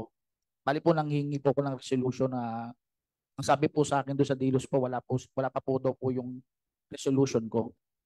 Kaya hindi po ako makapag-appeal po sa ating RAB ng Napolcom. Okay, is that it? Ano? Ah, Congressman Barbers, are you uh, Yes, uh, done Mr. with Chairman, it? that's- yeah. that's- okay, that's so uh, Congressman Paduano, wala ka na. no? Si Congressman na Chairman, Chairman. Yes, oo. Ah, sino bang pangalan ng ano mo, pinsan mo? Pangalan ng pinsan mo? Security, babae, lalaki, Lalaki po, Mr. Chair. lalaki. Apo. And until now, naka-duty siya doon sa building na yon.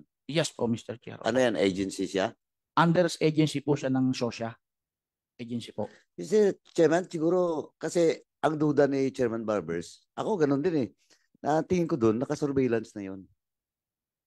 Kaya, nakatutok doon sa sasakyan ng mga, ng Mr. Bean, Mr. Lin, which is being escorted by, by Michael. Mr. Chairman, in the next hearing, we'll invite, sino pangalan noon? Jason po, Jason Camo po. We'll invite uh, Jason Cam. I, I think that's your cousin, di ba? Yes po, Mr. Chair. Oh, yung cousin niya. Alam mo ba ang address niya? Yes po, Mr. O Chair. pakibigay na lang kay Comsec para maimbitahan next hearing.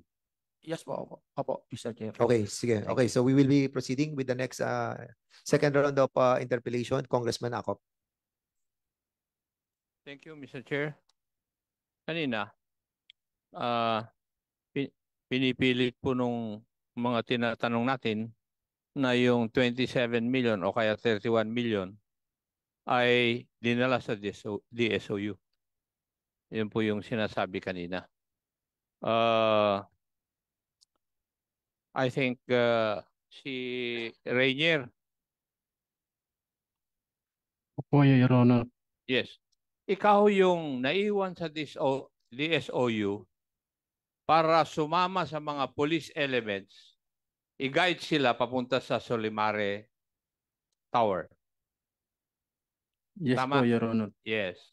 Nung umalis kayo, sumakay ka sa isang Toyota Innova? Yes po. Yes. Ah, sino ang kasama mo doon? Hindi ko po maano yung uh, apelyido nila, Your Honor.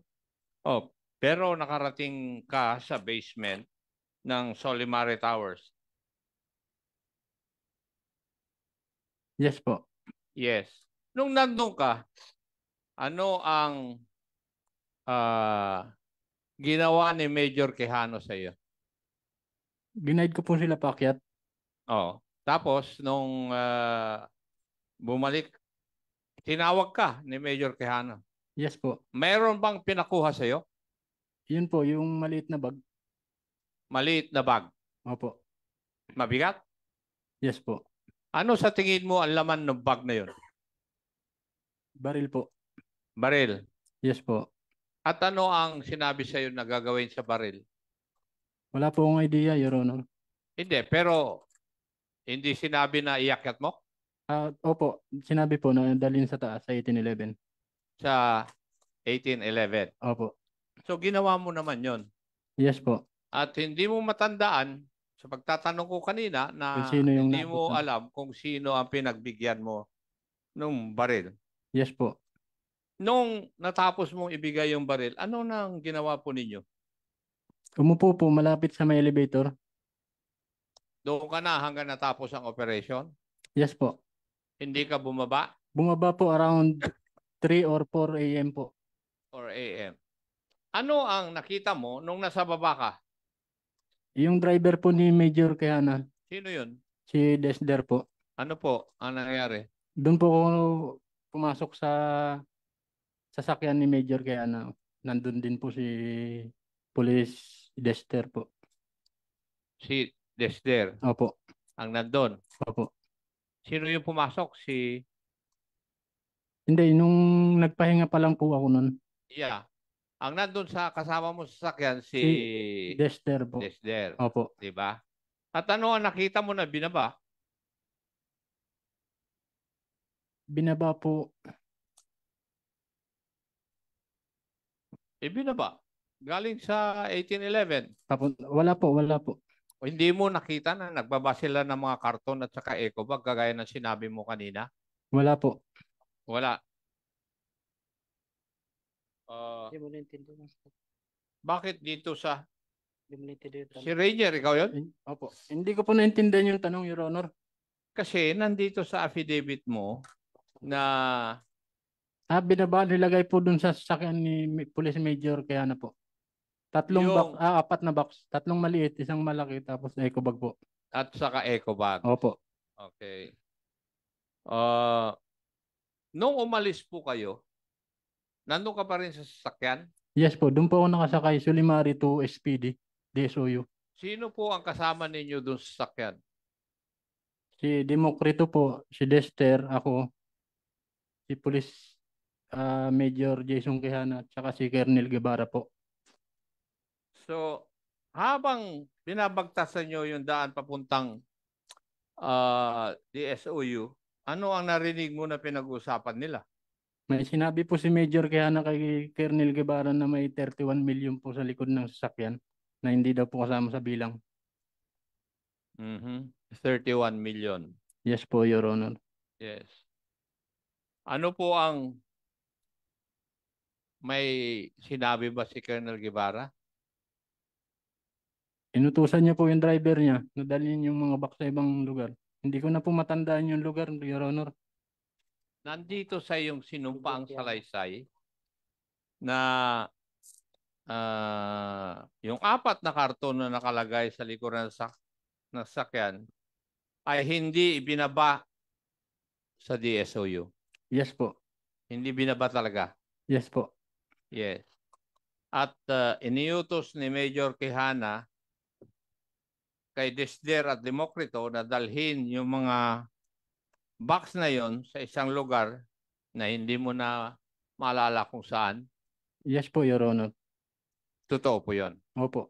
Okay. So, ang ibig sabihin, nagsisinungaling na naman sila na ibinaba sa DSOU. Hindi pwedeng ibababa sa DSOU yun, Mr. Chair, simply po because hindi nakasama sa official inventory. At yun nga nagiging problema nila ni Colonel Cabradilla kung paano gagawin yung spot report, ah, ah, yung progress report na ayaw sana ni Colonel Guevara na gawin. Kasi ang sabi niya, sasabit siya. Yun ang ah, ah, istorya doon.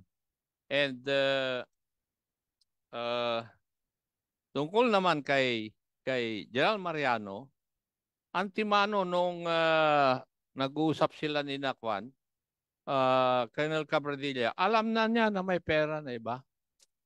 Kasi doon sa informal investigation na ginawa ni General Nartates kasama ang kanyang mga opisyal, very clear doon na sinabi ni ni Colonel Guevara na sinabi na niya o ni-report na niya kay ah, General Mariano yung existence nung 31 million dapat pero 27 million yung inireport kasi yung 4 million iniwan para sa DSOU at saka doon sa mga agents. Hindi ba ganun ang statement mo, Colonel Guevara? Doon sa tatlong opisyal na nagtanong sa iyo? O, tanungin mo na yung lawyer mo. Kung pwedeng sagutin mo o hindi. But the fact remains na ito, nagbigay ka ng statement dun sa tatlong official na yon at uh, hindi mo pinirman as a matter of fact, umalis ka nga papuntang Thailand eh, dahil hindi mo alam kung anong desisyon ang gagawin mo. Nagtatalo yung isip mo kung gagawin mo, itatama mo o makikisama ka na dun sa mga kasamahan mo. Yun naman na nagkuha sa isip mo eh. And your lawyer advised, according to you, na huwag mong pirmahan yon. Dahil tama rin yun, you will be incriminating yourself. Pero hindsight, kung sinabi mo yung katotohanan, baka mas maganda pa yung sitwasyon mo in the eyes of your regional director and the other authorities of the PNP. Di ba? Maski sa amin sana, maganda rin yung sitwasyon mo. Pero, Mr. Chair, napatunayan na natin na kwan eh, na antimano, uh, ang intention talaga nila ay hindi po talagang kwan eh, uh, ano to, uh, hindi po naaayon sa tamang protocol. Kasi doon sa uh, pagtatanong ni na General Nartates, there are certain points na nakita. Uh, inamin niya doon sa kwan, pagtatanong ni General Nartates that alam niya na siya ay under pre-charge investigation. Uh, sinabi rin niya, inadmit niya, na sinabihan niya yung kanyang district director as to the status of their operations. And inadmit din niya dun sa pagtatanong na yun na merong intent and agreement to distribute and benefit from the 31 million. Uh, inadmit din niya that there was intent to set aside the money and not just a mere delay in the inventory. Inadmit din niya na yung 30, 31 million ay inside the four cartons. Hmm. And uh, yun din, pumasok si, inamin niya na pumasok si Colonel Cabradilla at pinalalabas na nagkaroon ng inventory yung 31 million na yon. Uh, Mr. Chair, ako po'y duda rin. Hanggang ngayon, doon sa sa pera. Kasi uh, sinabi nila doon sa kanilang uh, uh, pagsasagot eh, yung pera ay nakita, yung 31 million ay nakita doon sa comfort room. Magkano po kaya ang laman ng tatlong volts naman? Kasi according to their statements, uh, tatlo yung volts ng Chinese. At according to Miss Morales, Madam Morales, pag naiiwan na nakabukas yung vault, nakikita yung pera na nandun. So, ang tanong, katanungan sa aking isip, Mr. Chair, is that kung 31 million nung nandun sa comfort room, na yun ang sabi ni na Demokrito at saka Disler, magkano naman kaya ang nandun sa vault na pinabuksan nila? Thank you, Mr. Chair. All right. Uh, I thought you were going to to wait for the reply, no? Kasi um, following your line of uh, questions, so kung merong 27 million that was reported and 4.6, that is 31.6. But uh, in accordance sa uh, minention mo na binanggit ni Colonel Gibara na merong 2 million na binigay kila Michael uh, Nobesio, at merong uh, binigay na 500 kay uh, Major Magsalos. So sila pa lamang yung mga uh, nabigyan. So in other words, 2 million plus 500. Uh, well, yung iba, kung ano may binili nila, well, we'll never know. But of course, uh, probably we'll be asking Colonel or si, what's your name?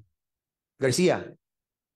PCMS Garcia, Your Honor. Oh, si Sergeant Garcia. May, may, yes, oh, you can proceed, okay. Actually, merong first report na 4.6 ba million? Tapos merong 31 million na ang i-report nila ay 27. So if you add the two, it's more than 35 point something million. Hindi nasabi sa investigasyon na ito kung saan galing o nakuha yung 4.6 pero yung 31 million na sinabi raw ng Chinese na nandun sa comfort room na chinet nila 31 million. Pero there's no mention, wala pong sinasabi tungkol dun sa pera na nandun sa loob ng vault. And EcoBag. Yes, okay, and so EcoBag. Thank you. ano, uh, Sergeant Garcia, please. You want to reply to the ano? Yes, uh, good afternoon, Your Honors. Uh, ako po si Police Chief Master Sergeant Garcia, yung dati pong Chief Clerk ng DSOU. At uh, dahil ako po yung dating Chief Clerk, eh, meron po akong alam na nangyari tungkol dun sa question nyo po na 4 million. Uh, out of the 31 million, sir, nung sinabi po nila na yung 2 million ibibigay po sa mga deponent namin, yung another 2 million po, Your Honors, is yung figure na yun ibinigay po sa akin ni Major Quijana. At ang instruction sa akin, Your Honor, dahil ako daw ay accountant, eh, i-prorate ako, Your Honor, sa mga officers ng DSOU, including the, ah, ako po yung gumawa ng breakdown. At kung, if my memory serves me right, Your Honor, yung listahan po na ginawa ko na breakdown, eh, pinicturan po yun ni Major Quijana, Your Honor. Tapos, sinend po niya yun. Ang alam ko, sinend niya po yun kay Colonel Cabradilla. Tapos, pinakita po yun ni Colonel Cabradilla kay District Director namin, Your Honor. Tapos po, Your Honor, kung hindi po ako nagkakamali, ang sinabi po sa akin sa breakdown, si, with all due respect to our former District Director, Your Honor, ang sinabi po sa amount nilagay ko kay district kay district director your honor is 500,000. Yung chief at saka deputy tigo 150. Tapos Uh, again, sige. Um, so aside sa 31 plus 4 million, that is uh, 35.6. So, yung breakdown ng 150 saan na papunta? Bale po yung your, your honor yung sa 2 million nga po bale 500, dalawang 150 po si Colonel Gabara at saka si Major Quijana. Tapos sa isa pang officer namin sir 100 kay Captain Menes. Tapos sabi pa nila i-include ko daw si Sir Magsalos another 100. Po the rest po doon na po sa mabababang pulis sa kasama sa operating. So sino nagsabi niyan? Ah, si Major Quijana po, Your Honor. Pero I would like to make it a point, Your Honor, na wala naman po kaming natanggap na pera doon doon sa break, pina-breakdown sa akin, Your Honor.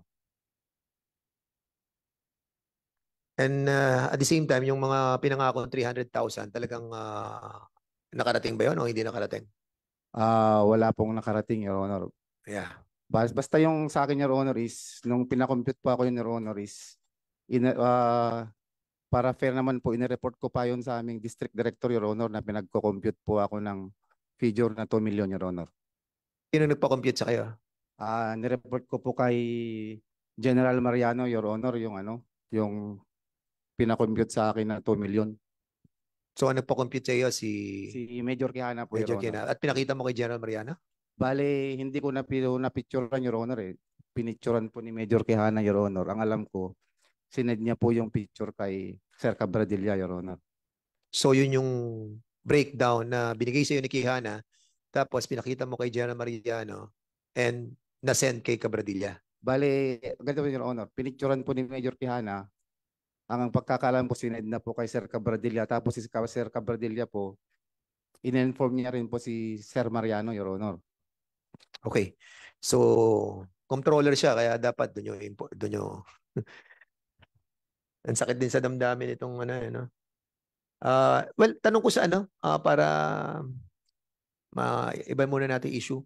So, doon sa mga de- deponents, no, meron kayo kasi sinumpaang salaysay eh, no, doon sa pagtetestigo nyo. Ah, during that time, at sinasabi nyo na napuwersa kayo. And now you have uh, written an affidavit, no?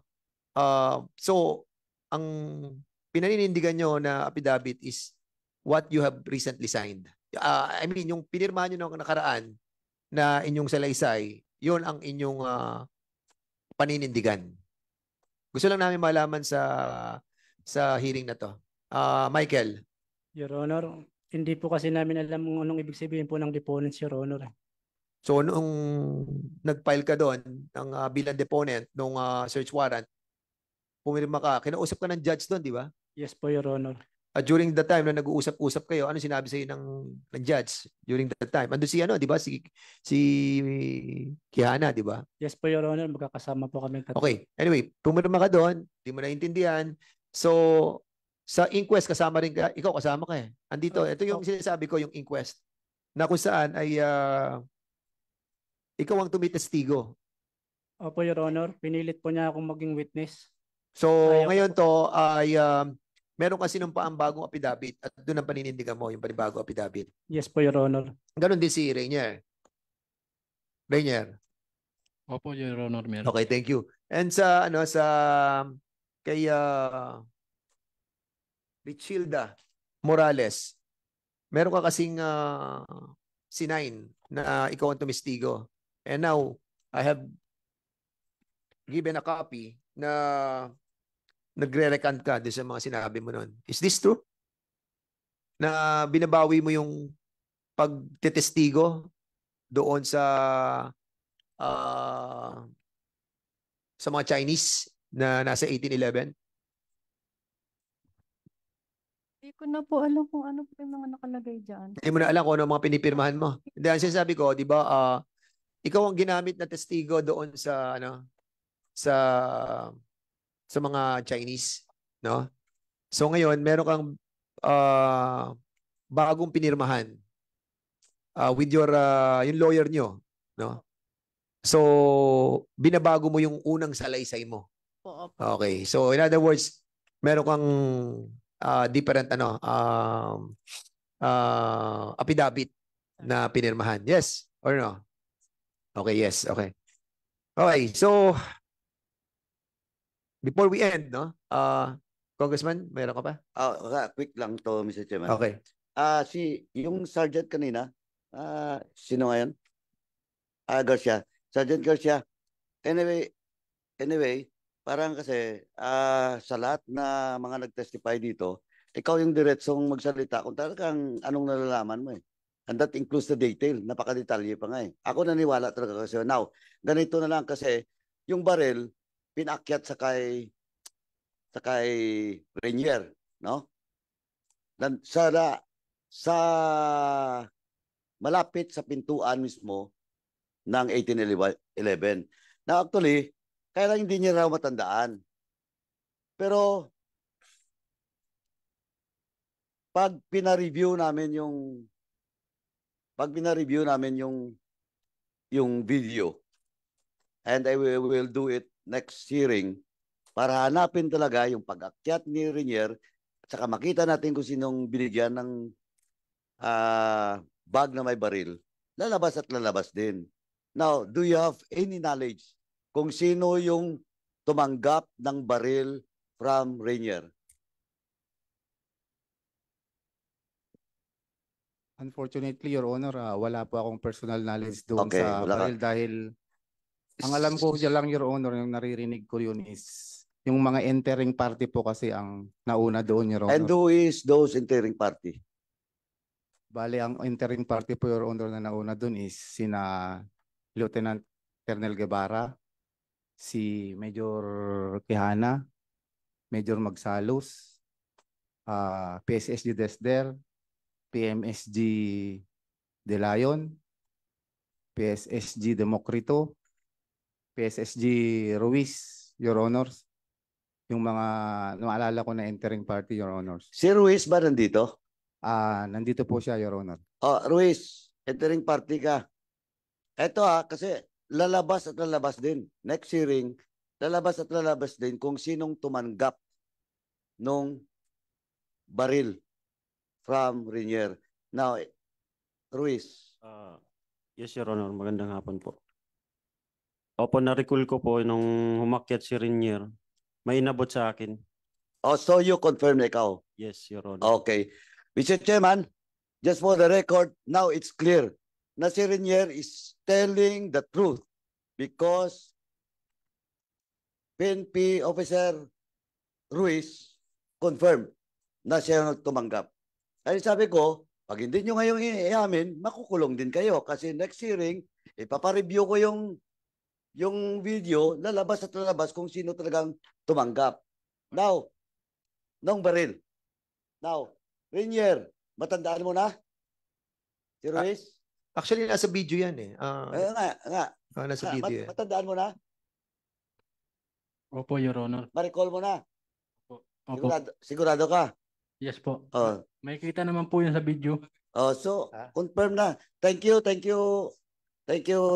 Pero, uh, Your Honor, naipasa ko po yun sa ka- isang tropa din. Sinong tropa? Si is Patrolman Matuginas. Patrolman. Matuginas. So, is Patrolman Patuginas present? Please. Ayan. Lang. Hindi, ito na. Magandang hapon po sa lahat ay ah, Patrolman Alexander Matuginas po. So, so you confirm also na from Ruiz inabot sa'yo? Yes po, sa akin po inabot ni Sergeant Ruiz yung kulay itim na bag. Saan mo dinala? Ah, pagabot po niya sa akin, ang, ang instruction niya po sa akin, ibigay ko daw po kay Major Quijana. Major, Ke- so Yes inabot po. mo rin kay Major Quijana? Yes po. Okay. So, from Major Quijana, sa alam mo lang, kasi nando entering part, part ka ng entering party? Hindi po. Ikaw, si Ruiz lang. So, hindi mo alam kung saan dinala ni Major Quijana?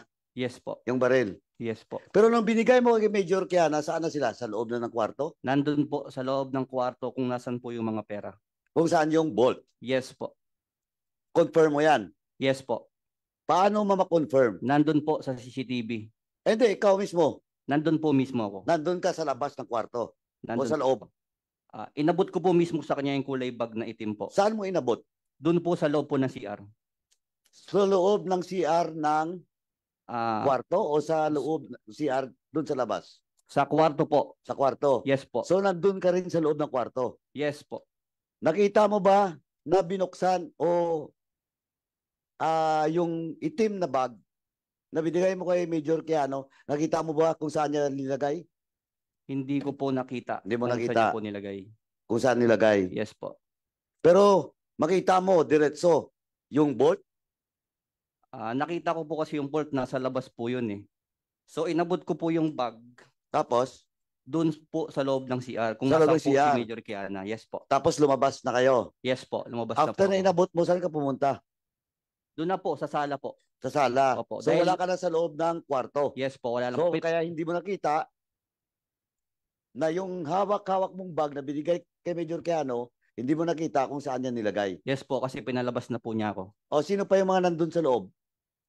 Ah, doon po si Sergeant ah, Martin. Then yung ibang mga tropa sila Demokrito. Sino pa? Ah, Demokrito yun yung na investigators. Demokrito yun yung na-contempt, di ba? Tama? Tama po. O yung nakailera dito? Yes po. Sino pa? Si- Yung una, sino yun? Ano yung sinabi mo? Ah, Before Demokrito? Investigador po si Master ah, Dilayon. Mr. De Leon, nandito ba? O, upo ka muna dito. Sino pa yung isa? Hindi, sandali, sandali, di pa tayo tapos. Kasi ikaw mismo, ang nakakita kung sino mga tao doon sa loob. Sino pa nga? De Leon? Sergeant Martin. Sergeant Martin, nandito ba? Okay. Sino pa? If I'm not sa- mistaken sa- po, sa- si Sergeant Demokrito, then Major Quijana. Okay. Okay, so may dalawa. Sergeant Leon, paki-occupy. Sergeant, at saka Sergeant Martin. Now, Sergeant, unahin kay Sergeant Martin. Sergeant Martin, sino pa yung nandun sa loob na hindi na mention ni ano? Ni Ruiz. Oh, ba't hindi mo masagot? Uh, Hindi mo ram alam? si- Hindi mo na matandaan? Major Kiana po yung... O, sino pa? Yun po, si Master De Leon po. Nandun Sino pa? Yun lang po yung naalala ko po. Ay, papatawag ko si ano, ulit, si Ruiz. Tatanungin ko ilang mga tao doon. Sige po. Yun lang Oh, po. ganito, nakita mo kung saan nilagay yung black bag, Opo, sa may upuan po. Upuan. Opo. Saan na-recover yung baril? Sa bolt po. O sino naglagay doon sa bolt? Ah, ako po. Ikaw. Okay. So, confirm na ikaw ang naglagay ng baril sa loob ng bolt. Opo. Sino umut nagutos sa'yo? Si Major Kiana po. Si Major Kiano ang nagutos sa iyo na ilagay yung 45 caliber na galing kay galing kay Rainier, no? Galing kay Rainier na inakyat hanggang sa nilagay sa bolt. Ikaw mismong naglagay, nandun ba si Colonel Gibara? Wala po. Hindi ko po ma... Pero ang alam ko po, dalawa lang po kami ni Major Kiana. nandun. Dalawa lang kayong naglagaan, naglagay sa bolt. Ah, okay. Sandali ah. Sergeant Dilayon, Yes, uh, do you confirm the statement? uh, if I may. uh, Yes. Uh, yes po, Your Honor, kasi pinalabas po ako. Pinalabas ni, ka? Ni Sir Kihana. At naging busy na po ako sa in- interviewing sa mga Chinese. Okay, so in short, ang naiwan na lang sa loob ng kwarto in which nandun yung bolt, ikaw na lang at saka si ikaw na lang at saka si Major Kiano. Kiana. Tama? Opo. Okay. After that, after na ilagay nyo, anong nangyari? Ah, lumabas na rin po, pinalabas na rin po ako ng ano, ng kwarto po. O, sino na lang naiwan doon sa loob? Ah, si Major na lang po. Siya na Major lang Kiana. mag-isa. Pero nang lumabas ka, maliban sa baril, nakita mo na yung mga pera. Opo, nakita ko po yung mga pera po sa bolt. So, may perang bolt. Meron po. Ano yung pera sa bolt? Nakaba, nakabalot ba? O nakaano lang? Nakasalansan lang po. Salansan. So, sino ang naglagay ng pera doon sa bag at saka eco bag at saka doon sa karton na ibinaba doon sa sasakyan ni Major Kiano? Hindi ko na po nakita. Hindi mo na nakita. Hindi na po. So, pero nakita mo yung pera, hindi pa nakabalot. Hindi pa po. Nung linabas sa kwarto, nakita mo rin na may mga ba, Hindi ko na po napansin na hindi mo na napansin. Ah, Sergeant Tilayon, nakita mo ba yung mga nilabas doon? Ah, hindi po. Hindi rin. Pagpasok ko po sa CR, wala akong nakitang pera po doon. No, no, no. Sa totoo. Nung ni- nilabas na yung mga karton, Ah, hindi po. Wala po ako nakita. Kasi naging busy po ako sa mga Chinese na nag-interview. Nag Ah, okay. Yes, sir. So, Mr. Chairman, established na, Mr. Chairman, mismong pulis nag-testify na itong si Major Diana, eh talaga siya talagang utak kasi siya lang naiwan doon at saka si Actually, uh, Major. Congressman Paduano, last week pa lang established na eh. Yeah. But we are trying to give them a chance.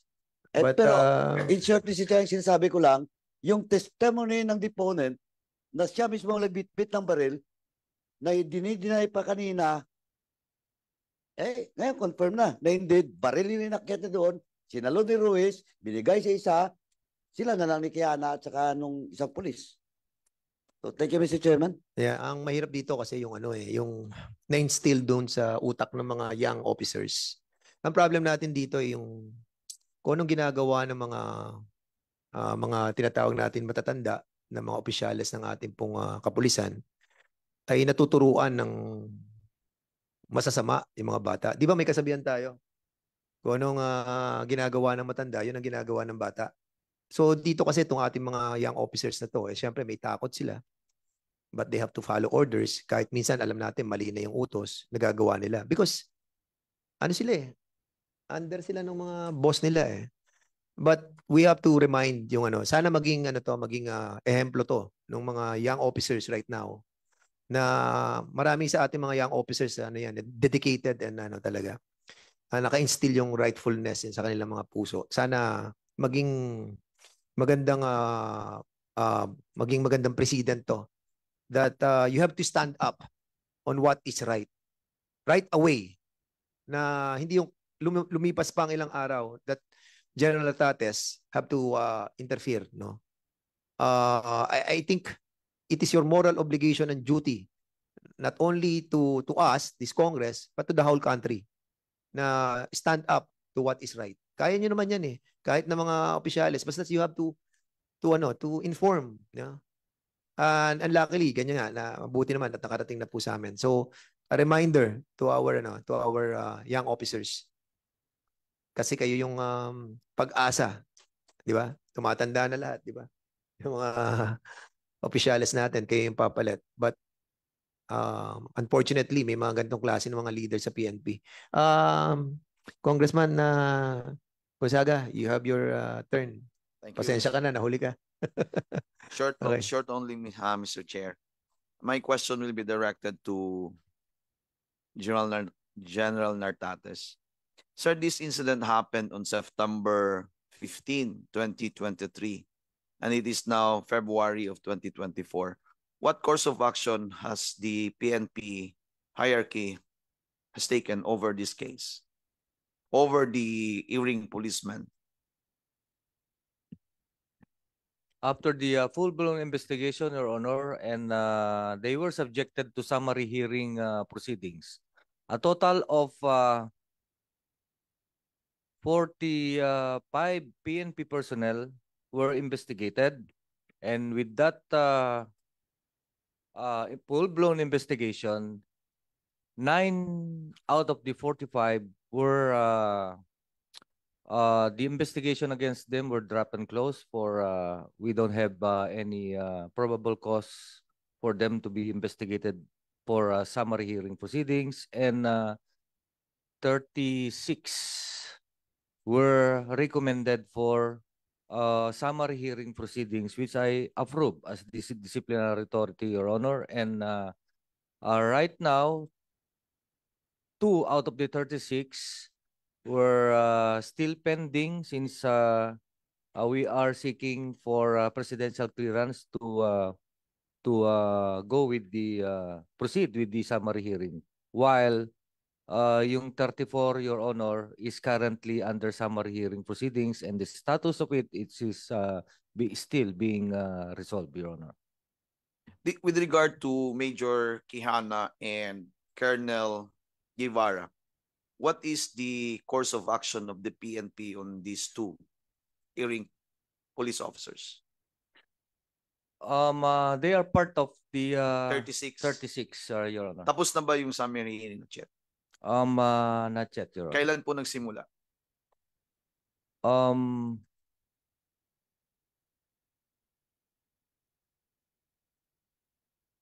I approve the uh, the uh, pre-charge investigation to elevate it to summer hearing on November 4, 2023, Your Honor. So what is now the stage of the summary hearing? Um, ah, maraming uh, case folder, Your Honor. Um, uh, it it was already forwarded to uh, my uh, office, Your Honor. Okay. Are you aware of the summary dismissal powers of the PNP chief? Sir? Uh, yes, Your Honor. So, uh, did the PNP chief aware of the of this case against the 36 hearing police officers? The uh, this uh, investigation is uh, within the ambit of uh, or the power of uh, the regional director, and I'm the regional director. In as much as this summary hearing uh, proceedings and the corresponding investigation before that is uh, within my uh, power or my uh, my power as the commanding officer. The only way that uh, the chief PNP have knowledge about this is because I regularly update the Chief Philippine National Police, Your Honor. Ito namang uh, summary dismissal power of the PNP is concurrent naman ito. May regional director, may chief PNP at saka may NAPOLCOM. So, kung magfa-file siya sa PNP, excluded na po si NAPOLCOM. Now, ito ngayon ang nangyari. Saan po yung summary hearing? Under regional level or under ng Office of the Chief PNP? Under the office of the uh, under regional level, Your Honor. Under regional level. So yung summary hearing, doon kinakandak sa region. Yes, Your Honor. Ngayon, uh, are you aware of this of the difference between summary hearing and the regular hearing conducted by tribunal or office like your office? Um, Kasi pag regular hearing, of course, may witness, then tatanungin yung witness, and then after that, tatanungin ng, ng lawyer ng akusado, cross, yan, ganon, cross-examination. Sa summary hearing po, wala ho yan. Wala ho yan. Papel-papel lang po yung summary hearing. November ninyo sinimulan. You approve the summary hearing on the on this hearing police officers 30 days, December another 30 days, and then January another 30 days, and then we are now in the into February. You have almost 100 days. Do you call that summary hearings, Sir General? um, uh, on my appreciation, it should not uh, uh, tatagal ng ganyan, Your Honor. So please wind up your summer hearings and we would be be glad we are very glad to hear from you kung itong mga hearing office officers which you earlier said in our first hearing ay yung kaso nila is not a, a simple case it's a robbery case so talagang serious crime so kung under kung may serious crime tayo subject ito ng summer hearing so hopefully you can address this matter and you you can report the result of the summary hearing in the next scheduled hearing, this committee hearing. Uh, yes, Your Honor. Thank you. Thank you po, General. Mr. Chair, thank you very much. Okay. Uh, may lang ako sa Napolcom, ano, uh, Vice uh, Bernardo, kasi I was comparing with, uh, again, kay, ano, alam mo, pulis to, eh, ako, hindi naman ako pulis, eh. Uh, kasi meron tayong mga source ng ating mga kapulisan, eh, no? Like yung nga sila, PNTI, tapos, uh, ano isa? In-service? In service. uh, in service no uh, school tapos meron pa tayong PNPA no um iba-iba ang turo dito so iba-iba yung mga kalidad ng mga mga pulis natin na pinanggagalingan nung nagiging opisyal um don't you think there is a correlation on the different uh, aspect of learning from these three uh, institution of uh, trying to elevate yung kanilang knowledge or gaano ba katiba yung yung kanilang mga turo? Kasi uh, I I I will try I, I wanted to sur- sur- surmise that can we possibly get a uh, a percentage of those who have been uh, accused of uh, irregularities on the output of these three institution kasi dito nagsisimula yung ano 'di ba yung mga recruits tapos sabi pa ni Congressman Acop, meron pang yung PPSC pag yung mga lieutenant colonels na. O, tapos meron din PNPA, di ba? So, uh, sama makita natin kung paano sila inuhubog hanggang makarating sila sa pagiging opisyal. Do we have a percentage of those um, dismissed uh, officers? At saan sila nanggaling na school? Sige, Vice uh, Bernardo. Thank you po, Chair. Yung sa non-police commission officer, uh, police non-commission officer, eh, hinuhubog po yan ng National Police Training Institute. Kaya from, from corporal papataas po hanggang maging tinyente. Sa kanilang uh, tungkulin, meron pong standard na uh, program of instructions. Kasama po yun yung, yung, yung uh, uh, yung crimes and and uh, and uh, legal yung criminal procedures. Alam po 'yan, tinuturo 'yan sa lahat ng from from corporal hanggang sa uh, police executive master sergeant. Iba naman po yung uh, intervention doon sa PNPA. Meron din po silang uh, uh, module of uh, instructions na tinuturo sa apat na taon kung ano yung uh, yung yung criminalistic, ano yung victimology, etc. Kasama rin po tinuturo doon kung ano yung bawal, kung ano yung batas na, na hindi. Kaya magiging tinyente po yan hanggang papatas, hanggang maging uh, third level, mga colonel, etc. Pagkatapos po noon, meron din tayong uh, training service. Yung mga nag-graduate po ng PNPA mula tinyente na papataas, kumukuha sila ng mga special courses na may po-provide po ng uh, PNP training service. Karagdagan po nito, pwede pa siyang kumuha ng training, specialized training doon sa PPSC. Kaya yung mga special courses na kung gusto nilang mag-branch out sa halimbawa eh doon sa sa sa sa Police Executive Management courses, etc. Pero iisa lamang po yung itinuturo dito at nagbabago lamang sa bawat antas ng kanilang ah, tungkulin at kanilang ano. Hindi po dapat na nagkakaganon. Ma, ma, ma- re-reviewin po namin muli yung ah, status ng mga nagkaroon ng mga asunto o na-dismiss. Kung ano po yung ah, naging dahilan, is it ah, in terms of discipline? Is it in terms of uh, uh, kasi nga doon sa isang banda ng kamukha nung sa sa mga drug cases, yung tinatawag naming organized crime. Yung mga organized syndicate po kasi nga, ina-attack din yung PNP, hinahack din sila. Ang ibig namin pong sabihin doon, eh kinukurap sila.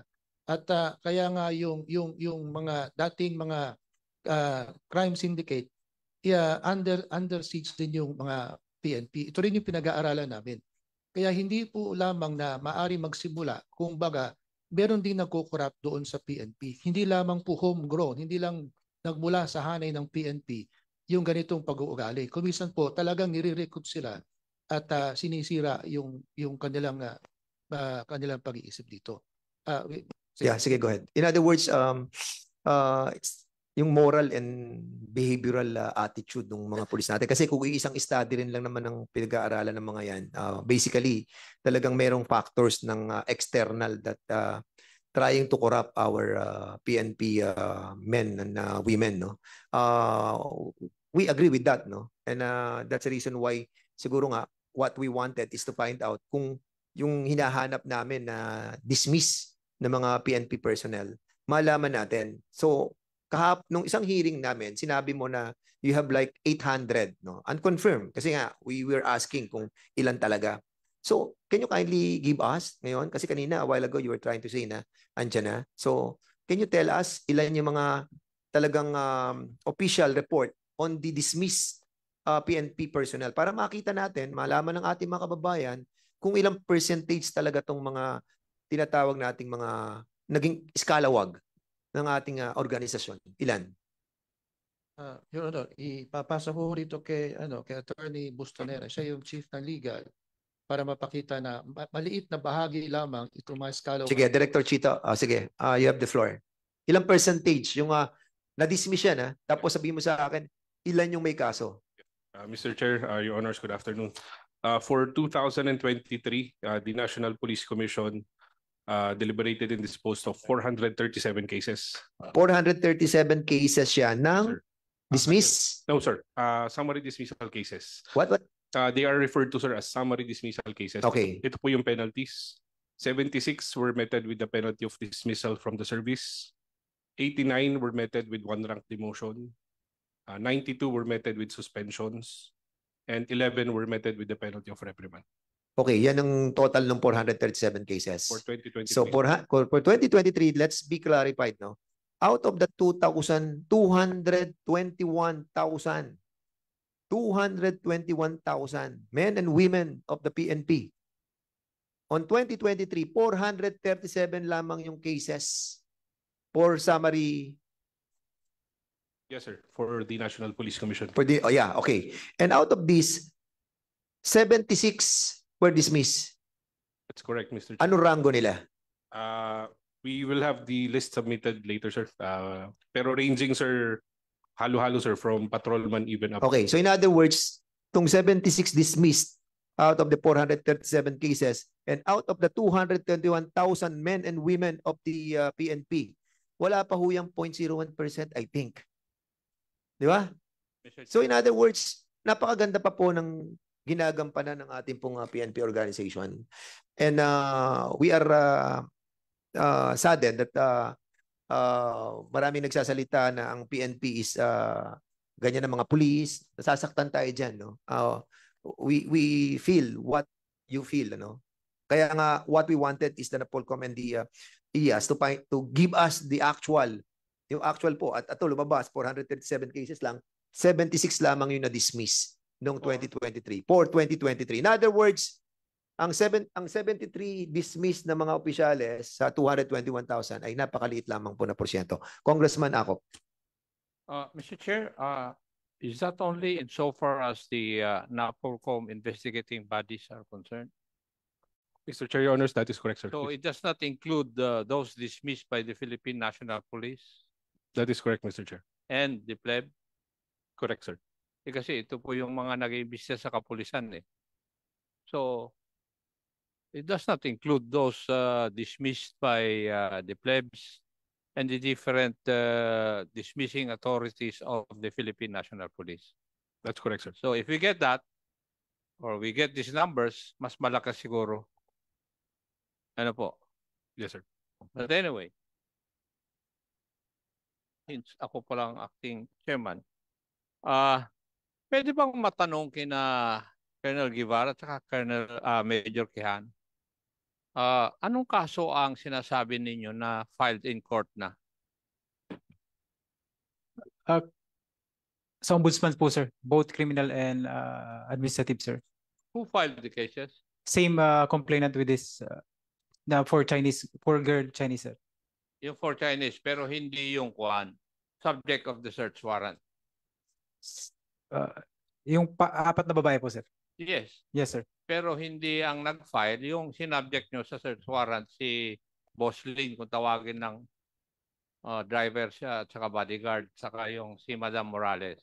Hindi ko pa na-receive kasi, sir. You, it was uh, uh, informed by my lawyer. Hindi lang ako alam sa, hindi ko lang masyadong alam yung detalye, sir. So there's a case now and may know the cases filed against you? Uh, as far as I can remember, sir, it was uh, robbery, uh, illegal detention, same as to what uh, what is written in the in the resolution, sir, House resolution. House resolution. Yes, sir. That you filed, sir. Yeah. May I ask the Philippine National Police uh, if they can direct, uh, nandito ba yung DIDM? Yes. Can you direct the CIDG to investigate the aspect of robbery extortion? Yes, sir. Because uh, I do not know if you will agree with me that uh, when the authorities file this this case, there's no need for any complainant. Kasi sa arbitrary detention, kailangan may complainant.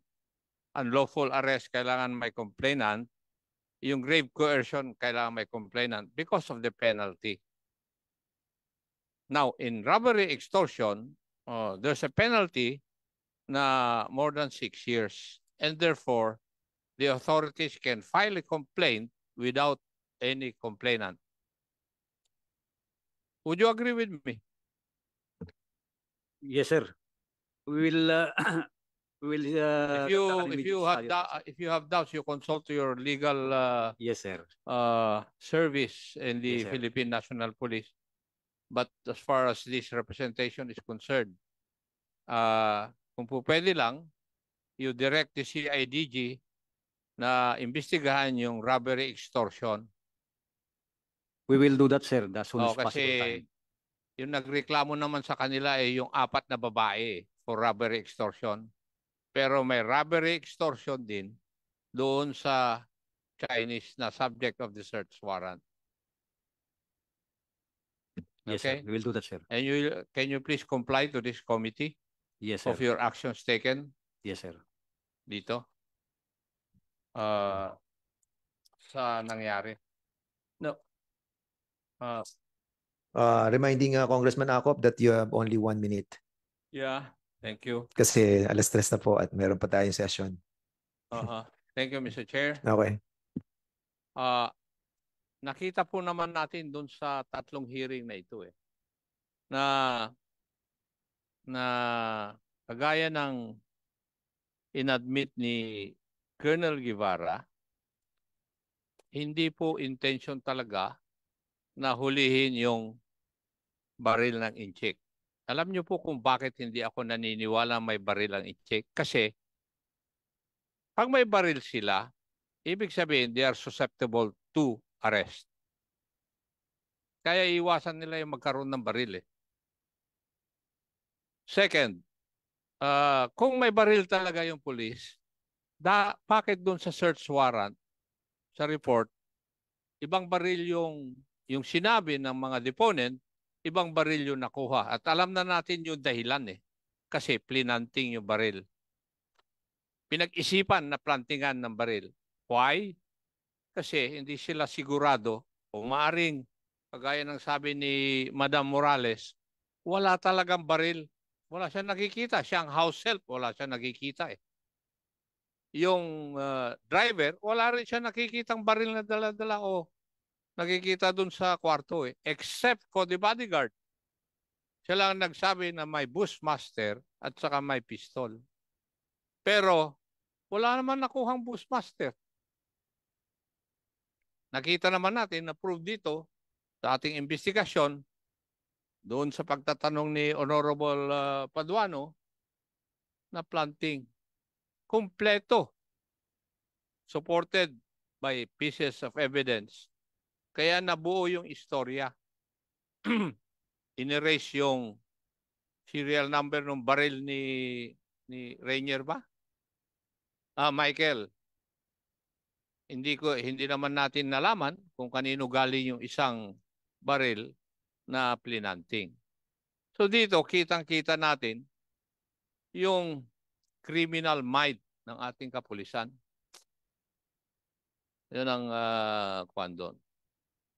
So, uh, may I request, Mr. Chair, that the investigating uh, body, the RD of uh, uh, NCRPO and the CIDG to give us an update in so far as the cases filed are concerned. Kasi dapat as far as this representation is concerned, mas grabe itong ginawa nila dun sa mga pinadismiss natin, Mr. Chair. eh. Thank you. Yeah. Okay. So thank you so much, uh, Congressman uh, Akop. So uh, General Tates, can you give us an update of the uh, uh, of the uh, administrative, you know, that you're going to to file, no? So sa next hearing po, you wanted the ano, ano uh, Congressman Akop in the next hearing yan, no? Sa the next hearing na, no? Yung update nila, no? Mm. Ang hinihiling ko lang is uh, when they file the cases, yung administrative at saka uh, criminal, they should update this committee. Please, ano, uh, please do so, no? Uh, we have to be uh, uh, equipped uh, with the ano, no, with the uh, update of the cases that uh, going to be filed. Kasi uh, yan naman yung iniiwasan namin na maakasuhan na naman ng Kongreso na after ng hearing wala na. eh kami, hindi po kami ganun. Dito sa hearing namin, we see to it that hanggang criminal case ay uh, namomonitor namin.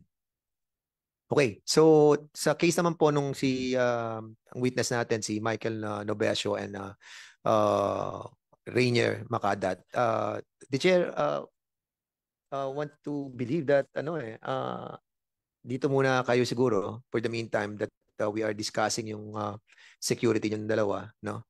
Uh, I'm sure hindi lang naman uh, mga pulis ang maaring uh, gumawa ng hindi maganda sa inyo, but also yung mga Chinese uh, syndicate. Alam naman natin yung mga Chinese syndicate na tinamaan dito, uh, hindi natin matatawaran yung kanilang mga ginagawa. And uh, um, be assured that uh, the Congress will be uh, taking care of you uh, to protect you. No? At uh, siguro, if you would agree, ay uh, dito muna kayo sa premises ng House of Representatives. Yes. Anong masasabi po ninyo? Yes po, Your Honor. Mr. Chair, salamat po. Masi po kami rito. Okay, uh, Rainier? Salamat po, Your Honor. Okay na po kami dito. And uh, we are uh, directing ano, uh, the COMSEC to direct the um, uh, LSB ano, uh, to uh, separate them from uh, the others. No? As much as possible, malayo yung uh, area. No?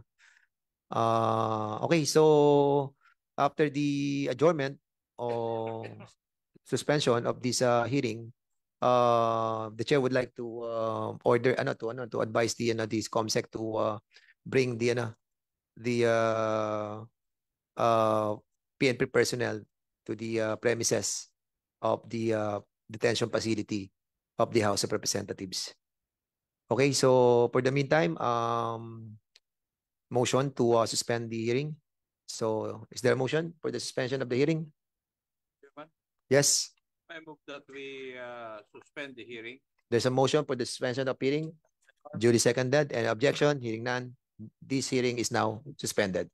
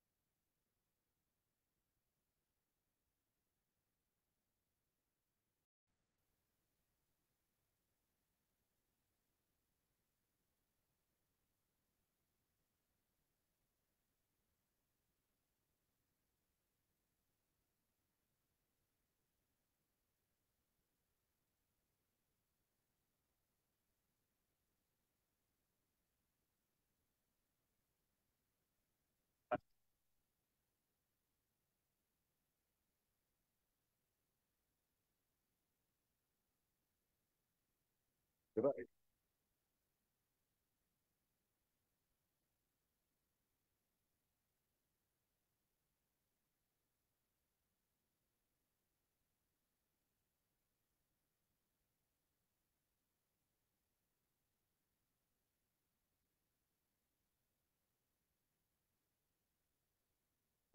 Thank you.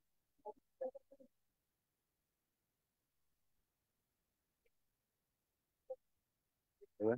Wala. Wala. Palitan niyo. Okay, sir, pacheck lang natin. Okay to.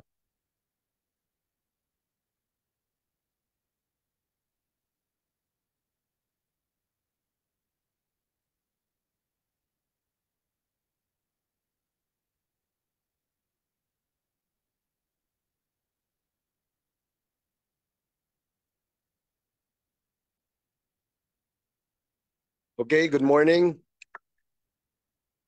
Morning, uh, ladies and gentlemen. Please settle down. The Committee on Dangerous Drugs hearing is now called to order. On the part of the Committee on Health, the, uh, the, um, the meeting is now called to order.